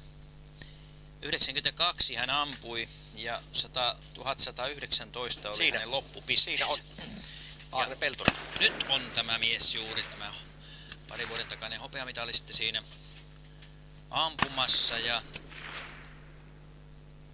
hänellä ei ole nyt se ampumahiihtotyyli. Nyt Ei. on, nyt on voi sanoa, että Sanotaan, että tällainen... tämmönen pito, hirvehiihtäjän pito. Kyllä, näin on.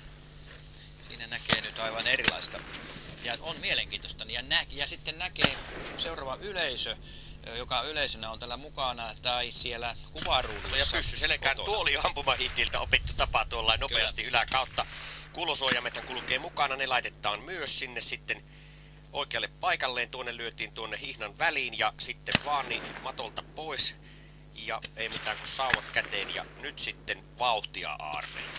Joo, Tuossa äsken sen verran tuossa jäi kesken sen, että kun näette noita tyyliä ja tekniikkoja ja puhuttiin tuosta ampumahiihtotyylistä, niin tässä me voi menestyä monella tavalla ja tätä voi alkaa harrastamaan milloin vain. Ja loppumatkalle onnea ja menestystä Arnelle, Arne Peltoselle. Kyllä. Siinähän tyylikkäästi Hyvin työtä. samalla lailla kuin Vilikkilä vähän aiemmin. Kyllä, näin on. Vauhdikkaan näköinen ja sukset näyttää luistavan Kyllä luistaa hyvin. Ja nyt oikein lyöttiin isän kädestä tuossa, kun vähän tuohon loivakkeeseen. hyvin. Joo, vaikkei kuulekaan, mutta tietysti se vauhtia voi, jos vielä kuulisi, kuulisi selostusta, niin sitten voisi vielä lyödä vauhdikkaammin intoa. Jaha, joko siellä, mitäs numeroita siellä nyt tuli? Onko siellä uusia miehiä? No ei tässä nyt ole semmonen esimerkiksi olisi tuota, otetaan sitten, se varmaan tulee kyllä vähän hitaammin, mutta hieno mies tuo Heikki Säynätmäki 392, niin tuota, se on tarkkakätinen huippuampuja, mutta niin tässä vaiheessa voitaisiin jo vähän, jotka jo miele- mielenkiinnosta lähtevät itse hiihtolenkille tai nauttimaan kevätauringosta, niin kerropa suomisesta viestistä. Se on siinä mielessä kansan mukavat säännöt, niin ihan ulkomuistista, että ammunta ainakin on erilainen ja, ja kerro vähän. Joo, viestissähän on aivan erityyppinen, sillä tavalla erityyppinen taulukin. Ammutaan viisi kertaa kaatuviin tauluihin ja se taulun, taulun läpimittaa vastaa tässä, tässä ammunnassa niin kasin rinkiä. Ja, ja tuota, siinä ammutaan siis viisi laukausta ja siinä tulee sitten sakkoja sen mukaisesti. Saa- Täällä on sakkokierrokset. Nyt, nyt en tarkkaan, en, en ala arvioimaan sitä sakkokierroksen mittaa, kun en ole tässä vielä tutustunut tähän, mutta siihenkin on omat määräyksensä. Tuossa arvioinnissa on ainoastaan yksi, yksi tuota, pää ja siinä tulee kanssa sakot, mutta nyt on jotain Joo, tärkeää. nyt tässä on hyvin otettu, anteeksi Pekka, Vepsäläinen 383 tossa. Sumiesten urheilumetsästäjien ja tämän järjestelytoimikunnan kantavia voimia myös. Eli nyt on niin kuin itse järjestetty kisoja ja, ja nyt on tultu sitten tähän suoritukseen, että ei muuta kuin kymppejä Pekka siitä. M65-sarjaan jo, tai 60-sarjassa, mutta hiihtopisteet tuon 65 vuoden mukaan varsin tasapainosta suori, suoritusta Pekka Vepsäläiseltä vai mitä? Kyllä näin on. Ja jos mennään siihen viestiin vielä, kun tuossa Pekka Vepsäläisen, Vepsäläisen tuota, niin suoritusta seurataan, niin siinä siis arvioinnissa tulee, tulee tuota, niin, sakkokierros viisi metriä voi erehtyä, mutta alkavasta viidestä metristä kuudesta tulee ensimmäinen sakko, yhdestä toinen sakko ja lasketaan sillä tavalla eteenpäin ja siinäkin viisi sakkokierrosta on maksimissaan mahdollisuus saada. Jos erehtyy 26 metriä, niin siitä tulee se viisi sakkoa. Että Ja sitten, ammunnasta. niin vähintään 26. Ja sitten ammunnasta tulee sitten ohilaukauksesta aina sakkokierros. Sillä tavalla siinä mennään. Ja siinähän se hiidettävä matka on huomattavasti lyhyempi. Että jos nyt oikein muistan, niin täällä on 3,9 kilometriä. No ja nä- näin olen kuullut juttuja tästä, että mielenkiintoisia kamppailuja, että joskus semmoinen selvä voittokin saattaa sitten paineessa mennä ja takaa pystytään tulemaan, eikö niin? Nimenomaan, jos sillä sattuu niitä, niitä ohilaukauksia tai sitten niitä arviointivirheitä, niin siinähän se sitten No katsotaanpa, katsotaanpa kuka sieltä nyt tulee. Otapa mä vähäksi aikaa pois. Joo, teepä sinä niin ja minä katselen tätä, tätä tilannetta tässä eteenpäin. Ja näin siellä kilpailupaikalla, tai ki- kilpailupaikalla, kun ampumapaikalla on melkein, ei nyt täysirivi, mutta on lähes täysirivi miehiä.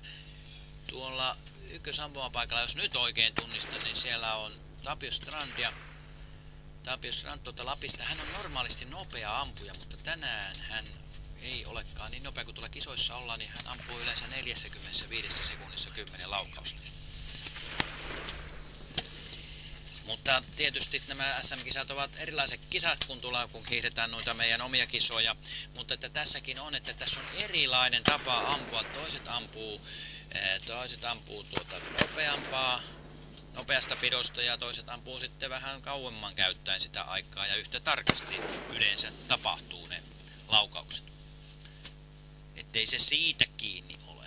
Ja Tapsalla on jostain syystä tuommoinen erilainen numero, kun muodossa keltainen, että onko siellä hävinnyt juuri tämä numero ja siihen on pistetty tilalle. Näin varmaankin on tapahtunut. Niin tässä ei lajissa ei ole näitä, että viime vuoden mestari. Ei, viime vuoden mestari, joo, juuri tuossa Harri sanoi, että onko se niin kuin viime vuoden mestarin mukaisesti tuo keltainen liivi, mutta ei, ei ole. Ei ole tällä kertaa, mutta katsotaan miten Tapsa on kyllä yleensä varma ampuja. Ampuja ollut ja mennään eteenpäin täällä. Täällä meillä on vielä sivun verran näitä 60 sarjalaisia ja vielä on tuolta 405 numerolla muuten tänään lähtee matkaan Heikki Ikola, josta olemme puhuneet jo tuossa aiemmin useampaankin otteeseen.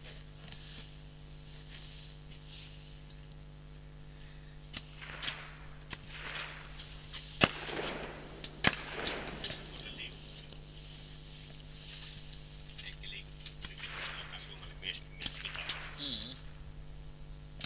Ja siinä nyt on kuvaruudussa kuvaa siitä, minkälainen on tuo ampumapaikka, eli hyvä pitäkää vähän aikaa sinne, se on ihan kiva. Tuossa on tuollainen pieni matto, joka estää liukumista ja se on ihan hyvä.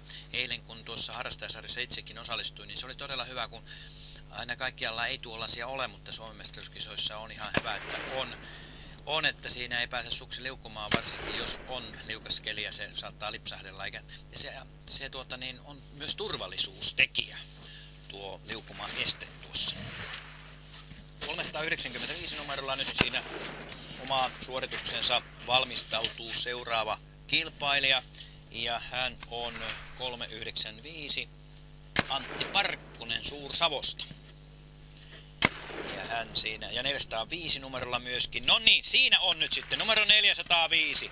Hyvät ystävät ja kuulijat, katsojat siellä kotioloissakin kotisohvalla. Heikki Ikola.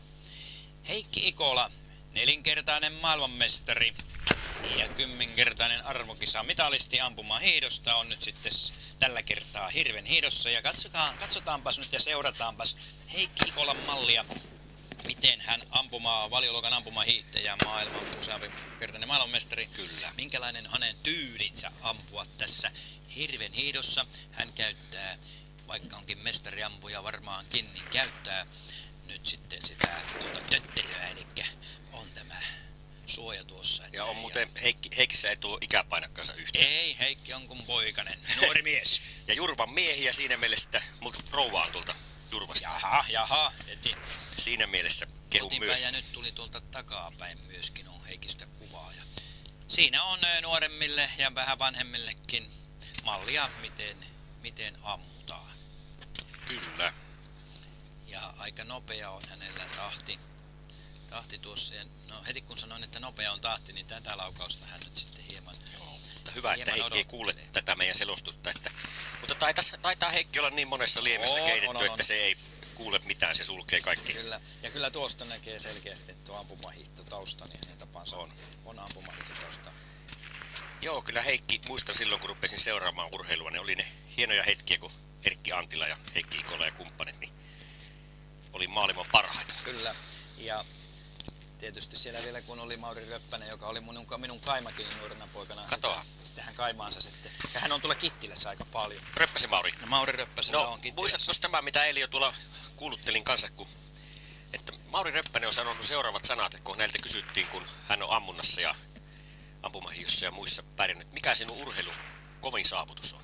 Oletko tämän kuullut? Hirven hiidon Suomen mestaruus. Niin, ja neljä kertaa peräkkäin. Kyllä. Ja se on ihan varma, Joo. että sitä ei kukaan tule koskaan rikkomaan. Joo, eli hyvät kuulijat, kuunnelkaa tarkkaan tuo, mitä Harri sanoi. Minä toistan sen vielä. No niin. Eli Mauri Röppänen, hän on monessa liemessä ollut ja voittanut, voittanut ja niittänyt mainetta sekä, sekä ampujana että myöskin ampumahiihtäjänä, niin hän sanoi, että kovin suoritus hänellä on hirvenhiidon Suomen mestaruus, kun hän Ja- ensimmäisen kerran sen saa. Niin, ja sitten vielä neljä kertaa peräkkäin. Kyllä, kyllä. Peräkkäisinä vuosina. Eli hän arvostaa tätä lajia aivan erinomaisesti niin kuin pitääkin tehdä ja hän on hyvä esimerkki meidän tälle lajillemme. Niin kuin on kyllä Heikki Ikolakin, joka itse osallistuu aktiivisesti edelleenkin ja on siinä juuri On ampumassa. se. Se on lyönyt, kato tuon penkan, tuon käden tuohon lant- lantioluun päälle ja siinä Kyllä. se sitten, ja aika äkkiä suoritti, nyt lyödään jo pyssyä selkään. Kyllä. Ja ampuma hiihtäjämäisesti menee ase sutjakkaasti selkään. Joo. Ja näin lähtee Heikki siitä. Niin kuin voisi kuvitella tuossa muutama vuosikymmen taaksepäin, niin samalla tavalla laittaa nämä Siinä Heikki meidän ohitse ja Ja katsotaanpas hänen tasatyöntöään. kun joo, ensin laitettiin. No niin, lasikantoli ja vielä vähän sauremmia korjataan siinä ja nyt lähti. lähti, lähti vuorotahtia jo tuossa. Vielä vähän Joo. Sauvan kanssa oli nyt, emme nähneet tuota, tuota hänen... Mutta no hyvin, nyt hyvin, joo, ja lui, liikutti polvi sopivasti koukkuja Joo. omeasti yksi potkusta väliin ja nyt tasatyöntökin lähtee kuin ennen vanha. Näin tekee. Siinä katsotaan mallia, mallia vuosien takaa. Erityisesti on jäänyt se 70-luvun siellä Sapporossa ja sitten siitä eteenpäin mullekin mieleen nuo kisat, missä Heikki niitti mainetta. 398 on nyt siinä ampumassa, otetaan hänetkin, kun on kuva Voitto Haverinen Kainuun mies. Kyllä.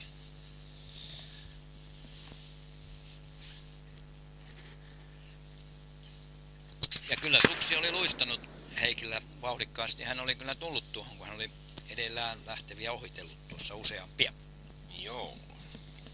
Ja sitten tässä nyt näkee tyyppiesimerkin. Tuossa kun oli tuo kehun tuota, tuota kun on tuossa tuo, tuo tuota se matto, niin osa pitää kokonaan matolla, mutta nyt tuossa esimerkiksi täältä toisena oleva. Hänen haara-asentonsa on niin leveä, että hänellä on ainoastaan toinen suksi matolla, eli on erilaisia tapoja, tyylejä myöskin, myöskin tuota, ampua ja on, minulle on joskus sanottu, että, että tuota, haara-asento ei, ei saisi olla leveämpi kuin hartiat ja sanottu, että sinulla se vain on pojalla aika leveät nuo hartiat on todettu. Mutta välttämättä se iso haara-asento ei, ole, ei tarkoita sitä, että silloin menee huonosti. Tuossa ammutaan juuri eri tyylillä, mitä on ampuneet monet muut tuolla. Kyllä. Mutta tuossa tuo toinen, toinen jalka ei saa, jos riippuen siitä, jos on liukas, liukas paikka, niin ei saa niin hyvää tukea luonnollisestikaan kuin tuossa matolla ollessa. Kauko Lehtonen Savosta lähti juuri sinne matkaan, tai viimeiselle, ei matkaan, vaan tuota, viimeiselle lenkille kirikierrokselle. Ja tyylikkäästi hänkin, ja nyt on mu- mukava nähdä erilaista kuvakulmaa tuossa myöskin tuosta hiidosta, että näkee toisesta, toisesta näkökulmastakin. Ja 398 siinä Voitto Haverinen Kainuun mies. Ja siinä on Ja tuossa kuului aivan todella oli kova lataus tuossa tuolla hänen vieressään olevalla miehellä, kun se kuului tänne koppiinkin aika railakkaasti. Eli tässä nyt on tyyppi esimerkki siitä, toinen käyttää, käyttää tuota, tuota, tuota, rekyylin poistaja ja toinen ei käytä, eli äänen vaimentajaa ja toinen ampuu vaimentajatta. kyllä, mutta voisi olettaa ainakin, jotka vähemmän lajia ampuu, niin siinä mielessä, että joskus vähän varmaan tuurissaan tuokin, että oikeasti jos viereen tulee mies, jolla ei ole sitä vaimenninta, niin minun ainakin voisin sanoa, että vaikuttaisi. Kyllä se vaikuttaa aika, aika useitakin varmaan sellaisia, jotka vähemmän on harrastaneet juuri näin, että siinä, siinä säkähtää ja juuri kun on oma laukaus lähtemässä, niin sitten säkähtää sitä toisen laukausta ja, ja sitten menee ohi. Ja pitää varmaan rytmittää sitten, kun huomaa, että millä rytmillä kaveri Kyllä. ampuu, niin tietää, näin. että heti, heti sen jälkeen, kun hän on ampunut, niin sitten löysät pois ja ei muuta kuin pahviin reikä. Kun sanoit, että kaveri odottaa, niin tässä on yksi kaveri, joka eilen tuossa harrastajasarjassa juuri odotti, kun viereen tuli sellainen, kun olen vähemmän, itseni luen vähemmän ampujaksi kuitenkin, vaikka olen metsästystä harrastanut vuodesta 72 alkaen aktiivisesti, mutta vähemmän ammun kumminkin, niin juuri piti odottaa se ja rytmittää se ammunta. Ja Mutta vielä, vielä näihin olosuhteisiin, niin ihan, ihan näin kotikenttäetua mainostamatta, mutta varmasti on sellainen päivä tämä, että ei voisi hienompata päivää ole järjestää näitä kisoja. Kyllä näin on, eli nythän sää suosii loistavasti näitä kisoja. kisoja täällä. Eilen nyt oli, ei ollut niin hyvä päivä, mutta ei siellä puukkoja eikä vanhoja muoria satanut eilenkään, että, että kyllä nyt, mutta tämä päivähän kruunaa tämän. Ja toivotaan myös huomiselle, huomiselle tällaista ilmaa, että tämä on hyvä, hyvä mainos lajillekin kaikkinensa ja tässä on järjestäjillekin. Monesta, monesta murheesta säästyy, kun on tällainen ilma. Kyllä. Perttu Hietanen siellä, hän kun on tuolta pohjoisesta myöskin kotoisin, niin hänellä on hyvät suhteet ollut edelleenkin tuonne luojan haltijaan, että lasken tämän osittain myös Pertun ansioksi, että näin hyvä sää on. Joo, ja otetaan tuo Eva Hilkamo, joka on tehnyt Kyllä. ihan, ihan hirveän työn näiden kisojen Nämä- eteen, niin joo. hän on tuosta sitten tuolta Kiuruvelta kotoisin. Joo, se on hyvä, että otetaan, kumpikin ottaa sieltä kotipaikakunnalta nämä, taikka täältä kotimaisemista nämä esimerkit näin. Minä oletinkin, Joo. nämä kaksi, Ja, kaksi hänen, ja hänen miehensä, hyvä Juha. mies Juha, niin kyllä ne on tehnyt kanssa niin ison työn näiden kisojen eteen. Kyllä. Ja näillä kaikilla varmaan on, että ovat hyvät suhteet tuonne ylhäälle. Varmasti näin, varmasti näin. Ja nyt sitten tässä aletaan olla siinä vaiheessa, että viimeisiä viedään Viimeisiä. ammuntaan 60 sarjassa. Ja sitten siirrytään jo sarjassa Niin. eteenpäin ja joko siellä alkaa olla sitten, aha, siellä tuleekin sitten seuraava sarja. Sarja, se sarja. on, sehän on tuota sitten, 20 sarja, kun se nyt niin se, sitten ei, se, ei se ainakaan tuo 70 sarja ollut, kun, koska tuota, Minusta se on sitten se 20 sarja ja siellä sattuu olemaan yksi tuttu nimikin tuossa lähtölistassa Aha. varsin tuttu. no niin, eli S20-sarja, niinkö? Kyllä, S20-sarja on sitten heidän jälkeensä ja siellä numerolla 424 on Teemu Tauriainen vuoden 2011 Pessalonkolon mestari ja sitten ihan hänen Eli se voidaan katsoa, kun 12.01 lähti Elisa Hauhia Suursavosta, niin aivan hetkellä millä hyvä, hyvänsä saadaan sitten uusi sarja tuohon. Ja minusta näyttää, että siellä tulee ampumaan tuttu mies. Jos tuosta tyylistä jotain ymmärrän, niin siellä tulee ampumaan Neljä. 425. Kyllä, vähän suurista. Kyllä. Ja mm, en tiedä, haluanko, haluatko sinä sanoa, kuka hän on? No. 425. Sinä pistin jo tuonne sivun tuon sarjan, mutta... Ei se on tuo 20 sarja, No 425. niin, totta kai, se on sinun oma poikasi. Kyllä sinä tuulintyiset Vili Tammela. Se on tullut todella kovaa muuten. Olet saanut sukset pelaamaan ihan pääsarjan vauhtia mies tuli siihen. No ihan hyviä, jos nyt ammunta menisi. Hän ei ole tässä, tässä taitaa olla neljäs ja paras Suomestaruus. On, on tuota, saavut, hän on saavuttanut tuossa Ja- pari vuotta sitten niin 17 sarjassa niin juoksussa No ja kuvaajille nyt tiedoksi, minä en isä varmasti osaa olla tarpeeksi ei-puolueellinen, niin ottakaapa nyt 425 siinä. Tumma-asuinen 425. Tämä toisen On- kuuluttajan on keskellä tuossa. Keskellä tuossa. Mites, minkälaiset tavoitteet, kyllä uskallat nyt sanoa, niin millä mielellä Vili lähti? No on vähän ollut, tuota, tämä kausi on, ei ole päässyt paljon treenaamaan, kun on ollut töissä täällä tuolla Poh- Pohjanmaalla Seinäjoella ja, ja tuota, ei ole treenattu niin paljon kuin aikaisemmin, että ei ole ehtinyt, että a- ampuman varmuus ei ole ja sitten oli flunssan poikainen on. Tässä suksihan hänellä on kulkenut, koska hän on parhaimmillaan ollut, ollut tuota, nimenomaan perinteisellä niin hopeasommassakin seitsemäs, että suksi pitäisi kulkea, mutta ammunta on ammunta on, ja eilen meni arvioinnit aika huonosti, mutta Joo, katsotaan no nyt. se Yksi päivä kaiken muuttaa voi. Mutta siinä mielessä hatunnoston paikka, että kun on jatkanut isänsä viitoittama tietä, että useimminhan siinä mones, monta kertaa käy niin, että nuoret valitsee sitten ihan erilaisen lajin, mitä et sopivasti olet osannut viekoitella, Höynäyttää. höynäyttää. Minäkin muistelen itse, kun aloitin metsästysharrastuksen, niin pienenä poikana, niin koskaan en, en päässyt isojen miesten mukaan. Ja aina oottelin sitten, kun äiti herätti ja missä vaiheessa miehet tuli metältä. Ja sitten aina, että missähän vaiheessa ne ottaa mukaan, niin se, se kipinä tuli sillä lailla para, parhaaksi, kun toinen vaihtoehto, että väkistä jos vietiin. Joo. Ja tuossa tuo Vili kun ampuu, ampuu, niin hän on intohimoinen metsästäjä, että on laittanut sellaisen Norjan harmaan nyt sitten parivuotiaan, että, että kyllä on se kipinä tarttunut myöskin.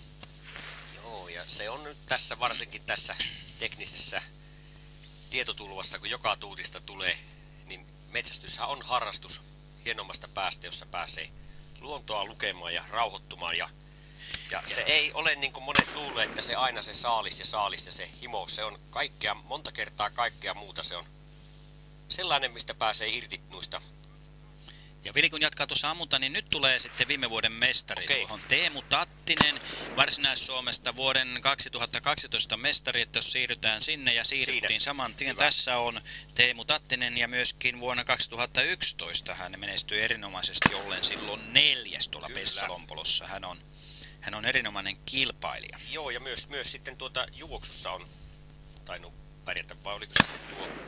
No niin, joka tapauksessa tässä on kova, kova sarjan mies. 426kin siinä Teemu Siukola. Hänen, hänen meriteistään aikaisemmista en tiedä, mutta hän on siinä ampumassa nyt myöskin. No niin, ja vähän käden ravistelua, niskat kuntoon. Ase, ase tuota poskelle. Ja tämäkin ase on Tikkakoskelta lähtösi oleva sportteri, sitä vähän tukkia muotoiltu. Ja kyllä ase ainakin. Kato, otettiin ensin tämmönen Tyhjä. tyhjä.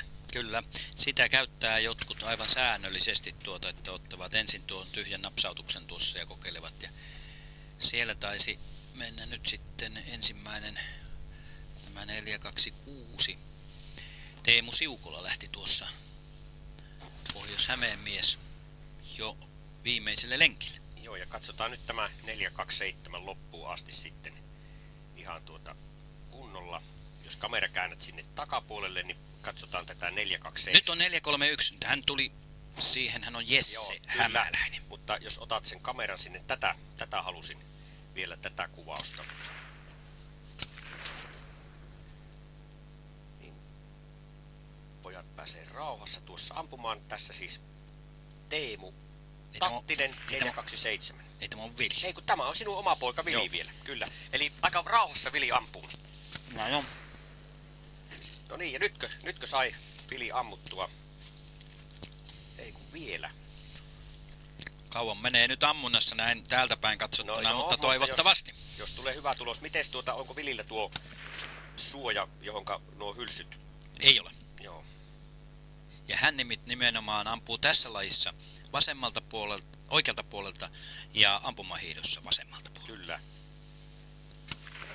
Elikkä moni, molempi käti. Kyllä. Joo, itsekin on siinä mielessä on joskus kovassa tilanteessa soutuhommassa niin sorsan tiputtanut oikealta puolta, mutta useimmiten aina kyllä vasemmalta. Joo, kyllä hänkin ampuu tuota, tuolla sorsametällä niin enimmäkseen vasemmalta, mutta sitten jos on semmoinen tilanne, että pitää oikealta, että se on ihan hyvä ominaisuus, ominaisuus mikäpä se siinä varsinkin, kun tämä lajia harrastaa. Joo, kyllä Vili nyt käytti tuossa hyvin tuota aikaa tuohon ammuntaan. Mutta jospa ne nyt katsotaan. sitten on siellä kaikki siellä 11 Toi- sentin. Toivotaan. Muistatko muuten ulkomuistista, mikä on paras Vili ammunta? Onko yli 90 ampunut?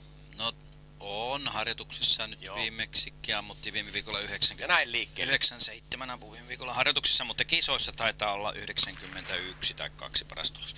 Ja suksi ainakin luistaa. No niin, nyt tuli. On isä saanut suksi. Joo. Ja, mutta hyvin työntää. Katoppa. Ihan lumi lentää. Tietenkin nyt meillä vertailukohtana oli nämä 65-vuotiaat, mutta Joo. niin hyvin jakso poika työntää. Käytti vatsalihaksia. Nuin, nuin pumpataan. Hyvä. Hän, on, hän nimenomaan on tässä perinteisessä Joo, ollut, näkee. ollut silloin Näkee, nuorempanakin. näkee. Joo, ja heti lähti vuorohiihto mukavasti käyntiin ja hyvä kuva. Ja tikkakoskelaista komeaa metsämaisemaa, mäntymaisemaa täällä Luonnetjärven rannalla. Ja kysymyksessähän on hirvenhiihdon Suomen mestaruuskisat. Ja tekniikka on pitkällä. Ja näytti pitävän. Kyllä piti. Eli nyt oli mieli hyvä.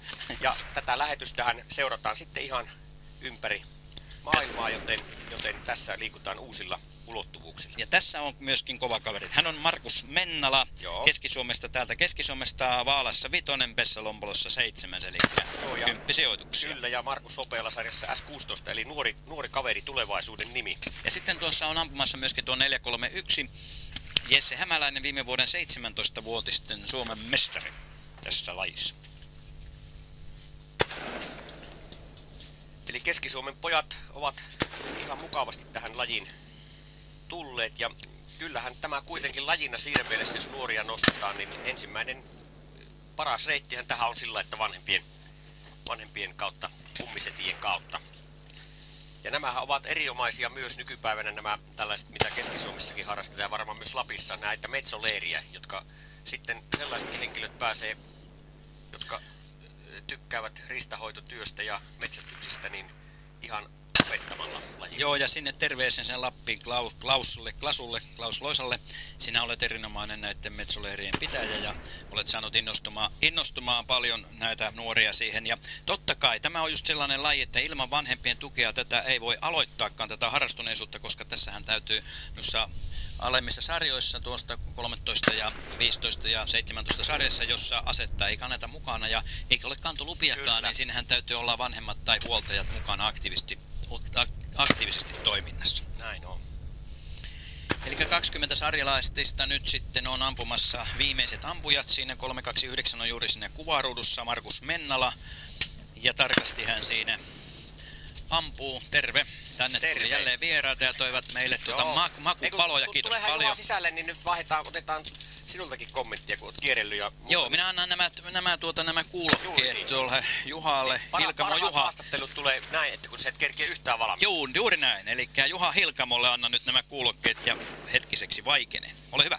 No niin, ja mennäänpäs tuossa nyt heti tuohon, kun saadaan tuo tilanne mies on ihan, niin otetaan tuosta nuin ja katsotaan tuo, kun et vielä pääse tuohon, tuohon tuota, siellä alkaa joku puhelinkin, no se on Juhan puhelin. Elä nyt Kyllä. vastaa, jos ei ole maailman Ei tärkeä. Ei ole maailman tärkeä.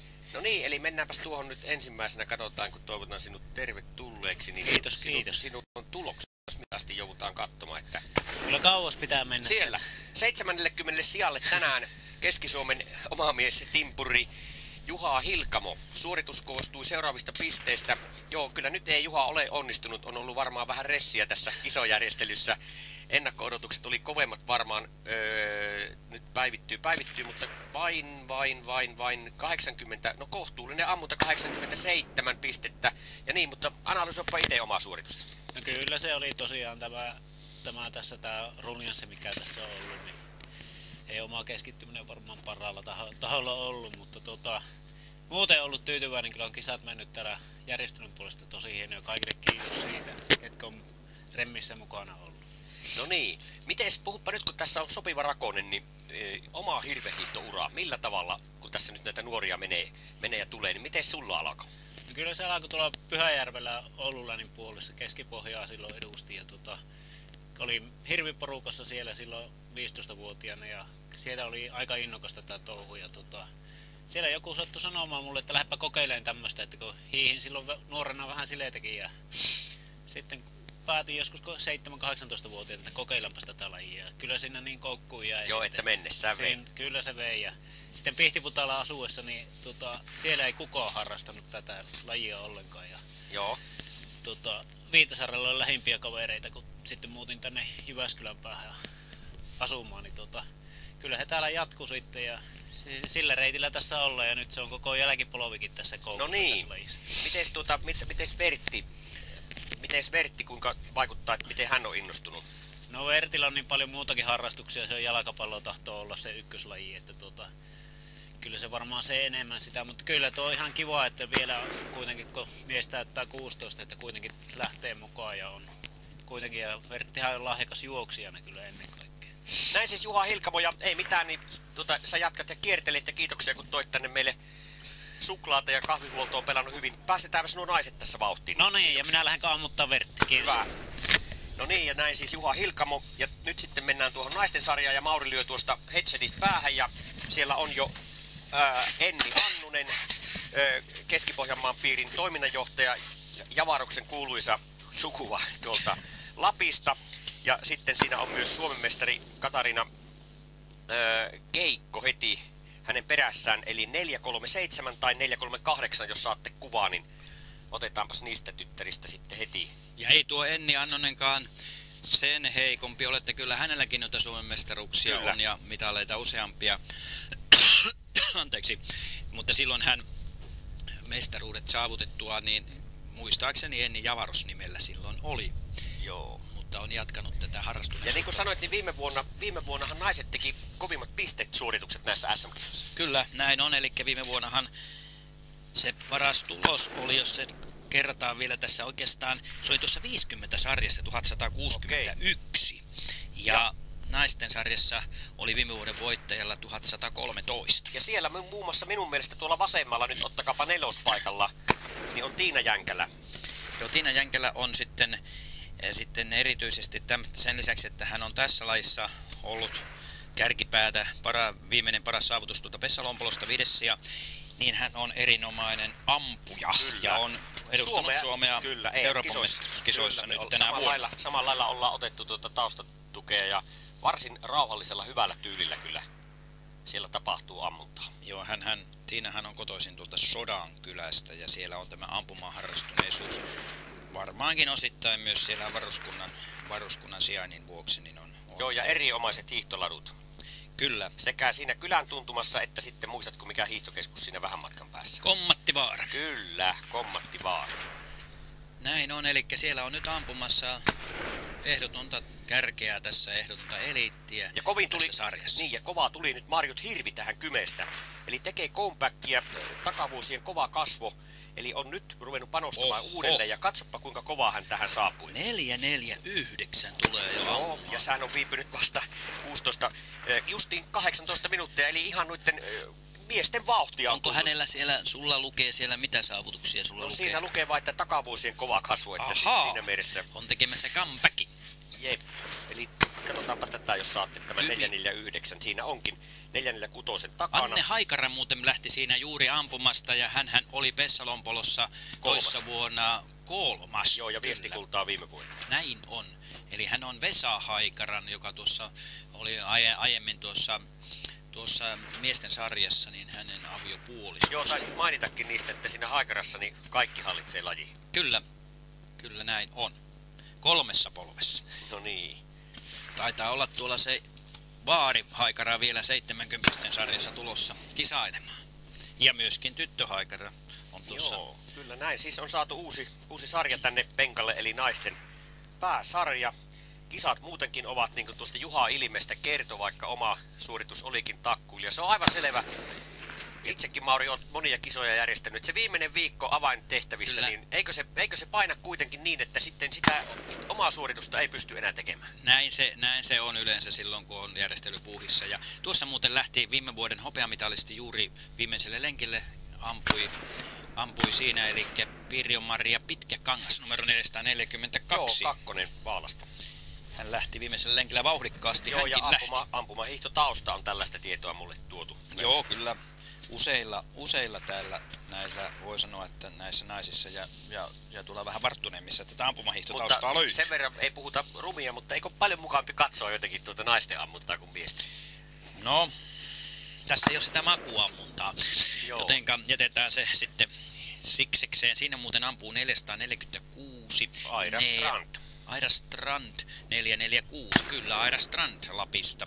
Joo, ja tässä hyvä letka lähtee tyttöjä nyt Joo, työtämään. ja nyt mennään lujaa tuossa ohittaa. Sari Toivonen ja Neija Kojola Ne siinä. ja Kojola juuri siinä meni viereisen ladulle ja katsotaan kun tuossa lähtevät, lähtevät tuonne rinteeseen 452 on nyt siinä Anne Hemmilä Oulusta. Joo. Lähtivät Kovaa nousemaan tuonne. hiihtävät nämä Niin naiset. tekee, niin tekee, vauhti on ja keli on parantunut eh, huomattavasti tässä, kun Ja- on tullut Ja liukkaampi. 455 siinä Anna-Liisa. Häkkinen, joten Kyllä. Niina Jänkälä ihan näillä hetkillä pitäisi tulla myös sitten. Kyllä, Niina on erinomainen hiihtäjä ja erinomainen ampuja ja hän on myöskin saavuttanut eh, Suomen mestaruusmitaaleja ja Suomen mestaruuksia tässä lajissa useita Juuri niin, eli ja opiskelee tuota lääkäriksi. okei. tämä Ja Niina Jänkkälä. SM, SM, siellä Pessalompolossa niin voittaja ja viime vuonna hopea Kyllä. Vaalassa, eli kyllä Niina Jänkälä. Siinä on Niina. No niin, Siinä tuli ja ottakaapa tästä nyt sitten kuvia. Ja Niina Ui. Jänkelä on juuri sinne kuvassa numero 456. Hyvin tunnen hänet pienestä tytöstä saakka olen hänet tuntenut ja nyt hän tuossa laittoi tuon aseen juuri siitä kun puhuttiin, että ei leputtaa saa, mutta hän ei sitä vielä leputa vaan lataa tuossa ja sitten siinä on kielletty tuo leputtaminen siinä ampumasuorituksen Okei, välissä okei. tuota puuta vastaan. Ja näin No niin. Niinan, Niinan tyyliä ja hänellä on kyllä erinomainen ampuma-asento. Ja nyt kun voi sanoa, niin hiihtovauhdissa nämä kärkinaiset hyvin samaa vauhtia. Ja huomatkaa tuossa muuten tuossa tuo Niinan ammunnassa, hän malttaa tuon jälkipidun.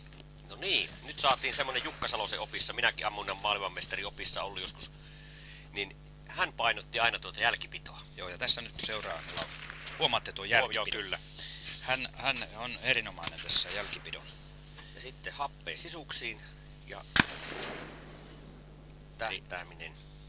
Eli siellä kun seuraatte siellä kotisohvalla, kotikatsomoissa, niin tässä on erilaisia tekniikoita, on vähän seurattu ja tässä on juuri mallin esimerkki siitä niin sanotusta jälkipidosta. Tässä Jänkelän perheessä on tämä ammunta harrastuneisuus koko perheen. Laji ollut hyvin pitkään.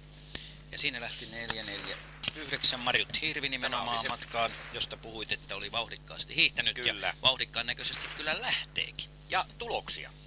Sarjasta miehet 60. Eli sielläkin 1100 pisteen raja on rikottu. Kovimmat pisteet tällä hetkellä Markku Tuovinen Pohjois-Savosta 1113. Eli Pohjois-Savon hyvä päivä jatkuu. Toisena Jouko Haapala Oulun, Oulun piiriä edustava mies sama ammunta arviosta vähän 10 pistettä huonompi. Siinä oli tiukka kisa, 1-1-1 piste, kahden pisteen ero vaan tuossa miehillä. Sitten kolmantena vähän pätkii, mutta Esko Yläkutsi, Pohjanmaan mies, 1099 pistettä. Siis kolmas Pekka Suhonen. Siinä neljäntenä Olavi Lipsanen. Viidentenä Antero Tourunen. Kuudentena Anterolta vähän olisi saanut olla enemmän tuosta ampuntapisteitä. Mutta hienosti Antero kuitenkin nappasi tuossa oman kisansa. Sitten Reijo Juola. Ja ei yllätys, että tuo Reijo Juola otti tuo 300 tuossa hiihdossa. Sitten Raimo Heikkinen ja niin edelleen. Ja tuolla on siis ampumassa edelleenkin noita naiskilpailijoita. Ja äärimmäisenä oikealla siinä, tuliko sinne jotain häikkää Niinalle, Jänkelän Niinalle aseeseen. No, nyt ainakin onnellisesti saa. Saa siitä aseen kuntoon ja sinne lähti neljä, viisi, viisi, jos oikein katsoin numeron. Anna-Liisa Häkkinen Savosta No niin. viimeiselle lenkille. Joo, ja Niina Jänkälä tässä vielä ampuu. Aika, aika hyvä nopea tähtäys. Ja sitten heti, jos se on kohdallaan, niin mitä sitä oikomaan. Ja se oli viimeinen kymmenen lauka. Ja kaikessa rauhassa hänellä on toinen esimerkki, mikä hän hyvin tarkkaan aina laittaa. Laittaa nuo kiikkarisuojat varmasti aina paikallaan ammunnan jälkeen. Se on ar- ar- arvokas kiikari. Ja siinä meni meidän ei- esitsemme tästä. Näin on, ja siinä kuva ruudussakin hän on nyt sitten siellä, ja Ja vuorohiihtoa ja tekniikkaa, kyllä. kyllä Hannu on sukset saanut, saanut oivalliseen kuntoon. Ja niin, Näyttää ja siltä. Kyllä, tasatyötönkin luonnistuu. Ja ottakaa vaan pitkään tuonne ylämäkeen, niin katsotaan vähän tuota pitoa. Ja näin naisten sarjan, joku meillä niin. alkaa naisten sarjassa. Tuolla on sitten seuraavana lähe, lähe, lähe, lähellä ainakin tulossa tänne 363 tämän Lallin, Sari Lalli Oulusta tähän Lallin, Lallin hirvenhiihtoperheeseen kuuluva, kuuluva kasvatti, joka, joka tuota, taitaa olla tämän porukan äiti, jos oikein arvioin tämän asian. Eli tässä harrastaa koko perhe. Isä on kilpailut, äiti kilpailee ja sitten myöskin eh, tytöt kilpailevat. Ainakin kaksi, ellei kolme tyttöä. Ja nyt on vieras paikalla ja annetaan, annetaan hetkiseksi hänelle nämä luurit ja varmaankin Harri sitten kysyy jotain piksua ja No, vilmaattista. Kysyn, mutta tehdäänpä tämmönen nopea kommentti tässä, kun tuo Pauli oli jo äsken äänessä, niin nyt Pauli kiikutit tänne uuden miehen, niin esittelepäs tää uusi mies. Minä oon kyllä tää TVstä pongannut ja näisten jahtilehtien sivultakin ja ihan tuolta maaseudun tulevaistakin, mutta kenenkä tänne toit? Joo, täällä on mukana on Metsästäjäliiton puheenjohtaja ja mehtämies ihan oikeasti, niin Lauri Kontra. No niin, Lauri. Ei muuta kuin nyt tulee vaikeita kysymyksiä.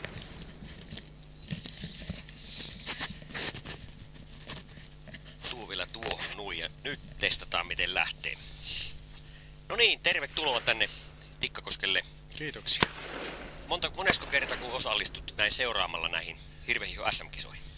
Minun täytyy sanoa, että tämä on ensimmäinen kerta, kun minä olen hirveän hiihdon SM-kisoissa. Hirveän juoksun SM-kisoihin olen kyllä osallistunut itsekin. Ja minä todistin. No niin. Miltäs tämä tilanne nyt näyttää? Paul, Pauliko sulla on toiminut tämmöisenä näyttelijänä täällä kisapaikoilla? Pauli on ollut oikein hyvänä oppaana ja tässä on käyty, käyty tosiaan kaikki paikat läpi ja täytyy sanoa, että kyllä täällä järjestelyt pelaa aivan erinomaisella tavalla. No niin. Ja tuota, otetaan jotain tämmöisiä yhteiskunnallisia keskusteluja nyt, kun täällä on ihan tuota, viime aikoina ollut kovia kovia keskusteluja. Ei mennä ihan tuohon noihin ikävimpiin asioihin, mutta mennäänpä tämmöisiin mukaviin asioihin. Miltä tämä Suomen eh, tulevaisuus metsästäjän näkökulmasta, onko meillä, meillä ainakin maastoja riittää ja tilanteita, niin onko meidän rakkaalle la- lajillemme edellytyksiä? No meillähän on mitä parhaat luontaiset edellytykset, niin kuin, niin kuin sanoit, niin, niin tuota, Suomessa kyllä tilaa riittää ja meillä on valtavan iso ja hieno maa. Suomessa on maapinta-ala melkein yhtä paljon kuin Saksassa ja saksalaisiahan on yli 80 miljoonaa ja meillä on 5 miljoonaa. Kyllä. Et se se niin kuin antaa jo kuvan siitä, että kyllä meillä metsiä ja peltoja ja vesiä riittää ja, ja niitä pitäisi osata käyttää sitten hyvin. No niin juuri. Eli, eli kaikki mahtuu sopivasti ilman riitoja tuonne metsäsiimekseen. Voi tokkisa, siellä on kyllä tilaa kaikille. Miten itse, mikä sulla on niin kuin lempiharrastus metsästyksessä?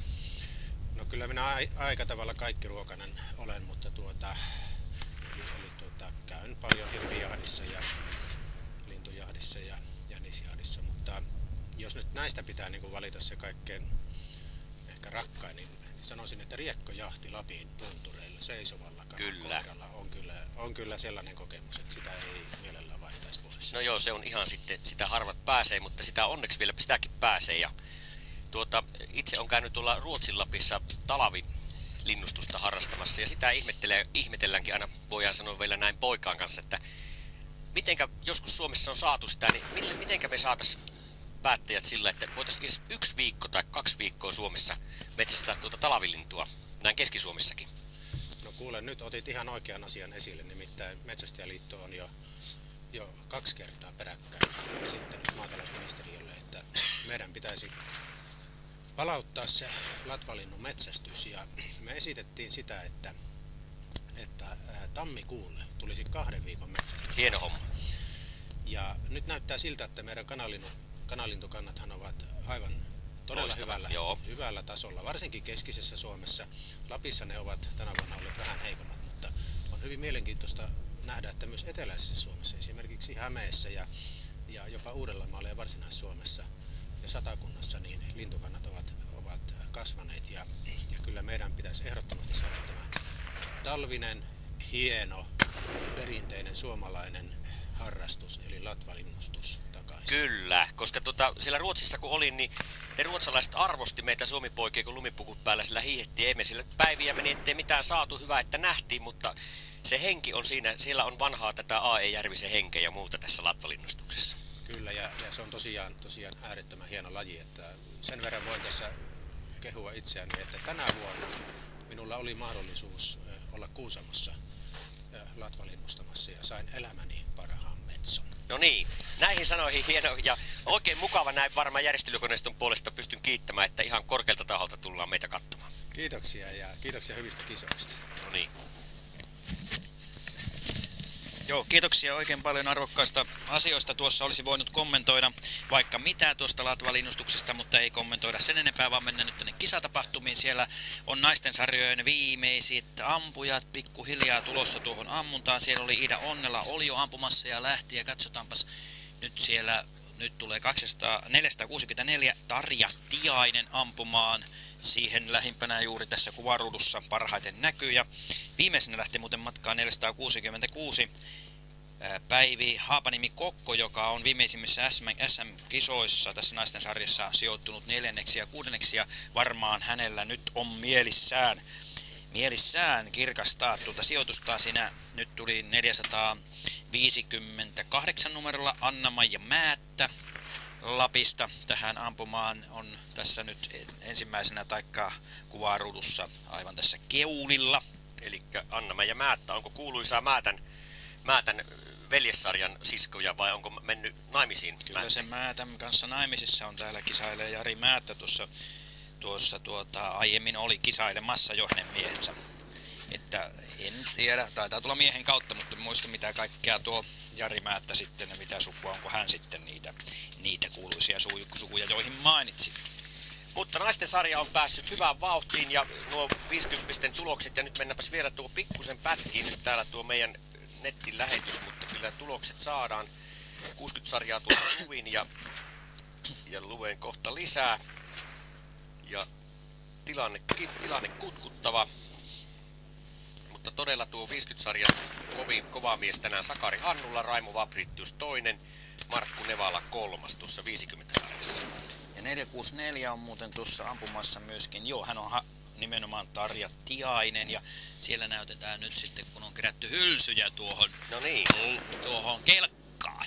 Kyllä. Sieltä hylsyt otetaan pois, niin kuin näette, että tuota kerätään hylsyjä, jotta ne eivät ole siellä, siellä tuota haittaamassa tulevia ampuja, että niihin sitten ei sukset, sukset sitten lipsahtele, niin ne kerätään välittömästi järjestäjät kerää pois, niin kuin näette. Siinä laukaus oululaiselta Sari Lallilta, tai Oulun piiriä edustavalta Sari Lallilta.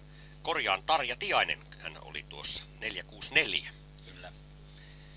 Ja mukava oli käydä, kun tuo Pauli tänne aina kantaa noita silmää tekeviä, niin ja siitä lähti sitten Marianne Kortesojaa tuolta Ruotsista hänen kanssaan juuri eilen, eilen keskustelin ja hän lähtee nyt sitten hiihtoosuudelle. Hän on tätä lajia viemässä oikein innolla tuonne Ruotsin. Ja Ruotsissa oli muuten semmoinen rikos, jota Suomessa ei ole, kun katsoin sitä ja, ja eilen vähän juttelinkin, niin siellä on, hiidetään myöskin metsäsuksilla, on sellainen kuin metsäsuksisarja tässä. Ei olisi muuten hullumpi tänne Suomankaan. Ei, näin on. tämähän on muuten, tämähän on alun perin tämä Marianne, niin on ihan satakunnan tyttöjä ja mennyt sinne kuuluisaan Sanoppa sinä osaat lausua. Elsbyyn.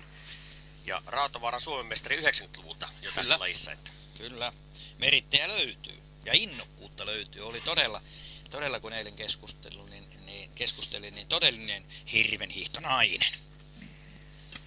Neljä.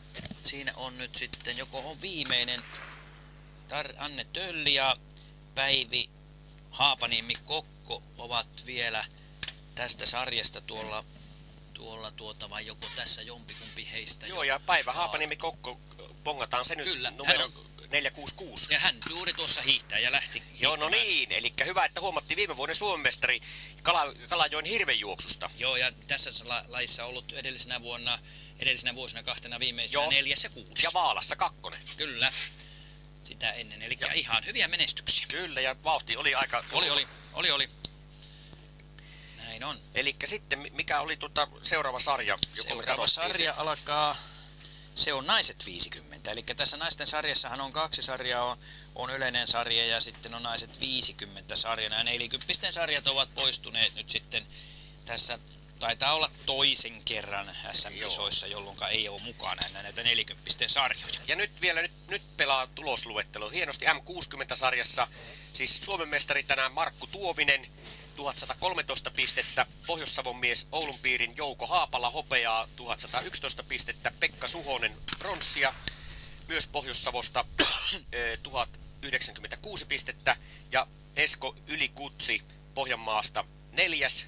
Arno Peltonen Oulun piiristä viides. Olavi Lipsanen Suursavosta kuudes, Jari Gröndal ö, Pohjois-Karjalasta seitsemäs, Antero Touronen Keski-Suomen mies kahdeksas, Reijo Juola tuo kova hiihtäjä yhdeksäs ja sitten otetaan vielä kymmenes Aslak Soronen Oulusta kymmenes. Samoilla pisteillä Teuvo Kulju jäi yhdenneksi toista. Kyllä. Ja täällä nyt sitten naiset on, kaikki yleisen sarjan naiset ovat kilpailleet ja odottelemme sitten tänne ensimmäisiä 50 naisia jo ja katsotaanpa siellä. Katsotaan joko sillä on. Tässä onkin yhdet tulokset ainoastaan Vaalassa. Oli käytössä tämä naiset 50 sarja. Sitä ennen On, oli, siellä oli on 40. jo. Kyllä siellä on jo. Siellä on. on 50. Jaha, siellä pauke käy.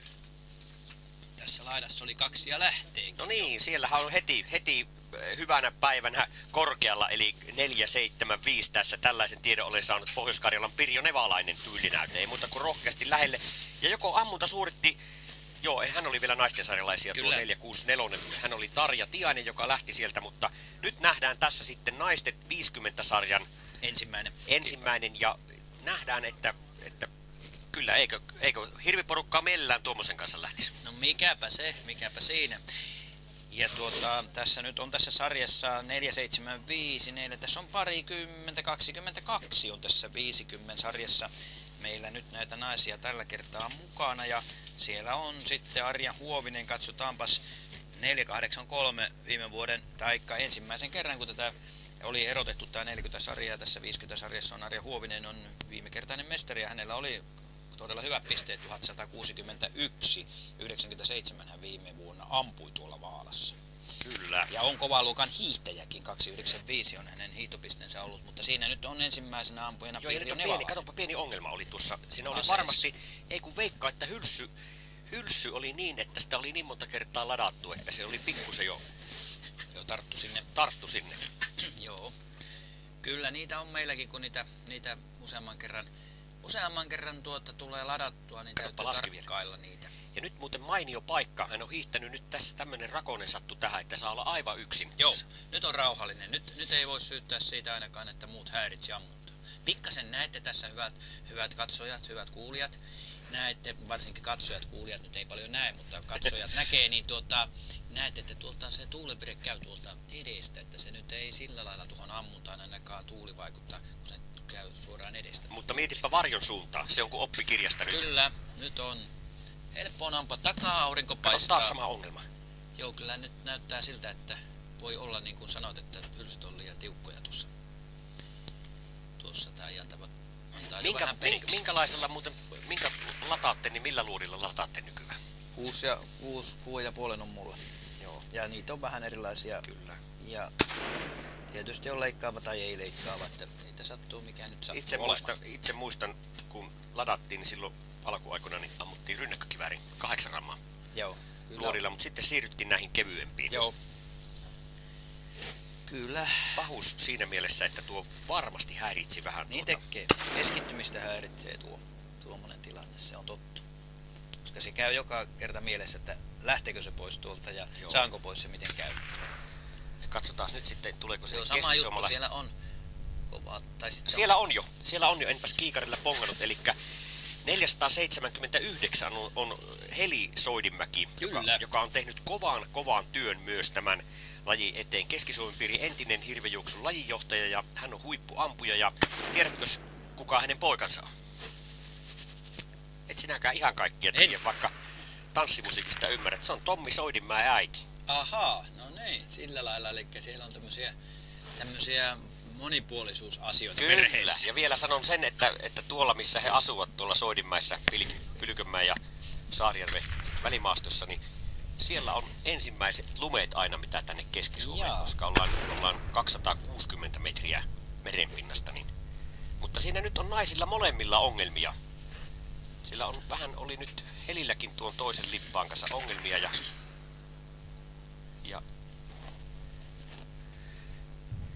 Eli menee tuossa ylimääräistä aikaa selvästi. Ja sieltä tulee nyt sitten... 92 jo.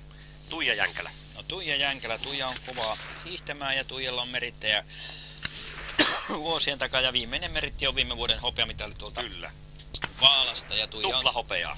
joo, ja hän on sitten saavuttanut useita Suomen mestaruuksia ja useita Suomen mestaruusmitalitsijoja tässä lajissa. Eli nyt vaan lähikuvaa vaikka tästä juuri tulleesta 492 Lapin Tuija Jänkälästä. Ja hänellä on aina suksi luistanut ja on kulku ollut vauhdikasta suksella ja sitten jos ammunta natsaa, niin silloin natsaa kanssa. Joo, ja tässä todella siis 50 ja tässä on niin kuin seuraava sarja sitten 60 niinkö?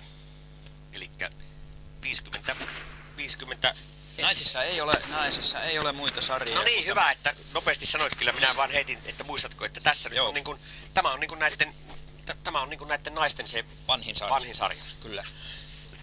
Iila Väisänen Kymistä on tämä, jos saada se, saata sieltä se kuvaan, se 492 tuo Tuija Jänkälä, niin 489 Maija Vilkkilä Keski-Suomesta. Jos siellä kuvaajat kuulee, niin me tuon Tuijan tuosta haluaisimme Ja siinä. varmaan Pirjo Nevalainen siinä justiin Joo. lähti työntämään kohti Näin lähti ensimmäinen, ensimmäinen kilpailija tästä sarjasta. Lähti juuri matkaan. Ja sitten tuosta po- poimitaan tuo 483, jos se on siellä jossakin vaiheessa myös, niin jos ei kerennyt Kyllä. olla, niin hän on Suomen ennätyksen haltija. Kyllä. Suomen mestari Vaalasta viime vuodelta. Ja silloinkin sai 1161 pistettä. Joo, ja Keski-Suomen pohjan, Keski-Pohjan piirin lajijohtaja. Kyllä. 483 siis, ja pitäisi olla tuossa No, on se näistä joku. Vain tuleeko... Ei kun siinä justi. No, Ei, kun, ei kun 47 on jo. Eli Maire Petäjärvi. 48. Kyllä, Maire Petäjärvi Oulusta. Ja siinä laskettelee jo. Tämä on se... Niin, no enpä sanokaan, kun en, en sano mitään. Veikka, että se oli näitä vielä yleisösarja. Se oli Lalli kyllä minun mielestä. Äiti Lalli, Sari Lalli. No niin. Nyt on 495 siinä kuvaa ruudussamme Tuula Räty Pohjois-Savosta. Hänkin on tullut suksella li- liuhakkaasti, kun on jo nyt ampumassa. Joo, niin on. SM3 Vaalasta viime vuonna ja viesti pronssia myös samoista. Kyllä, näin on. Tuossa tuo Arja Huovisen viimevuotinen ampumatulos on 97. Eli hyvin, hyvinkin kova. Kyllä. Mutta, mutta siinä mielessä tuo maaginen 100 pistettä, niin kyllä tuntuu olevan kovassa, että ei liene nyt pitkään aikaa ole tarvetta ainakaan vaikeuttaa tuota ammuntaa. Kyllä näin. Ja nyt tuli siihen Esko Rahkolan aviopuoliso Terttu Rahkola. 496 ampumaa ja 482 myöskin. Joo. Sirkka Hartikainen. Ja moninkertaisesti Suomen mestarista tässäkin Kyllä, kysymys. nimenomaan.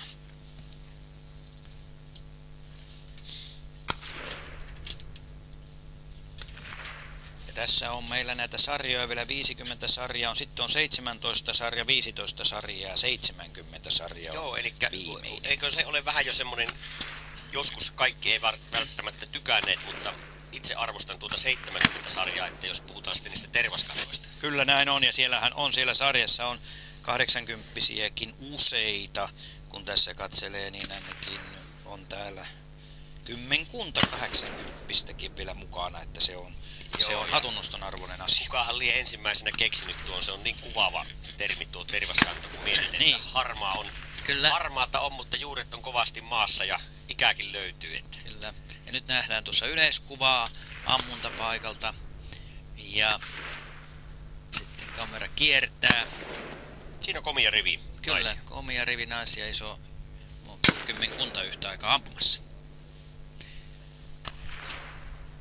Ja ei siellä kovin montaa enää tulekaan tässä sarjassa ampumaan naisia ja se seuraava sarja onkin jo sitten nuorten S, S17-sarja. Kyllä. Tämä on saapumassa. Ja onko heillä sitten aseet kuitenkin jo mukana? Ei, 17 sarjassa ei ole asetta. No niin, eli siinä on tuon sen takia tuohon telineeseen on tuotu noita Joo.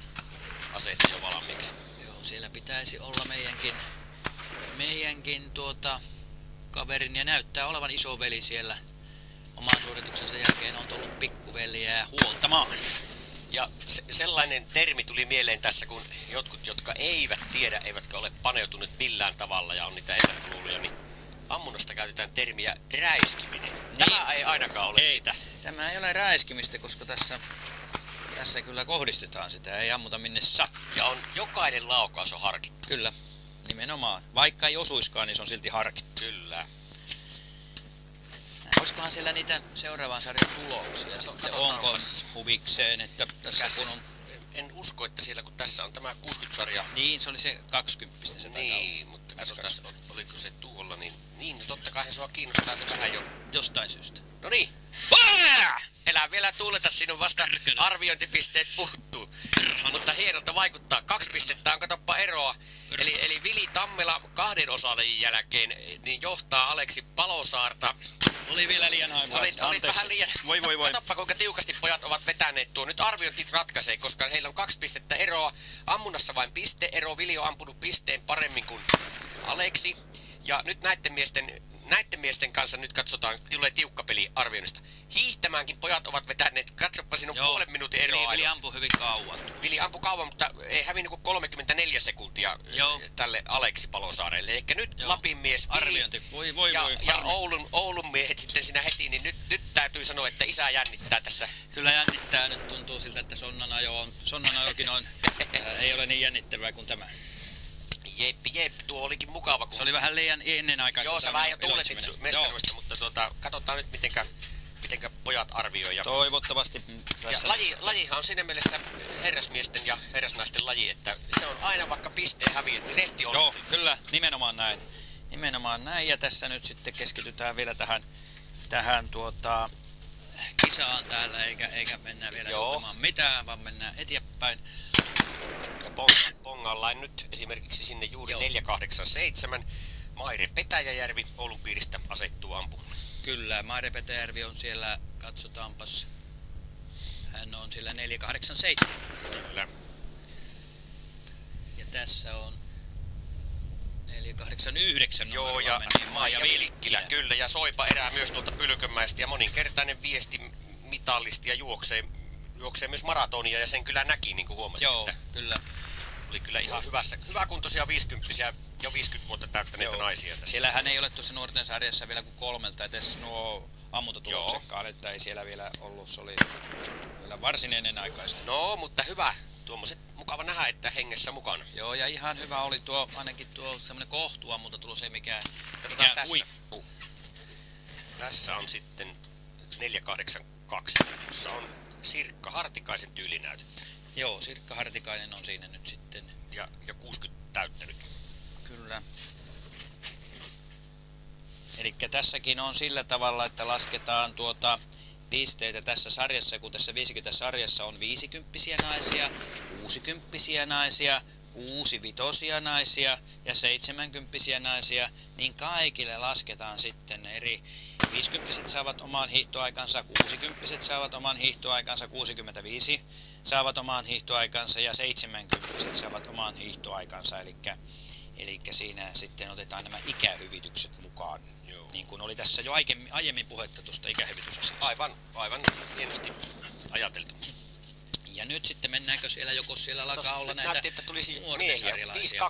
5.12 tuli muun muassa siihen. Ja, 5.12 on Vertti Hilkamo. no niin, ja sitten sitä ennen tuli kanssa hyvä kokoinen nuori mies siltä. Nyt sitten, nyt katsotaan tuo Vertti on siinä. Kuvataanpas tuota toimintaa. Isä tuo siinä aseen, Vertti vetää henkeä.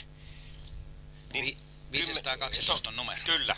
Niin tuota, siinä, siinä olisi mukava katsoa ihan lähikuvaa, kun Näkisi tämän, tuota, tämän millä tavalla nuorten kanssa menetellään. Joo, eli huoltajat ovat tulleet useimmiten, isät on tullut tuohon ampuma telineen, jossa on aseet, ja sitten kun kaveri tulee tuohon ja ottaa valmiusasennon, niin huoltaja tuo kivääri, ja sitten vasta laitetaan lipas kiinni, ja, ja sitten suoritetaan tuo kymmenen laukausta. Joo, ja tässä on tietysti semmoinen tilanne, että kun sattumalta täällä on yksi isä täällä selostamossa, niin tuossa on nyt sitten isoveli huoltamassa, Okei. huoltamassa sitten poikaa, poikaa niin, että ei voi olla monessa paikkaa ja, ja näin ollen sieltä näyttää tulevankin numero 514 tutun näköinen hiihtotekniikka. No niin, Että siinä tietysti täytyy olla sellainen, joka, joka on, joka on tuota, iältänsä täyttää nämä jo nämä aikuisen kriteerit, niin on siellä hu- huoltamassa.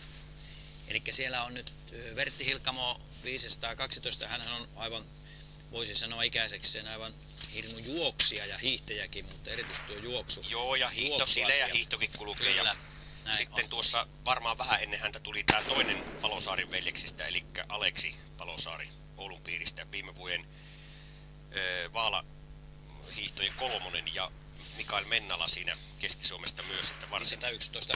Minulla on muuten täällä, hetkinen, kuuluuko. 17 sarja. Miten sinulla, meillä, meillä on muuten eri nimisiä. Okei, Sulla minulla on on, mulla on vanhempi. Petri Åkerlund. Joo, mulla on vanhempi lista. Joo. Onko se vanhempi? On, se on vanhempi. Joo, täällä on Peter Åkerlund. Mutta 511. Joo, kuuluuhan meille tää lähetys. Katsotaanpa. Kyllä, Kyllä, kyllä kuuluu, kuuluu, kyllä joo. kuuluu, joo. Näin kuuluu. Kyllä tuolta näyttää viisarit värähtelevän ja siellä on sitten ampumassa niin ja kyllä siellä nyt sitten tapahtui siellä muuten tuolla siellä Vili on nyt tippunut sitten tuolla alaspäin tuolla eli siellä on Aleksi Palosaari mennyt 20 johtoon. Kyllä. Eihän se vielä ole siinä mielessä mennyt, kun hän on ainoa, jolle on tullut, tullut, tullut noita arviopisteitä, että Joo. puuttuu sieltä vielä. Joo. Mutta katsotaan nyt, eipäs tässä nyt sen kanssa ilakoida eikä mietitä sen kummempaa, vaan keskitytään kisoihin. Ei ilakoida eikä vielä suru, Katsopas nyt, mitä tapahtuu. No enpäs nyt hätäile siinä. No katoppa. Pisteet eivät ole On. kovin hyvät, mutta, Mutta- tota, ei niillä pärjätä. Tällä hetkellä kädessä. Joo, mutta ei niillä pärjätä. Olen, olen sitä Joko mieltä- Vertti ampui.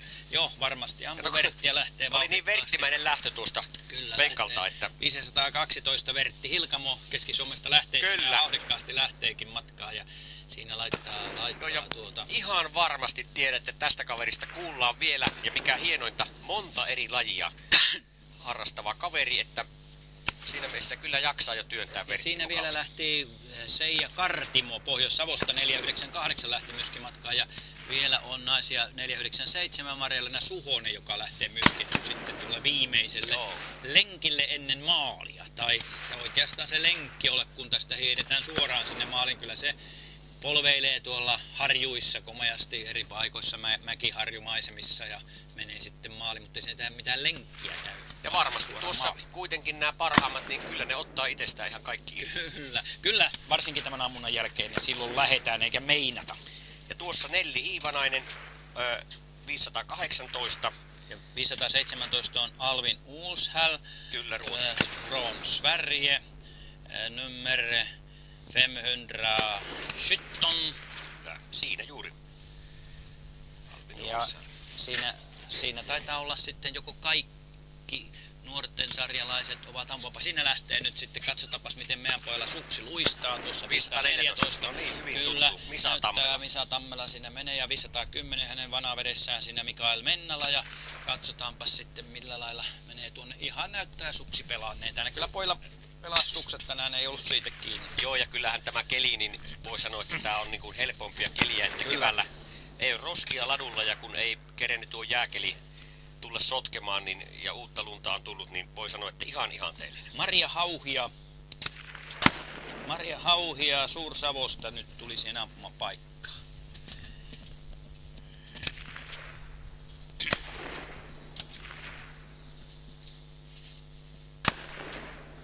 Joo, ja siellä on jo ensimmäiset, ensimmäiset öö, 70 jo matkalla.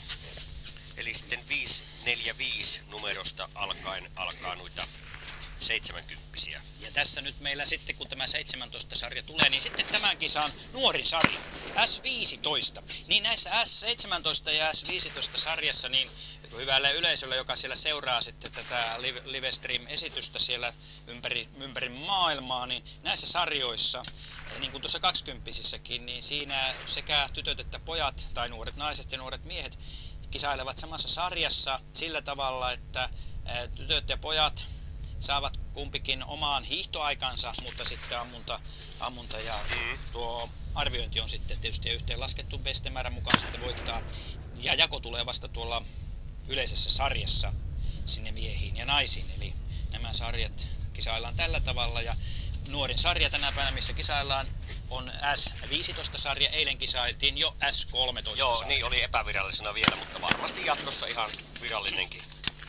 Ja näin täällä sitten joko on tullut sitten 15 sarjalaisia jo tuohon ampumapaikalle siellä myöskin samalla tavalla kuin, kuin siinä aikaisemmassakin kisassa tässä 17 sarjassa. Ja joku tuolla on tullut sitten 70 ensimmäisiä, kun siellä asetta kannetaan mukana, niin joko siellä on heitäkin tullut tähän samaan, samanaikaisesti S15 Ei, ei kanssa? millään ole kerennyt. No heillä on lyhempi matka. Okei, no tuo, tuo kyllä. Sitten kylläpä tiesit. Kyllä siellä ensimmäiset on jo. Ja 517 tuossa meni ja 516, niin ne olivat nämä... Ville, Ville Toivonen ja sitten tämä meidän Ruotsin vieras. Kyllä näin on, Albin Uushäl. Joo, se tuli hienosti lausuttu. Kyllä siellä on nyt varmasti ensimmäisenä matkaan lähtenyt Sakari Piekola jo Oulusta ja hänelläkin on useita Suomen mestaruuksia tässä ja hyvä ampuja, niin 5-4-5 jos löydetään sieltä. Ja kahdeksan minuuttia on tällä hetkellä käytetty. Ja minä nyt keskityn vaikka tuohon 15 sarjalaisen. Minäpäs katson tuolta, jos löydän viimevuotiset S15-sarjan sarjan Tulokset. tuolla löyty. Että onko tässä samoja kilpailijoita. Tässä 15 sarjassa Siri Lalli oli jo siirtynyt tuonne 17 sarjaan. Samoin Hauhi ja Maria on siirtynyt, Okerlut Petri on siirtynyt 17 sarjaan noista menestyneitä. Mutta sitten on Lalli Anette 534 Joo. ja hän oli viime vuoden viides ja onkos mukana Saalasti Onni viime vuoden kutonen. Kyllä. Eli nämä ovat mukana sitten nämä nuoremmat ovat sitten näitä uusia tulokkaita ja tämähän on uusi sarja. Tämä 15 oli viime vuonna mukana eka kerran sitä ennen oli sarja nimeltä S16 ja nyt Joo, ja siinä on S15. justiin nämä 534 Anette Lalli ja sitten 535 Juha Nurmi, niin viime vuoden hirvejuoksujen kaksi parasta kesäkisosta. Aivan. Aivan, aivan. Mutta niin saadaan tuo M70-sarja tähän. Silmielle eteen kun siinä 509 Ja se oli vielä tuolta... Maria Hauhia. Kyllä, Maria Hauhia sieltä. Ja siellä samalla tavalla kuin tuossa S...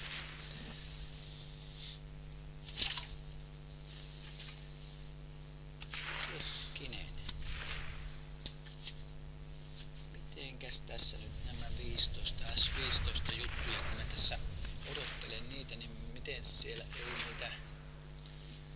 Kyllä siellä on. Siellä on tyttöjä. On, on. kuvassa, Kyllä. Kyllä vaan on nyt, siinä vaan tuo huoltajaporukka nyt, jotka auttaa noita, niin on sopivasti meidän edessämme. Niin Joo.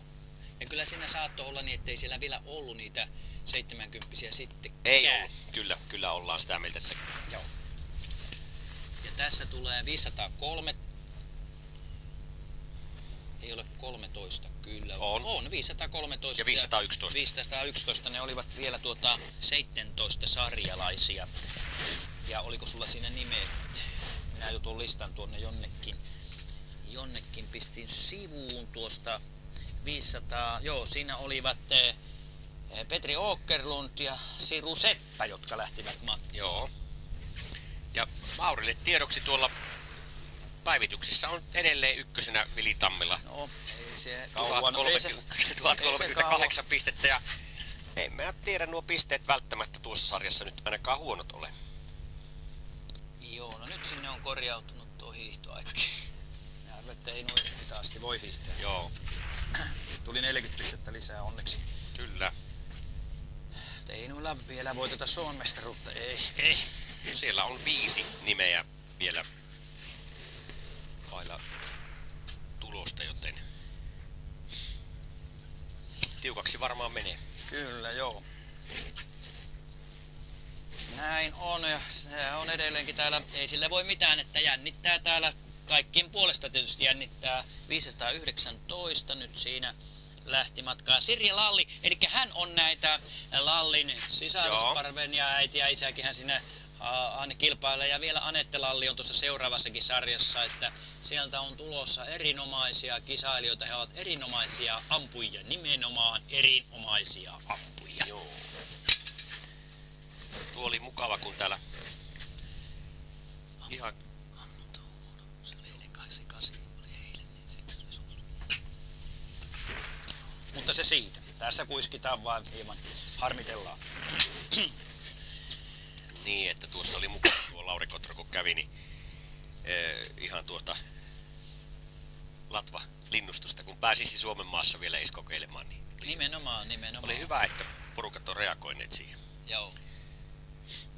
Kyllä se näin on, että se, se on tämä metsästysvietti, joka meilläkin on, joka olemme harrastaneet tätä metsästystä pitkään, niin kun se on tuota siellä pohjimmiltaan, pohjimmillaan, niin kyllä se tuntuu kivalta. Ja kyllä minä olen samaa mieltä, että muistan kun pappa vainajani sanoi, että pojat, kun me yritettiin eh, tuota lähteä syksyllä mettään, niin sanoi, että lintuja ei pyydetä ennen kuin lumi on maassa. Joo, se oli siihen aikaan vielä. Minä taas muistan, oma pappani sanoi, että on ikuisesti jäänyt mieleeni, että aseella sitten muuten ei osutella ketään, vaikka sinne jos reikääkään. Joo, se pitää, se on ihan hyvä, hyvä ollut kyllä semmoinen oppi, se on ihan, ihan taatusti oikeaa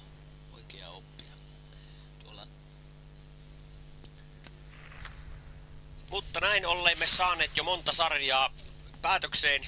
Tällä hetkellä siellä nuoria ja kohta 70 kokeneita kilpailijoita täällä Luonetjärven maisemissa. Tikkakoskella entistä Jyväskylän maalaiskuntaa, nykyistä Jyväskylän kaupunkia. Erittäin kovan työmäärän vaativat kisat, tällaiset Suomen mestaruus mutta nämä palkitsee niin osallistujat kuin järjestäjätkin. Ja eikö se Mauri mene vähän näin, että tämä porukka kun on tasapuolista, niin välillä kullakin on sitten järjestelyvuoro ja sitten Kyllä. taas sitten saa nauttia toisten hyvistä kisoista. näin se on, että kyllä tässä on kierrelty, kierrelty ympäri Suomea. Toki nyt sitten viime aikoina niitä, niin kaikissa muissakin kisoissa, niin järjestäjä ja järjestäjiä ei ole kilvan, että ne ovat tietyt ja samat paikat, mitkä ovat, mutta toivon mukaan tulee uusia paikkoja jälleen, jälleen mukaan, että eivät aina niissä samoissa paikoissa ole. Että se isojen kisojen järjestäminen, se vaatii monenlaista toimintaa, niin, niin tuota, kyllä siinä, siinä varmasti omat, omat kommervenkkinsäkin on. Joo, ja uskon, että tässäkin lajissa, samoin kuin tässä minun lempilajissa suunnistuksessa, niin tulevaisuudessa entistä enemmän järjestetään jopa niin kuin piiritasolla kisoja, että, Kyllä. että toiset hoitaa toisen osalajin ja niin edelleen ja niin edelleen, että Joo, kyllä. vaatimustasot aina nousee kisojen suhteen ja tämä on nykyaikaa, että entistä enemmän tuodaan seurattavuutta sinne kotikatsomoihin ja tämäkin vaatii aina se oma ammattiporukkansa. Kyllä se näin, nimenomaan se näin on ja juuri näin se onkin.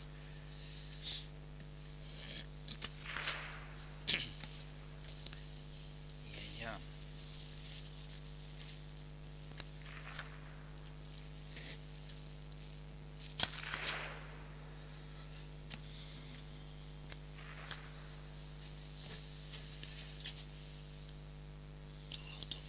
ja. Ja nyt näytetään tätä meidän asuntovuonokoppia tässä ihan livenä.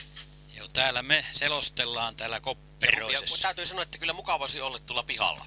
Kyllä, siellä kaunis nyt on. Ja aamulla oli sen verran pakkasta, että tuntuu, että jos tuonne joutuu nyt sitten menemään varsinkin selostelemaan, niin kyllä siellä ääni saattaa käheytyä. Mutta nythän tässä on, kun on tuo aurinko paistaa, paistaa näin komeasti ja lämmintä on tullut, niin eihän täällä ole vastenmielistä Ei, olisi olla ja- tuolla ulkonakaan. Ei ulkonakaan, mutta kyllähän täälläkin nyt päivä jopa kaksikin on. Ja kun otetaan koko urakka, niin kolmekin päivää hieno laji eteen.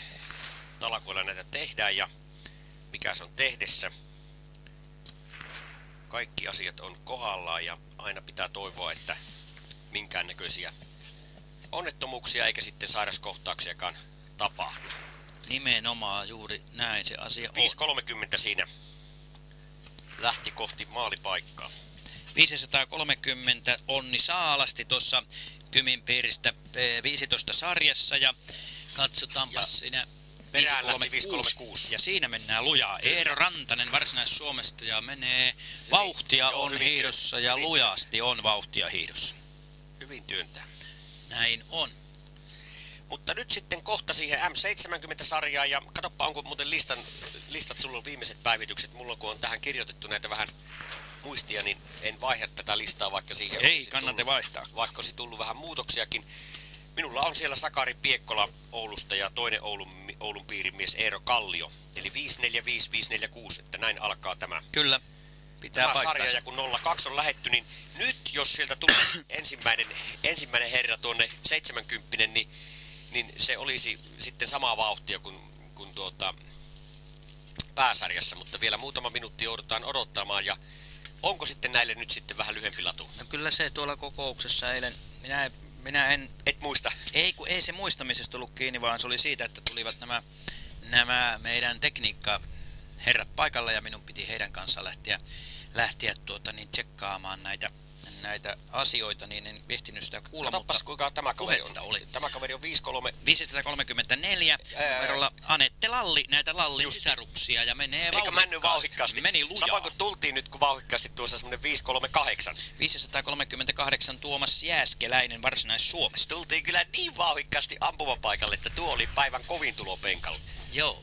Tässä tämä nuori mies. Hyvä kun otitte tuota kuvaaks, kuvaan sen. Ja nyt siinä näkee nyt sitten, annetaan ollakin tässä kuvassa, Joo. niin nähdään tuota nuorten, Ja- ja- nuorten ja tässä tapaa tätä- käsitellä. Tätä huoltajan roolia, kuinka, kuinka rauhallisesti tässä toimitaan. Ja siinä, Ei muuta kuin zoomatkaa vaan lähemmäksi, jos... ja pienoiskiväärillä siinä amputaan. Joo, kyllä oli napsakka ääni. Mutta matka silti sama. Matka sama. Joo, että tuohon pienoskiväärin luoti tuossa... Saa ampua pienoiskiväärillä, mutta saa ampua aseella. Kyllä. Ja tuota niin, pienoskiväärihän vielä 100 metriä asti, ei se paljon kerkiä laskea tuo luoti. Ja minusta tuntuu, että noille annetaan noille nuorille käyttää tuota tukea tuossa Okei. järjemmässä aseessa, koska ei siinä ainakaan käyneet nuo, nuo, nuo tuota, järjestysmiehet moittimassa. Ei varmaan. Eli siinä on sallittu. Kyllä tuntuu niin pieneltä napsaukselta nyt tuo piekkari. Kyllä, tuohon muihin. Tuo on kuule vanhasta tuosta äh, Aseelan tai tuosta Vinbiathlonista tehty. Tai ihan, ihan vaan Ratatukki. ampumahihto, ratatukki ja kiikari siihen. Kyllä. Eli suomalaista aseteollisuutta on Suomessa osattu tehdä ja toivottavasti elpyy entisestään tuo suomalainen aseteollisuus, koska siinä meillä on pitkät hienot perinteet ihan sieltä Mataraisen pajoista lähtien Touvakkalainen aseseppä sitten legendaarinen Viialassa syntynyt mies, joka teki Suomi-konepistoolin Aimo Lahti Kyllä. ja hänen kaverinsa Saloranta sitten oli tämä Lahti Saloranta ja niin kuin tuolla esikisossa mainitsinkin Tikkakosken Mannekin, niin hän toimi muun muassa Antero Rokka. Oi, anteeksi. Anteeksi jälleen, kun tuossa ryvitti, ettei sinne kotikatsomoissa ei sitten korvat mennyt, mennyt tuota rikki. Ja tässä nyt on siellä, taitaa olla yksikö, siellä on ampumassa tuolla meillä ampumapaikalla nyt. On siinä Pari. pari. pari. Siinä on se tytär, tytär takana tuossa. Joo. Eli siinä nyt ei näe, kun siinä on huoltaja edessä, mutta ei se haittaa. 537 tuli siihen ampumaan Kalli Raikaa. No niin. Varsinais-Suomesta hänkin. Ja nämä on ihan virallisia SM-sarjoja sitten. Joo, ja nyt siellä on tapahtunut tuolla, siellä on mennyt Teemu Tattinen on mennyt kärkeen niin kuin oletinkin, Oikein. 1072 tuota, tuota tuossa ajattelin tuossa 20 sarjassa. No on, elikkä- on huippuarvionkin tehnyt, ja, mutta hiihossa on hävinnyt, että kyllä siinä Vilillä olisi ollut mahdollisuus, jos tuo ammunta, niin kuin sanoit, Joo. että 82 ei näköjään riitä tuossakaan sarjassa. Joo, kyllä se eilinen 88 olisi vähintään pitänyt saada. Joo. Sitten se olisikin ollut ihan toista luokkaa. 21 minuuttia on 70 olleet, että kohta sitten ensimmäiset, ja siinä on sitten taas se paikka, ampumarata tyhjenee, niin hyvin rauhallisesti pääsee ensimmäiset 70 aloittamaan oman urakkansa. Nimenomaan. Ja tuota, minäpä setän sinut hetkiseksi tässä Okei. sinun yksin tänne ja lähden käymään tuolla ulkona käppäilemässä. No niin, käypä siellä. Joo, tässä vaiheessa voisin, kun sinne tuo 537 aloittaa ammunnansa, niin vähän lueskella tässä. Eva on antanut mulle tämmöisen puhelinluettelon komeasti, että tässä on monta eri sektoria, mitkä on niin sanotusti avainsektoreita. Eli tässä on kilpailujohtaja Pertti, Perttu Hietanen, sitten varajohtaja tuo Juha Hilkamo, jota haastattelin, ja myös Perttu oli äänessä, sitten sihteeri ja majoituksesta vastaava isojen oikein äitimuori Eeva Hilkamo, sitten kansliasta Pia Pärlund, sitten kanslia muut kilpailuun liittyvät Helena Hänninen, tulkkauksen päällikkö Kari Äikäs, sitten reklamaatiot kisakeskuksen ja varsinkin kisavieraiden ohjaus Pauli Partanen, tuomarineuvoston puheenjohtaja Aimo Koivumäki, kilpailee itse tuossa 50-sarjassa, sitten tässä ATK-tuessa kisakeskuksessa on Eetu Rautiainen, Henri Karhatsu ja Tuomo Ylönen. Sitten on nettiyhteydet tänne ampumaradalle. Kari Äikäs, tuloslaskennasta vastaa Satu Puisto, turvallisuuspäällikkö ensiapu Markku Salo, pysäköinnistä Juha Mieskonen, latumestari tieylitykset Jyrki Tuomola, asetarkastuksesta vastaa Urpo Minkkanen porukoittensa kanssa, sitten viestien sakkokierroksista Kaarlo Pasonen, joka itsekin kävi tuossa tänään vetämässä suoritukset. Sitten arviojohtajana toimii Matti Monthan ja se on tuo Sumiesten urheilumetsästeille se homma langettu.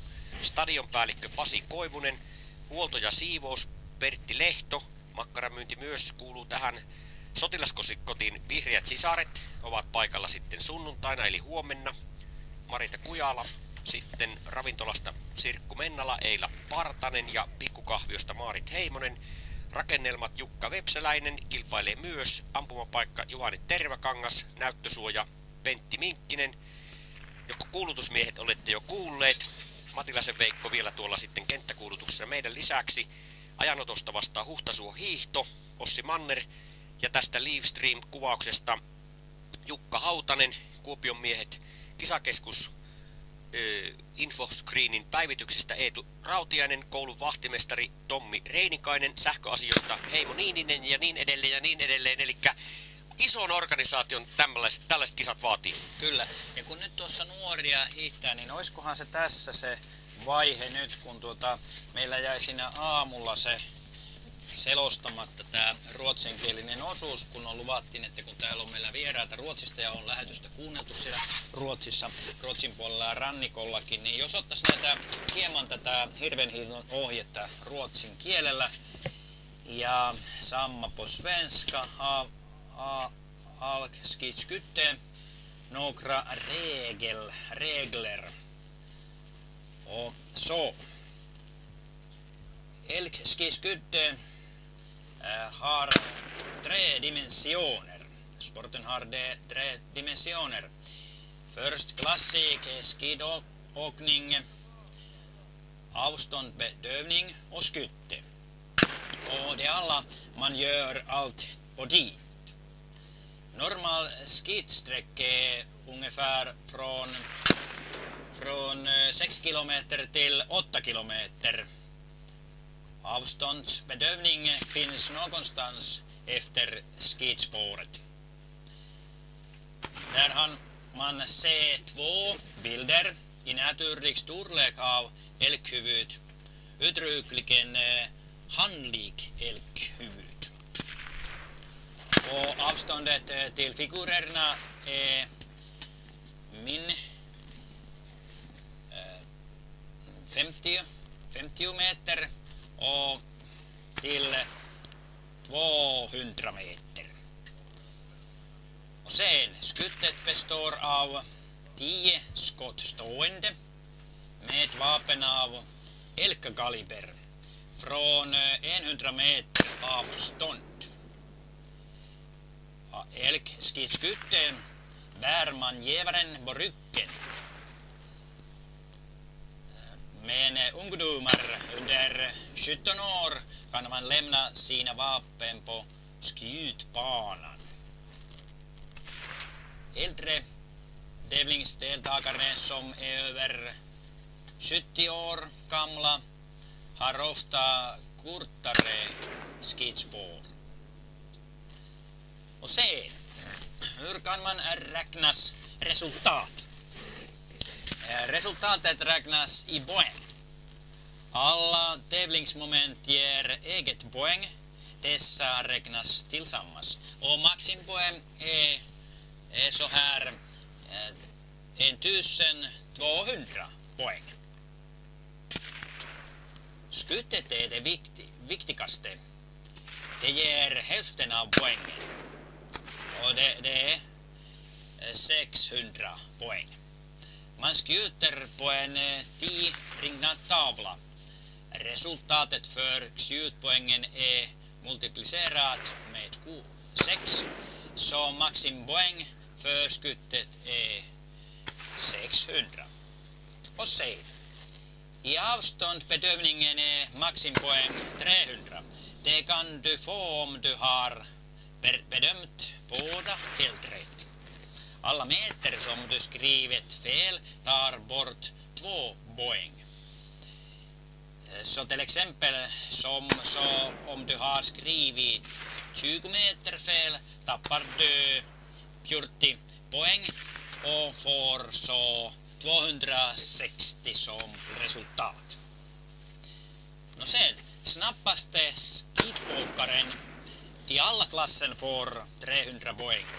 En poäng är värt 10 sekunder.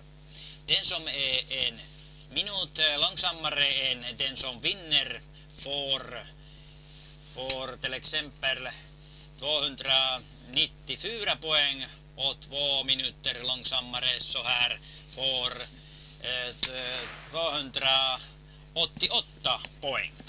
Och välkommen alla vänner från eh, Österbottens Finland, fin, finländska och Sverige till Kynlike idrottsklass.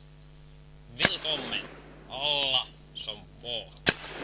Tack så mycket.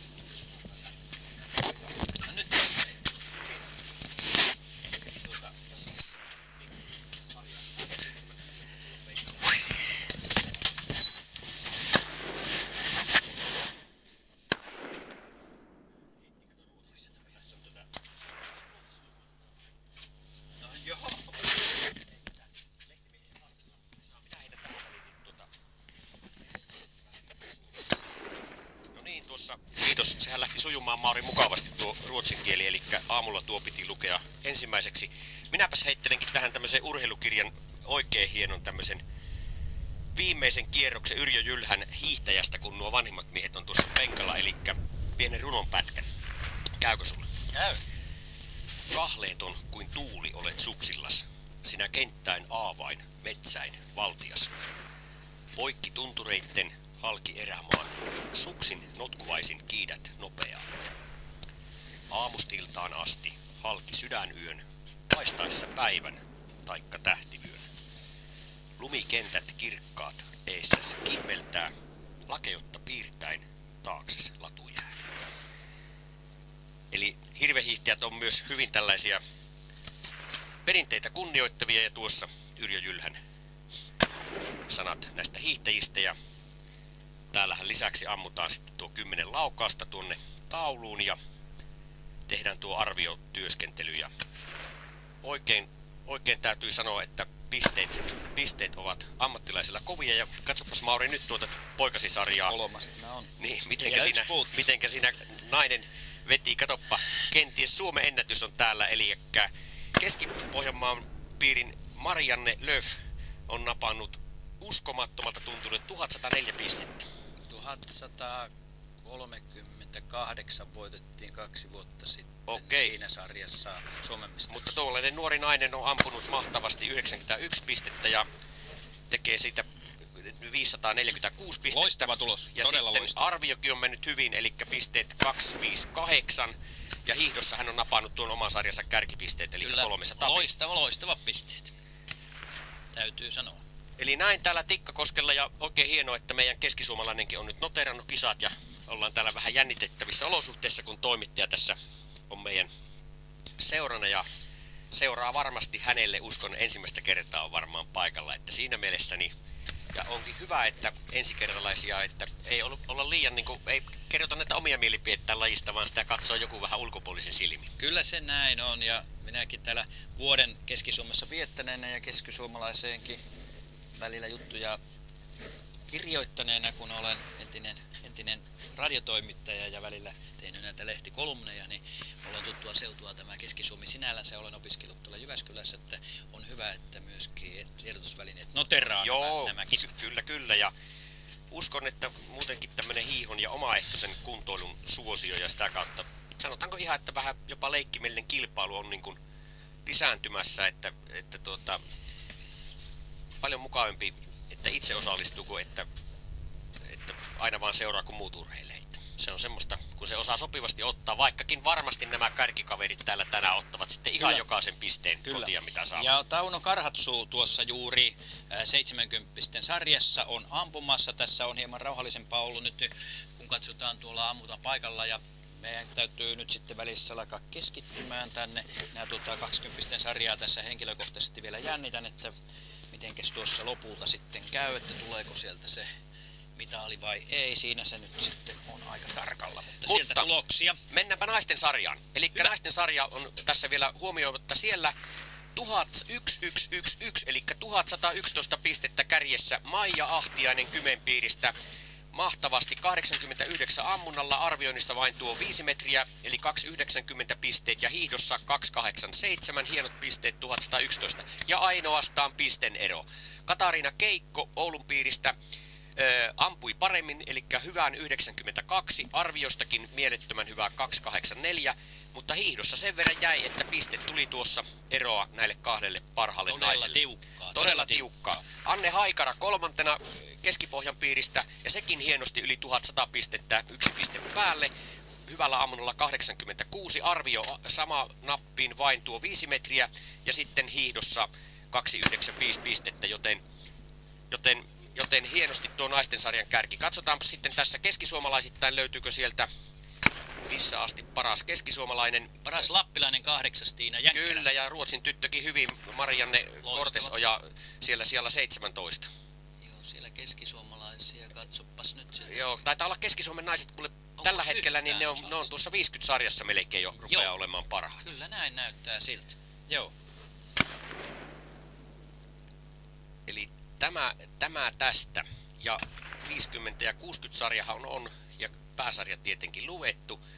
Eli tuo 60-sarjan kärki on pysynyt tasaiset pisteet siellä. Mietipä tuossa, kun puhuttiin tuossa tasaisuudesta, niin Kyllä. 60-sarjan kolme parasta kolmen pisteen sisällä. Joo, siitä puhuttiin jo tuossa kisan alussa. Eli kyllä se näin pitää paikkansa, että kisa on tasainen ja, ja pistemäärä, pistemäärä on tasainen. Eli Markku, Markku Tuovista varmaan lämmittää Pohjois-Savon mielestä se, että kireän kilpailun voitto tuntuu aina, aina kaikista mukavimmalta.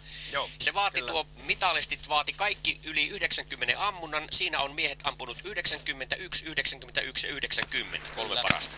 Sitten arvioinnit kaikilla nappiin. 292 voittajalla, 282 hopealla ja 286 pronssilla. Eli jokainen onnistuu, mutta tässä tuo voittajan ero tuli sitten seuraava. Koska hiihdossa hänellä näistä kolmikosta he, heikoin aika, Kuitenkin ihan tasaisen hyvää, mutta 275 hopealle tulleella miehellä 283 ja bronssilla 284. Eli tuo arviointi oli tässäkin sarjassa se, johon se sitten loppui lopuksi. Ja kyllä täällä, jos eilistä ajattelee, niin arvioinnit oli vaikeita. Eilen ja miksei ne ne olisi ollut tänäänkin. Ja nyt tulee siinä ampumaan tätä 70 Joo. sarjaa. Me ollaan sitä vähemmän nyt No seurattu. esimerkiksi tuossa justiin 577, niin Siis Esko Vepsäläinen. e- eikö se viime vuoden Pessalompolon sarjan M60-sarjan voikön? Ka- Kyllä. Joo, kyllä. Hän on siirtynyt sitten tässä. Kun tulee näitä sarjavaihdoksia, niin, niin meillä on vähän vaikea seurata noita tosissaan noita aikaisempia tuloksia, koska siellä, siellä on tämä sarjavaihdos tapahtunut, niin siellä ei, katsotaanpas onko tuo, onko viime vuoden voittaja, Vaalan voittaja Oiva Laurila meillä mukana tänään vai onko, onko hän sitten kun noita ikiä minä en kaikkea, on Oiva Laurila on 615 viime vuoden, viime vuoden puolustavaa mestari. No niin. Kyllä löytyy, hän löytyy sieltä, sieltä sitten. Joo, ja siinä on myös kova mies hänen perässä 617 sitten Erkki Perälä Pohjanmaalta. 117 kyllä. Siellä on kovia. Katsotaan, hän ei tuossa nyt tässä minun listassani ole tuolla, mutta entäs sitten onko, oliko se Sakari Piekkola viime vuoden kakkonen, oliko se meillä? Sanoppa nyt numeroita sitten. Sakari Piekkola oli viime vuoden kakkonen, eli minä en numeroa tiedä tässä, kun miettii, että onko hän mukana sitten. Ei taida olla. Ei kun hän, hän on ensimmäisenä matkaan No niin. lähtenyt viime vuoden kakkonen. Sakari Piekkola, hän on mennyt ajat sitten. Oikein. Sitä Sakari Piekkola, miehet sitä- 75. Sitä, hän sitä on, seurattiin. Hän on jo vähän vaikeampi kyllä. Tuossa vain meinaa unohtua, kun tässä on niin paljon näitä. Ja al, kyllä täällä kun päivä on oltu täällä kopissa, niin alkaa sitten vielä, ei nyt sammaltamaan ala tietenkään, Ei. mutta, mutta jos muutoin. Siellä saattaa olla nyt näitä nuorempia sarjojakin jo valmiina, 20 ja ehkä tuo 17kin, että katsopas siellä Otanko sieltä tuloksia? parikymppisistä ensin ja sitten seitsemän, 17 että löytyykö siellä. No tässä oli tämä jo äsken puhuttu.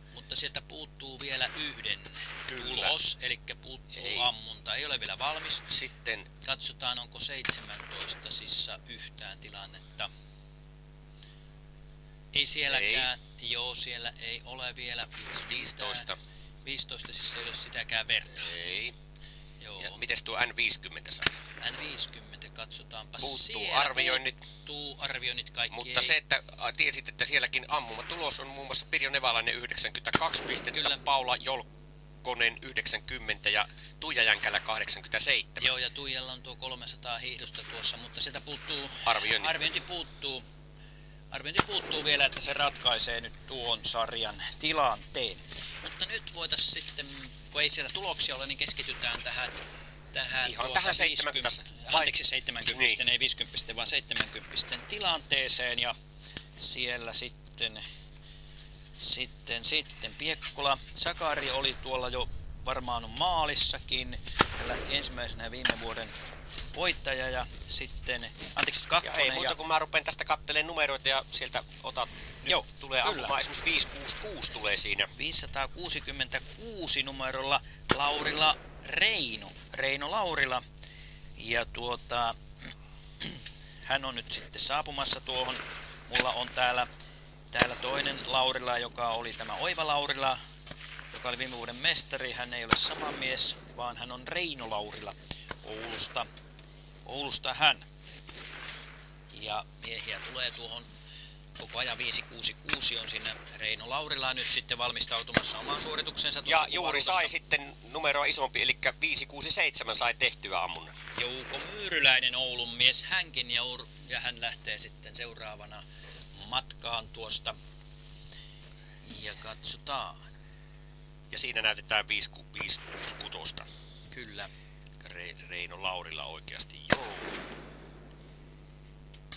Ja kyllä tämmöiset miehetkin niin hirvipassissa, niin aina kun tilanne tulee, niin hyvää jälkeä tekee. Ihan varmasti se on totta kyllä, kun, kun tuota pitkään on harrastanut ja, ja tuskin siellä niitä niin sanottuja huilaukauksia kovin herkästi tulee. Tuossa aamupäivällä puhuttiin, että tämä tose, todella vaikuttaa siihen, siihen eh, harrastuneisuuteen, koska tämähän tähtääkin siihen, että metsästysharrastuneisuus leviäisi ja, olisi sitten sellaista, että, että siellä ei niitä turhia harhalaukauksia tulisi sillä metsässä, niin kuin meidän perheessä on tätä harrastettu pitkään, niin, niin kyllä on kiva lähteä poikien ja tyttöjen kanssa metsälle, kun, kun tuota, siellä, siellä sitten siellä ei tarvii sitten kauheasti hätäillä sitä osumajuttua. Ja mulla sen verran voin sanoa, että tämä on perheen harrastus ollut sillä tavalla, että vaimoa en ole vielä saanut. Metsästyskortin hän on lunastanut, mutta kaikki muut lapset, mulla on kuusi lasta ja kaikki ovat harrastaneet muun muassa tätä lajia Suomen mestaruustasolla. No niin, harvinainen perhe. Kaksi, kaksi tytärtä ja neljä poikaa. Että samalla lailla kun täällä on sitten muitakin perheitä. Ja siinä 280, Tauno Lonka, kymenmies.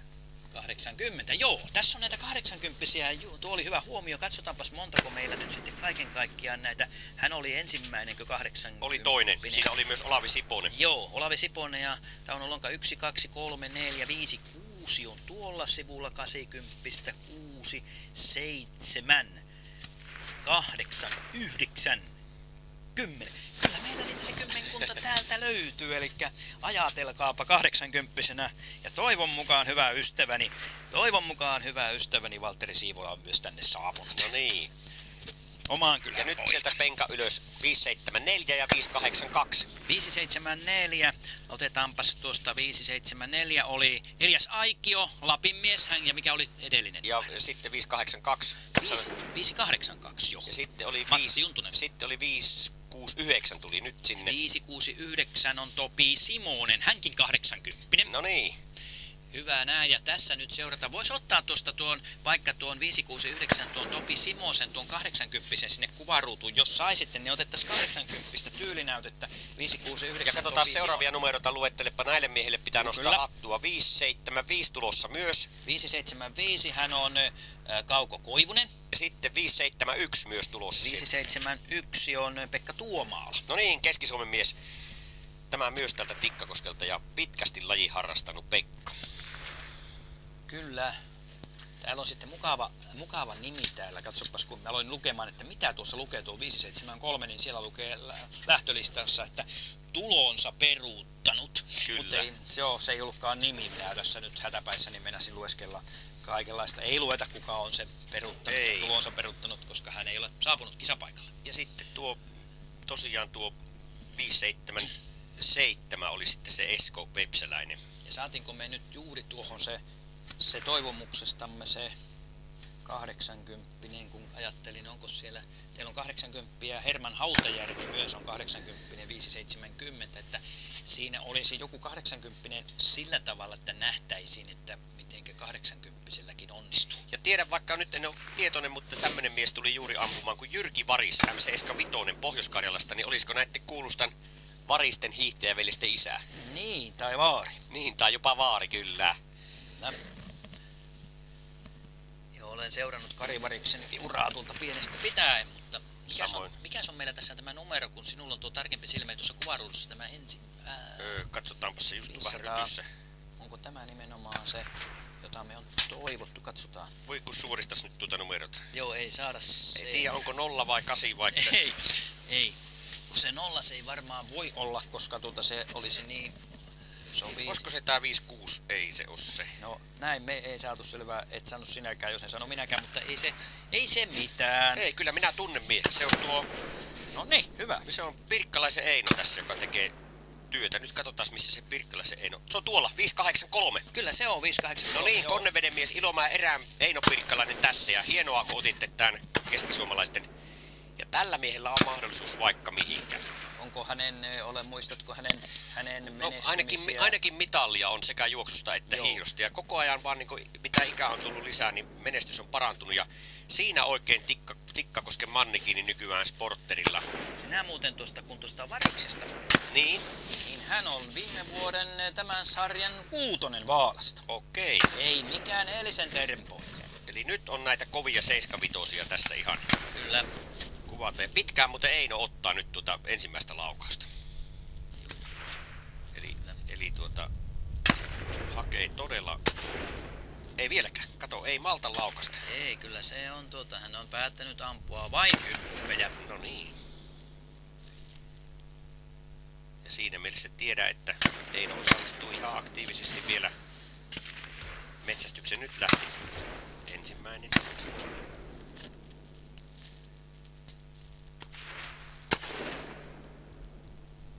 Ja taso. Kyllä, ja senkin muista, että Eino teki tuon rak- äh, rekaratissa istunut aika paljon tukkirekan kuljettajana, toimi yrittäjänä silloin ennen eläkettä. Tässä on nyt vähän tämmöistä isoa kuvaa, niin käykö katsomassa siellä niitä lopputuloksia. Okei. Joko on 20 tullut lopulliset tulokset ja sieltä niistä. Eli se on tuo S20. Se on se S20.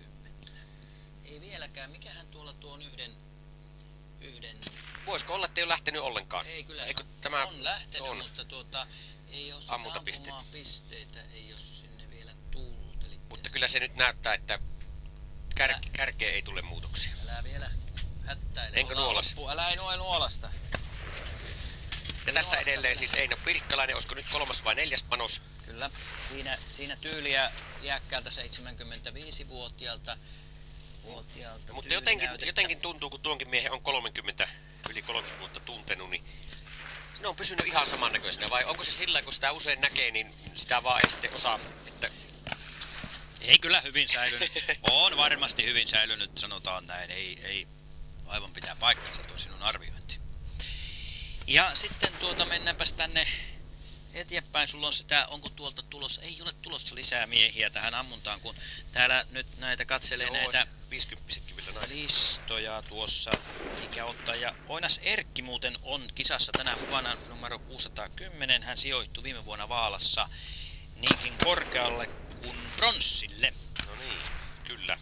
Onko siellä 17 sarjassa sitten, onko sieltä vielä, siellä ei taida olla kuin niitä alkuja vielä. Äsken vielä. Joo, että siellä ei vielä noita, nyt meillä taisi jäädä siihen jumiin tämä nyt, ei yhteyttä saada. Ottaa se, ottaa se kohti. pikkuhiljaa. Niin katsotaan, tuota, jos saadaan reaaliajassa vähän tuota tilannetta tuolta maalialueelta. Ja näin siellä lähtee sitten uusia kilpailijoita. No, keskitytään sitten tähän täällä tapahtuvaan juttuun, niin kuin pitää keskittyäkin. Mutta ihan hyvä, että meillä on tuo reaaliaikainen tulospalvelukin, samaa mikä siellä näkyy teille sinne, sinne kisakeskusalueelle. Niin, ja vähän tilannetta tietysti annoimme tuonne muualle päin Suomea tuosta realistisesta tilanteesta, mutta tai epäviralliset tuloksethan ne on.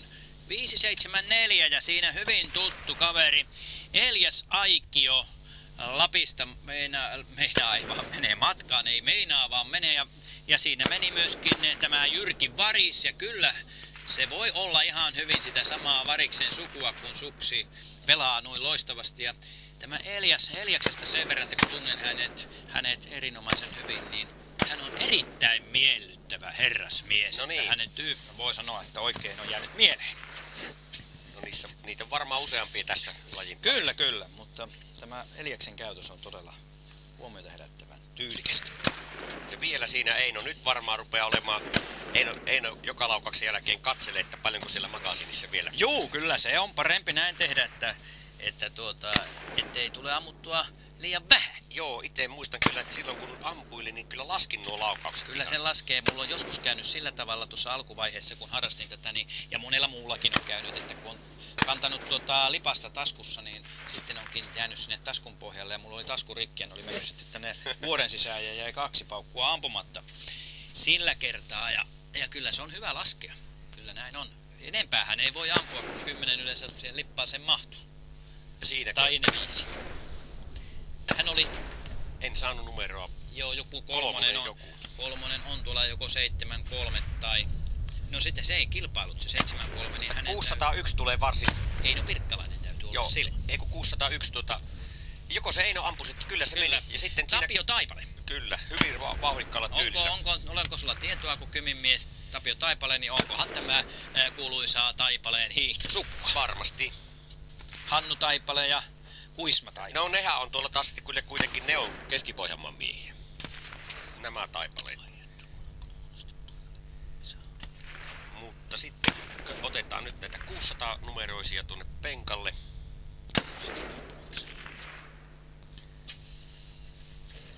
Eli S17-sarja kesken, mitä tuossa katsellaan. Ja nyt minun mielestä, katsotaanpas tuleeko siitä.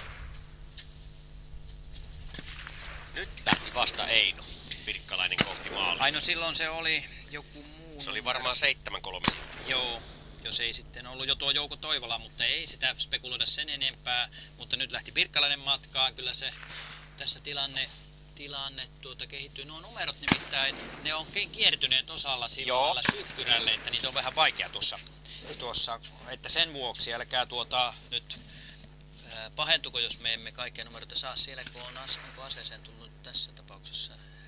Ei, ei vaan rauhallisesti siinä nyt sitten lähdetään kumminkin siihen suoritukseen.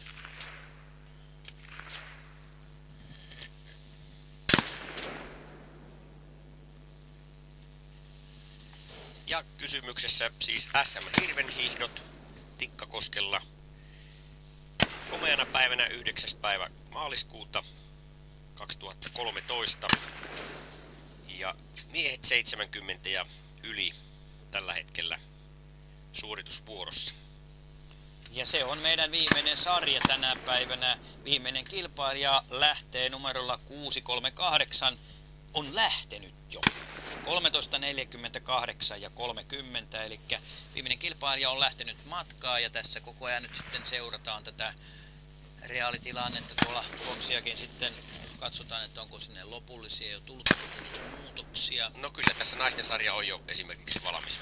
Se voit sitä kymmenen parasta voisi Elikkä poimia. Kyllä mä poimin ja hyvät pisteet myös se yhden pisteen ero tuli tuohon kärkiparille ja se tapahtui niin, että sekä ö, hiihto että arviointi toivat voiton.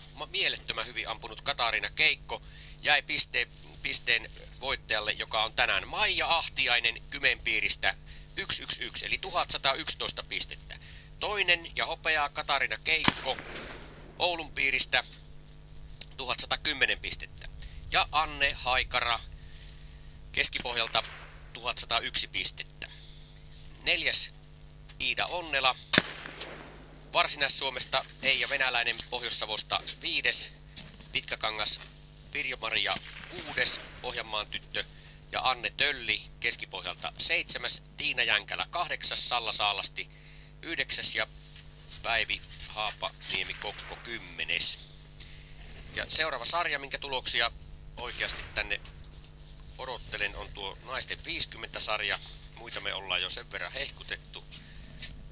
Ja siellä vielä puuttuu noita arviointipisteitä, että Niin kaikki arvioinnit. kaikki arviointipisteet puuttuu.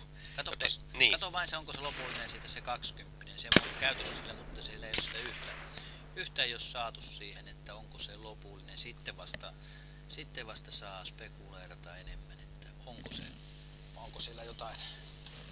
Kyllä hän on osallistunut kumminkin, hänen tulostansa ei ole vielä saatu tuonne, niin sitten saadaan se, voit sitten ottaa ne lopulliset tulokset siitä sarjasta. Ja, ja tuolla meillä kilpailussa siis on 70 sarjalaista. Tässähän tässä sarjassa kilpailevat siis 70 75 ja 80 ja 80-vuotiaasta ylöspäin on sitten meillä tuolla Lapissa ainakin kilpaili sellainen herra Lahdenperä tuossa 85-vuotiaanakin vielä, että, että kyllähän tätä sarjaa voi No katsotaan noita ketä nousee. Tuonne 600 nousee ja 606. 600 Paavo Kujala Keski-Suomesta ja 606 Antti Anttila Pohjanmaalta. Vieläkään tuo 20 yksi tulos. Sieltä puuttuu tuon Emeli Häs, Hässelikö se hän on vai mä? Joo, kilpailijanumero, öö, 430. kyllä. Hänen eh, ampumatuloksensa nimenomaan. Mutta muuten näyttää, että kyllä teidänkin perheeseen ronssia siinä on nyt uhkaavasti tulossa. Niin, ei vielä. Ei, Ei nuolasta. nuolasta. Ei nuolasta. Ja 413 tulee siinä nuorekas mies. 403. 400. Oh, anteeksi, 613. Joo, hyvä. 613 ja se nuorekas mies on Toivo Tolonen Kainuusta. Joka siihen juuri kuvaa. Ja sinne on tullut muuten ampumaan 610 varmaankin Erkki Oinas viime vuoden pronssimitalisti, jos en väärin ole Muistat tulkinnut. oikein. Ja hän on siellä, siellä muuten viime vuonna tasatuloksella. Tuossa Kari Piekkola otti hopeaa ja tässä Erkki Oinas pronssia ammunta ratkaisi silloin. Ja hirmutulos 94 oli Sakari Piekkolalla silloin ampumatuloksessa tuloksena. Kyllä täytyy sanoa, että tarkkoja miehiä nämä. Minusta se hirmutulos on, koska minulla on itselläni, kun olen tätä harrastanut jonkun aikaa, niin paras tulos on 91 viime vuoden juoksusta. Että, No hyvää tuokin. no joo, kyllä, mutta juoksuaika olikin sitten sellainen. Toiset olisi ajatellut, että käveli, käveli. No se siinä. 602 nyt. No nyt siellä ampuu, tässä on tyylinäytettä No tämä 13, eli 613 Toivo Tolonen ja tuolla, just hänellä siinä niin koulupusero päällä, tuommoinen vaalea asu, kyllä. asu päällä ja näin mennään, mennään vauhdikkaasti eteenpäin tätä kisaa niin vauhdikkaasti, että meillä kohta nyt tuli, onko tuo 600, nyt, onko tuo kakkonen, 602. 602 ja otetaanpa siitä hänet tuohon Reino Kämäräinen Pohjois-Savosta 602. Ja kun tässä on noita ruottin kielellä noita ää, sääntöjä selvitetty, niin pitää kai tässä vähän tota suomen kielelläkin noita keskeisiä sääntöjä tästä hirvenhiihdosta pikkasen selvittää. Me ollaan tässä kisan aikana niitä tehty sillä lailla välillä, välillä extempore, mutta minäpä tuota sen verran, että otetaan tämmönen pieni kooste, aivan pieni kooste, ei mene kauan aikaa. Eli tuota, hirven hiihto on laina, tuossa sanoin ruotsiksi, että se on semmoinen kuninkuuslaji niin minusta, koska tässä täytyy hallita kolme osapuolta. Pitää hiihtää hyvin, arvioida etäisyys hyvin ja ampuakin hyvin. Ja hiihtomatka se vähän vaihtelee, se on siellä 6 ja 9 kilometrin välillä ja hiihtotyyli tässä ää, hirvenhiihdossa on aina perinteinen tyyli ja Tuolla Ruotsissa kuulemma on sitten myöskin mukana tämmönen, tämmönen kuin tuota, metsäsuksilla hiihtäminen ja sitä voisi miettiä tänne Suomenkin. Ja tässä etäisyyden arvioinnissa arvioidaan kahta hirvenpää kuviota ja ne on nimenomaan luonnossa koossa olevia olevia tuota, uroshirven päitä ja joko nyt on sitten joku Laurilla Oivakoon ampumassa. Tuli juuri. Tuli juuri ampumaan Laurilla Oiva tuossa viime vuoden mestari. Ja saataisiko hänestä kuvaa? Siitä Kyllä saatiin. saatiin. Nyt saatiin kuvaa. Hyvä näin. Ja palataan näihin sääntöihin sitten, kun tuli viime vuoden mestari, niin totta kai me kunnioitetaan ja nyt katsotaan tätä tilannetta ja palataan noihin sääntöihin tuonnepana. tuonnempana. Tässä mestarin tyyli näytettä.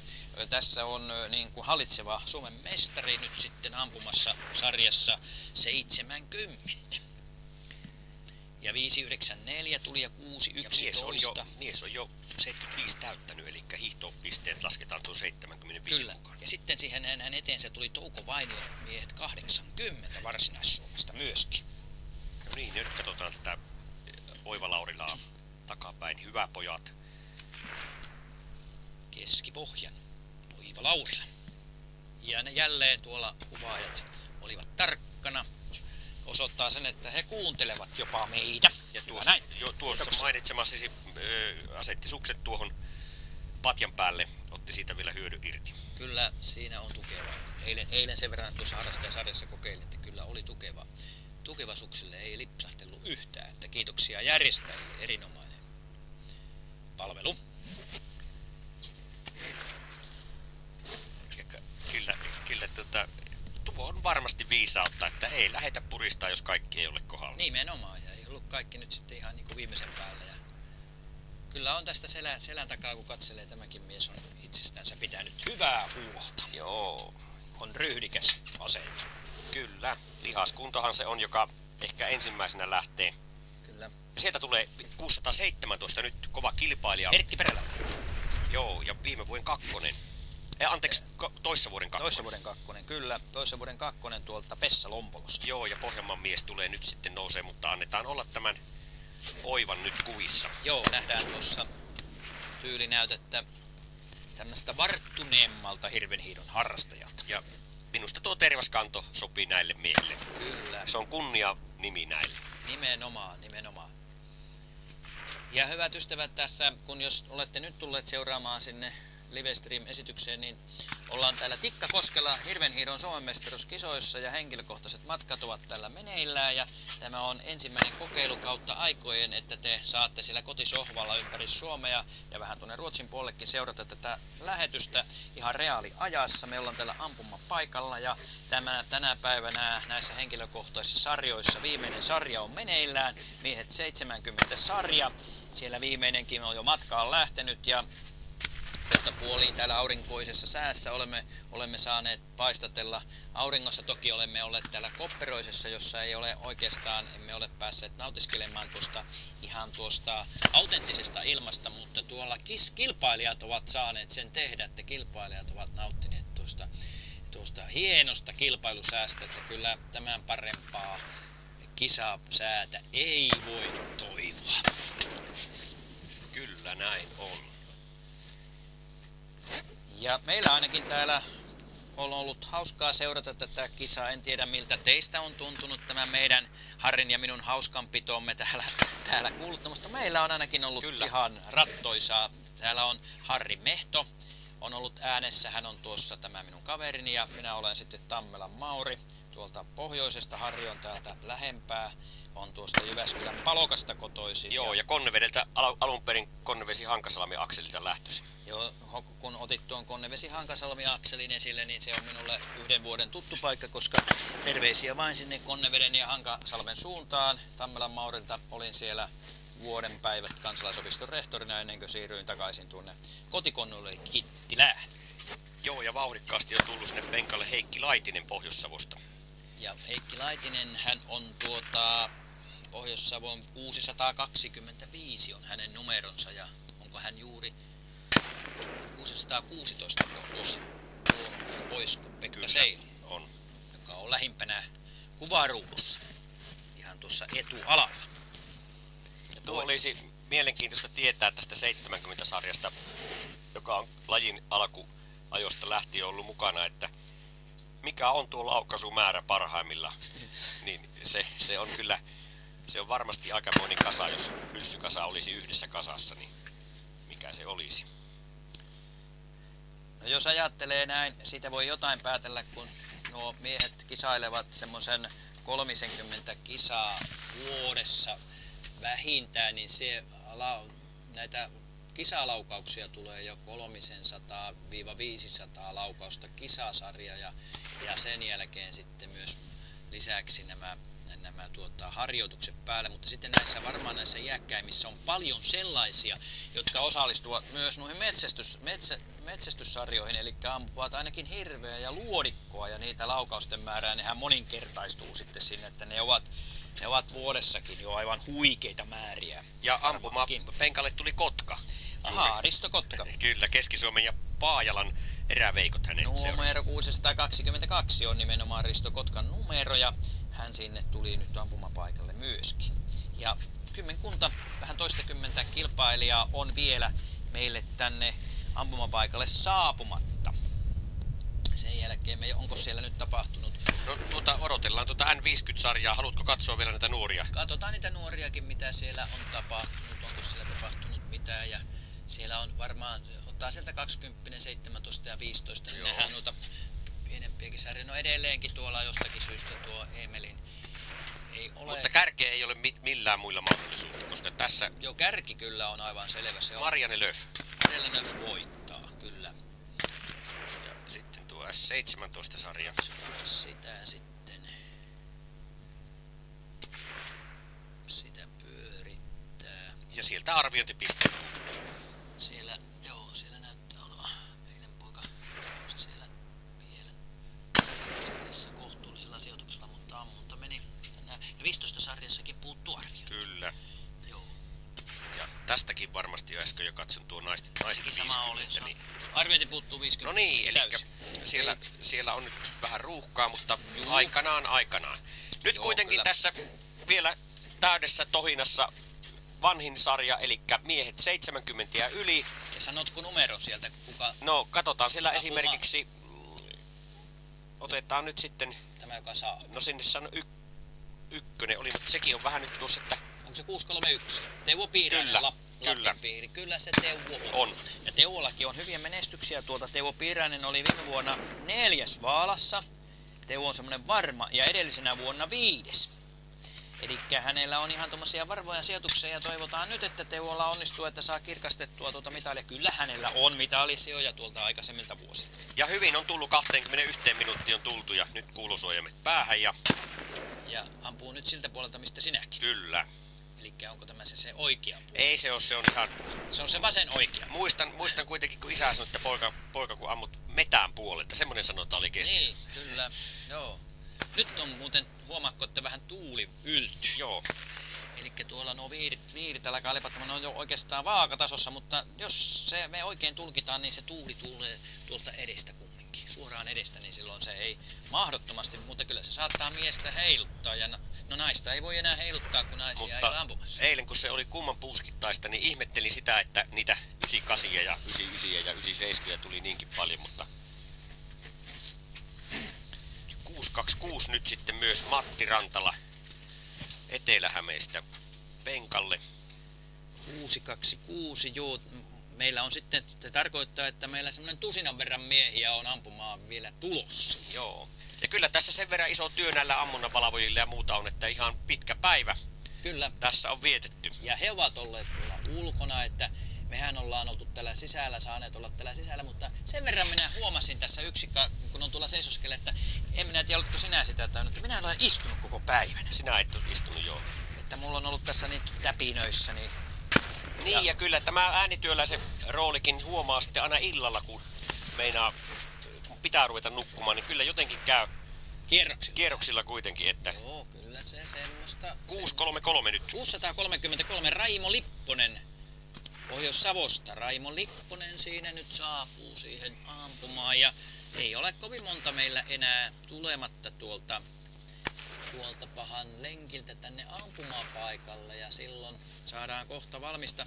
Sillä ne, siellä niin kuin sanoit, niin ruuhka on siellä arvioinnissa. Se on varmaan siellä on, ja kun siellä niitä numeroitakin sitten tulkitaan, joskus on tuossa, kun on itsekin ollut, ollut tuota, tulkitsemassa näitä tai laskemassa näitä pisteitä, niin siellä on, kun kynällä piirretään siihen, niin siinäpä se onkin, että siellä saattaa olla samannäköisiä numeroita ja siellä mietitään, että onko se viitonen, onko se kuutonen ja Okei. että siinä voi olla juuri tällaisia, se pitää olla tarkkana. Siellä on 600 20, 125 on siinä ja, Eino Alasuutari, Heikki Laitinen, ja nyt taisi saada 21, kyllä 621 sai suurin. Tuomo Korpela Kymin, Kymistä, Kymin piiristä lähti juuri ammunnasta. Ja samoin 622 sai suoritettu. 622 Risto Kotka. Eli. Paajalan eräveikot. Joo, sulla on näitä, sulla on näitä tuota seuroja tietysti, kun se tunnet täältä ja sitten varmaan näitä tunnet näitä metsästysseurojakin täällä, että minulla taas sitten tuo tietämys on tuolla pohjoisessa enemmän, tai sitten on, kun tuolla Sileällä, niin Joo. eh, on op- minun noita nimiä, että kun jonkun paikan kuulee, niin sitten muistaa urheiluseuran. Sieltä ei oikeastaan paljon muuta sitten välttämättä enää muistakaan. Mutta onko sillä nyt niin enää väliäkään? Ei sillä niin, ja kyllä nämä koneet nykyään auttaa niin kaikkia. Minäpä, jat, minäpä jatkan tätä, tätä tuota hirvenhiihtosääntöhommaa, kun siinä oli nämä kolme osuutta hiihto, etäisyyden arviointi ja ammunta. Ja tuon etäisyyden arvioinnissa kerkesin siihen saakka, että on kaksi hirvenpäätä etäisyyttä, joita pitää arvioida. Uroshirvenpäitä nimenomaan ja etäisyyden arviointipaikalla ne ovat siellä joko 50, 50-200 metriin sillä välillä asetettuna ja ja sitten jos siinä erehtyy siinä metrinkin, niin sitä menee kaksi pistettä. Sellainen sääntö on. Sitten ammunnassa ammutaan 10 laukausta suomalaisen hirvikuviotaulun keskiöön, eli siinä se kymppi on, on tuommoinen ampumahihdon ö, pystyammunnan kokoinen. Ja sitten kun pisteitä lasketaan, niin näistä osa-alueista tulee sillä tavalla pisteet, että ammunnasta saa 600 pistettä, kun siinä kerrotaan tuota se pistemäärä, maksimissaan 600 pistettä siis. Se kerrotaan se kuudella se saatu pistemäärä, että jos saa 100, niin se kerrotaan kuudella ja sitten tulee 600 pistettä. Ja arvioinnissa on maksimipistemäärä 300 ja aina sitten metristä me lähtee se kaksi pistettä. Ja ei, hiihtoaika lasketaan sillä tavalla, että sarjoittain paras hiihtäjä, parhaan hiihtoajan saanut saa 300 pistettä ja sitten siitä vähennetään, jos otetaan minuuttimittariksi, niin 6 pistettä minuuttia kohden. Ja lopputulos maksimipistemäärä on 1200 pistettä, sitä kukaan Suomessa ei ole vielä saanut. Ja lopputuloshan lasketaan siis siihen ammunta, etäisyyden arviointi ja hiihto yhteensä ja se muodostaa sen pistemäärän. Asetta kannetaan mukana muissa sarjoissa, paitsi näissä nuorissa sarjoissa S15, S17 ja niissä sarjoissa hiihtäjät eivät kanna asetta mukana, muissa sarjoissa ase on mukana ja käytetään hirvikaliberista asetta. Tuossa 15 sarjassa voi ampua pienoiskiväärillä kiinni. Ja tällainen on tämä hirvenhiihto lyhykäisyydessään säännöltä ja toivon mukaan te olette nyt sitten nähneet kuvaa tästä hirvenhiidosta sinne, kun olette seuranneet tätä, tätä meidän lähetystämme, niin sieltä saaneet semmoisen kokonaiskuvan ja voi sanoa kyllä, että tämä on vaativa laji. Tässä täytyy hallita siis, pitää olla hyvää kunto, jotta pystyy ampumaan hyvin. Ja sitten täytyy olla myöskin taitoa arvioida etäisyyksiä matkoja. No niin, hörppä morka, niin tuo 1200 pistettä, niin sen kyllä pystyy sanomaan, että se on semmoinen suoritus, että siihen ei pysty kukaan koskaan. Että jos, jos mietitään, niin semmoista päivää ei voi sattua kellekään, että ampuu täydet ja arvioi täydet ja on hi- hiihto ladulla nopein. Että näin se on vaan uskottava ja se lienee yksi lajin tuota, laji hienoja puolia, että ja nyt sitten 638 siihen. Ja minulla sitä numeroa ei ollutkaan, joko on viimeisiä matkaan lähtiöitä. Mulla on tuossa vähän leipää suussa, mutta, mutta 638 on Yrjö Seppä, Suursavo. Hän on viimeinen matka. No niin, näin katson, että se olisi varmaan ollut ja viimeinen matkaan lähti. Kyllä, Yrjö Seppä Suursavon on viimeinen matka lähti 13.48.30, joten 25 minuuttiin Yrjökin tänne ampumapaikalle itsensä lykki. Joten nyt ollaan siinä tilanteessa, että näette tämän päivän sarjojen, tämän päivän sarjojen osalta, että olemme ammunta paremmissa, paremmissa tilanteissa kuin uskottukaan, että enää tuloslaskennasta sitten lisää infoa. Ja meillä taisi nyt sitten yhteys sinne tässä vaiheessa tuonne tulospalveluun meillä katkesi, jotenka me yritetään tuossa, tai Harri yrittää tuota yhteyttä sinne tulospalveluun saada. Ja tässä nyt on hienoa kuvaa kuvaruudussa hienoista maisemista täältä, täältä vähän Tikkakoskelta ja, ja täällä voisi sanoa näin, että tuossa kun herra hiihtelee, suihkii tuolla, niin mieleen tulee Susi, Susikalle Oikarinen No tai niin. sitten äh, äh, Ahma Teurajärvi Pertti. tuolta Joo, Pertti. Teorialle, Pertti oli ainakin tuo parran kasvu semmoinen aika jäi mieleen nuorena poikana, että näytti, että sillä oli aina semmoinen karhukopla parta, että varmaan kaksi-kolme kertaa päivässä piti ajaa, että se olisi näyttänyt semmoiselta siistiltä. hänellähän oli tällainen lisänimi kuin Ahma Teuraja Kyllä. pohjoisessa ja juuri siitä, että hän, hän oli sillä, sillä lailla hiihteli vähän niin kuin ahmamaisesti. Kyllä, mutta pöydässä. mikä oli, mikä oli Pertin, tämä on hyvä urheilutietokilpailukysymys, kasvattajaseura? Jos, kyllä- tu, jos tuon tiedät, oot kyllä aika velemu. Se ei ole ylläksen. Ei ole ylläksen ei- hiihtiät. Eikä ole sieppiryön Ei. sisukkaa, vaan se on... Nyt kun sinä kysyt, ja minunhan sen pitäisi tietää, jos kukaan, mutta saat sen sanoa tässä. Kolarin työväenhiihtiä. Joo, kyllä. Sinäpä sen tiesit, minä en sitä tiennyt. No Mäntyrannan, Pellon ponsi. eh, Mäntyrannan kanssa se, tuo kasvattajaseura ei ole pellonponsi. Niin, mutta että mitä niin sehän edusti kyllä. Se on varmaan Niin. sama seura. Ei, Niin, se, ei. Kun se Ei. oli sen, sen kotikyläseura oli se, missä se Mäntyranta aloitti sen. Joo, kyllä. Ja nyt tulee sitten, me emme lähde tuonne Jaakko Huhtala.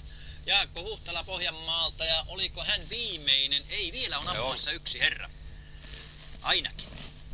Ja sitten saadaan tämä, me jo tässä mentiin tuonne vähän, vähän sivutte tietysti tässä käytiin tuolla, kun tässä jotakin mieleen muljahtaa me entisi täältä meillä molemmilla, me ollaan varmaan molemmat olleet tätä hiihtourheilun ystäviä ikäämme. Minä muistan, että ensimmäiset kisat olen seurannut televisiosta 12-vuotiaana mäkihyppää ja hiihtoa ja sieltä saakka olen ollut intohimoinen, intohimoinen seurailija, eli sieltä, sieltä Grenoblen olympialaisista saakka olen seurannut talviurheilua, erityisesti hiihtoa ja, ja sitten ampumahiihtoa ja näitä, ja näitä lajeja, eli Kyllä.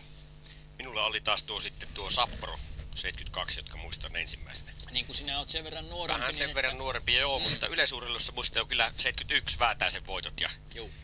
Muuta, mutta tuota, nyt olemme todella tässä hirvehiihon parissa ja sen verran voi sanoa, että yleisurheilua kun sivuttiin, niin sanoppa Suomen menestyvä yleisurheilija, joka on harrastanut myös tätä lajia. tätä hirven hiihtoa. Niin, semmoinen oikein, oikeinkin menestyvä Suomen ennätyksen haltija. Annan vinkin vielä, että pikajuoksupuolelta. No sitä jostakin syystä minä sen ajattelin pikajuoksuun, mutta vieläkään en sitä sieltä Sulla on blackoutti tässä, myös Joo. erittäin hyviä koiria kasvattanut. Antti Rajamäki, Niin, Antti Rajamäki, Karijoen joo. tappara. Joo, kyllä, kyllä, Pärjäsi myös tässä lajissa. joo. Rajamäen rykmentti, kyllä. Antti Rajamäki, kyllä. Aivan oikein. Karijoen tappara. Karijoen tappara varsinainen seura. Kyllä. Mutta katsotaanpas tuonne ampumaan paikalle. Siellä taitaa joko nyt on sitten sellainen tilanne, että on viimeinen ampuja. Hienosti. Meillä on pelannut ainakin tästä meidän kuvaruudusta on näkynyt, että ammattilaiset ovat asialla olleet ainakin tuolla kuvauspuolella. Se on sitten taas toinen juttu, mitä mieltä ollaan tästä meidän tarinoinnista, mutta Joo. ammattilaiset ovat olleet kuvaina ainakin täällä, että se on hyvin välittynyt tuonne ympäri maailmaa ja on saatu semmoista yleiskuvaa ja siinä ja täällä menee sitten, kun ollaan tietysti, onkohan tuo armeijan helikopteri, kun ollaan täällä armeijan alueella, käydään tarkistamassa, että me, ei, me emme ole täällä sitten aluetta on kaltoin kohdelleet me kisajärjestäjät. Mutta nyt meillä kävi sillä tavalla, että me emme saa yhteyttä nyt tuonne Joo, tulospalveluun. äänikin on semmonen, että tässä nyt on joku katvealue, mutta, Että saattaa käydä nyt niin, että mutta siellä, varmasti, siellä varmasti heijastellaan koko ajan seinälle myös, kun siellä on tämä mainion ohjelman tehnyt hirviurheilu.comin kaverit, niin siellä varmasti näette nämä tulokset koko ajan ja varmasti seuraava sarja, se naisten 50 sarjakin on. Ja, ja kaikki muukin nämä loppusarjat, mitkä tässä, tässä meillä on vielä näkemättä. Tämä 70 sarjasta tietysti ei ole yhtään ainoa tulosta tullut. Ja siellä vielä pauke käy, mutta nyt lähtee sieltä seuraava kilpailija ei jo tuonne. Ja viimeistä viedään tässä ihan sillä tavalla, että kovin montaa ei meillä enää kilpailijaa ole. Jokohan Yrjö Seppä lähti, sinne viimeisen matkaan lähtenyt taisi lähteä. Ja ampumaan 80 Paavo Tuovinen tässä. Paavo Tuovinen, hänen numeronsa on ö, 612. 612, Paavo Tuovinen 80. Tuossa meni sitten ilmeisesti Reijo Siipo, jos oikein katsoin tuon 634 numero ja siellä pitäisi olla kyllä ampumassa. Pitäisin tunnistaa tämän kaverin kyllä. Tuolla taitaa olla paikassa numero seitsemän, jos tuo paikka on, niin siellä on. Mauno Välijeesiö, Lapin mies pitäisi olla siinä paikassa ampumassa, että vielä siellä muutama, muutama ampuja on. Eli tuossa on nyt 80-vuotias kuvaruudussa 80-vuotias Paavo Tuovinen ja hän näyttää nyt sitten mallia nuoremmilleen ja Mauno ampuu siinä, Mauno Väliesiö ampuu siinä hänen takana. Maunohan on myöskin erinomaisesti menestynyt näissä metsätaitokilpailuissa, että täällä on tällaisia henkilöitä, jotka osallistuvat moneen, moneen tyyppiseen lajiin. Ja nämä kaksi lajiahan metsätaito ja tämä ja metsästön ammuntoihin myös on osallistunut ja tähän hirven hiihtoon, niin nämähän tukevat varmaan toisiaan ja ovat asioita, jotka kiinnostavat samantyyppistä henkilöä. Ja näin siellä kiivaasti perään antamattomasti Harri Mehto tuossa etsii sieltä niitä, että jos saataisiin tuota tulospalvelua sieltä vielä meille tänne, tänne pähän alueellemme, että saataisiin sieltä luettua tai saataisiin selville, että miten noissa sarjoissa, joiden tuloksia emme vielä, epävirallisia tuloksia emme vielä ole saaneet, että miten siellä on oikeastaan käynyt. Ja täällä vielä ammutaan viimeisiä laukauksia, toivottavasti ei nyt ihan viimeisiä, mutta tänä päivänä tämä tässä kisassa, koska muutama kilpailija siellä vielä on omaa ammuntansa suorittamatta siellä jotain käsiä heilutellaan, mitä hän siellä... 624, eli hän on Paavo Pulkkinen Pohjois-Karjalasta. Paavo, Ja lähti toiseen nyt. kävikö hän sinne niin, että hän oli vahingossa tullut, käynyt jo ampumassa ja oli tullut väärää reittiä takaisin lähtenyt hiihtämään, että siinä saattoi olla sellainen, kun siellä käsiä näytettiin, että ei, ei tänne enää, että saattoi olla näin, en tiedä. Sen nyt sitten aikanaan selviää, että voi olla tällainen tapaus, mutta eipä siinä nyt sitten hätiä mitiä meille. Joo, yhteyttä emme saa tällä hetkellä niin hyvin kuin on pelannutkin, niin Tulospalvelu. Ei, tulospalvelu ei saada yhteyksiä. No, ei sille voi mitään Mutta hienoa tuo kuitenkin, että tuo väli, väli toimi mahtavasti. Aamulla oli vähän sähkön kanssa ja nyt on noiden kenttien kanssa. Mi- Mielestäni voitaisiin pitää pieni tauko ihan ja, ja ottaa yhteyttä tuonne Mainion kuvausryhmään ja kysellä tietoa, kuinka tässä jatketaan. Ei ruveta vielä panemaan kirjoja kiinni, mutta pidetään pieni tuumaustauko. Joo, tuossa tietysti on nuo muutama kilpailija. Tuossa katsotaanko nämä loppuun. ja Katsotaan pidetään- loppuun joo, ja- Katsotaan nämä loppuun ja pidetään sitten se tuumaustauko, niin tässä ei muuta, muutama minuutti Oikein. menee, niin katsotaan nämä. Siinä on nyt Mauno Väliesiö juuri aseet, aseet selkään laittaa ja siinä kaksi ampujaa on ja minä oletan, että nämä voivat olla jopa näitä viimeisiä ampujia, jotka tässä kisassa tänään, tänään ampuvat vielä ja sen jälkeen on, on selvä tämä ammunnan osalta ja sitten pidetään tuumaustaukoa. Muistatko, muistatko tuosta ohjelmasta, mihin aikaan ö, palkintojen jakoja sitten tänä Kun päivänä? minä juuri mietin sitä, että oliko se 18 vai 19 tänään, kun minulla meni pikkasen sekaisin. niin Mekö sen päätämme? Eli tässä juuri kuulimme, että me päätämme sen, sen, että miten tämä homma lopetetaan. Kun mulla ei ole nyt sitä ohjelmaa mukana. Mutta sitä, saat, saat, Se on kello 18. No niin. Se on kello 18. Nyt muistin yhtäkkiä, koska 19 alkaa ihan muut kemut jo. Joo, ei sulla, minä yhden runon on heittänyt, olisiko sulla? Onko siellä sulla mitä tekstiä sulla siellä on tuota, jos sulla oli se runokirja, niin minä tuota, voin katsoa sieltä, että löytyykö sieltä näitä, näitä Mul- sopivia. Mulla on vaan hyvin tietyn tyyppisiä, sitä minä en Joo, se oli en- se, se oli sinun oma. Joo, mutta, Mutta mulla tuo, voisit, tuo voisit heittää. Ota. Joo, kyllä voin on heittää. Minä on tota, ihan hyvin voin ottaa tähän semmoisen runollisen, kun olen itsekin kirjallisuutta opiskellut tuossa Jyväskylän yliopistossa aikana, niin tuossa 80-luvulla, niin ihan, ihan mitä sieltä nyt sinä haluaisitkaan. Aave Partiot, tällaisen runon halus tuossa tämä, tämä herra Mehto minun ottavan ja lukevan. Nyt en tulkitse, mutta luen. No, sano kuitenkin kenen. Tämä on Yrjö Jylhää ja sen varmaan muistavat monet, monet, jotka ovat kansakoulua käyneet. Ne hiihtivät kuin haamut öin. Ne liukuvat kuin aaveet kuutamolla. Niin hiipivin, niin hyisin ylläköin. Ken tahtois niitä vastassa nyt olla. Ei paljon heitä ollut. Ei. Kun suksilleen nousi parvi valkopuku. Vain parvi, jonka jäljet tuisku vei. Nyt suuri luvultaan kuin kuusten suku. Mut mistä kasvoi joukko tuo? Miksi on sen hiihtokin niin kummanmo- kummanmoista? Ei varjoja se kinokselle luo, ei ladut jää, ei somman jäljet loista. Hiihtäjiin on liittyneet ne kaikki, jotka hiihtivät täällä ammoin. Kaik, erämiehet, sissijoukkueet ja kylmä kuukin katsoo sitä kammoin. Tuhansin aavepartioin vuossadat vaanimas on vainolaista. Kiväärein, keihäin, jousin, tapparoin ne taistelevat Suomen erämaista. Ne hiihtivät kuin haamut öin. Ne liukuivat kuin aaveet.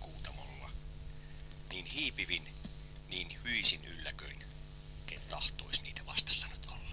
Kiitoksia Harja. Me tässä yhdessä vuoron perään tässä luimme tuon runoon. Ensin olin minä äänessä Mauritammella ja sitten oli äänessä Harri Mehto. Ja nyt on tullut sellainen tilanne, että lopetetaan tämä selostus tältä päivältä. Palataan asiaan huomenna. Kuuluttamo vaikenee!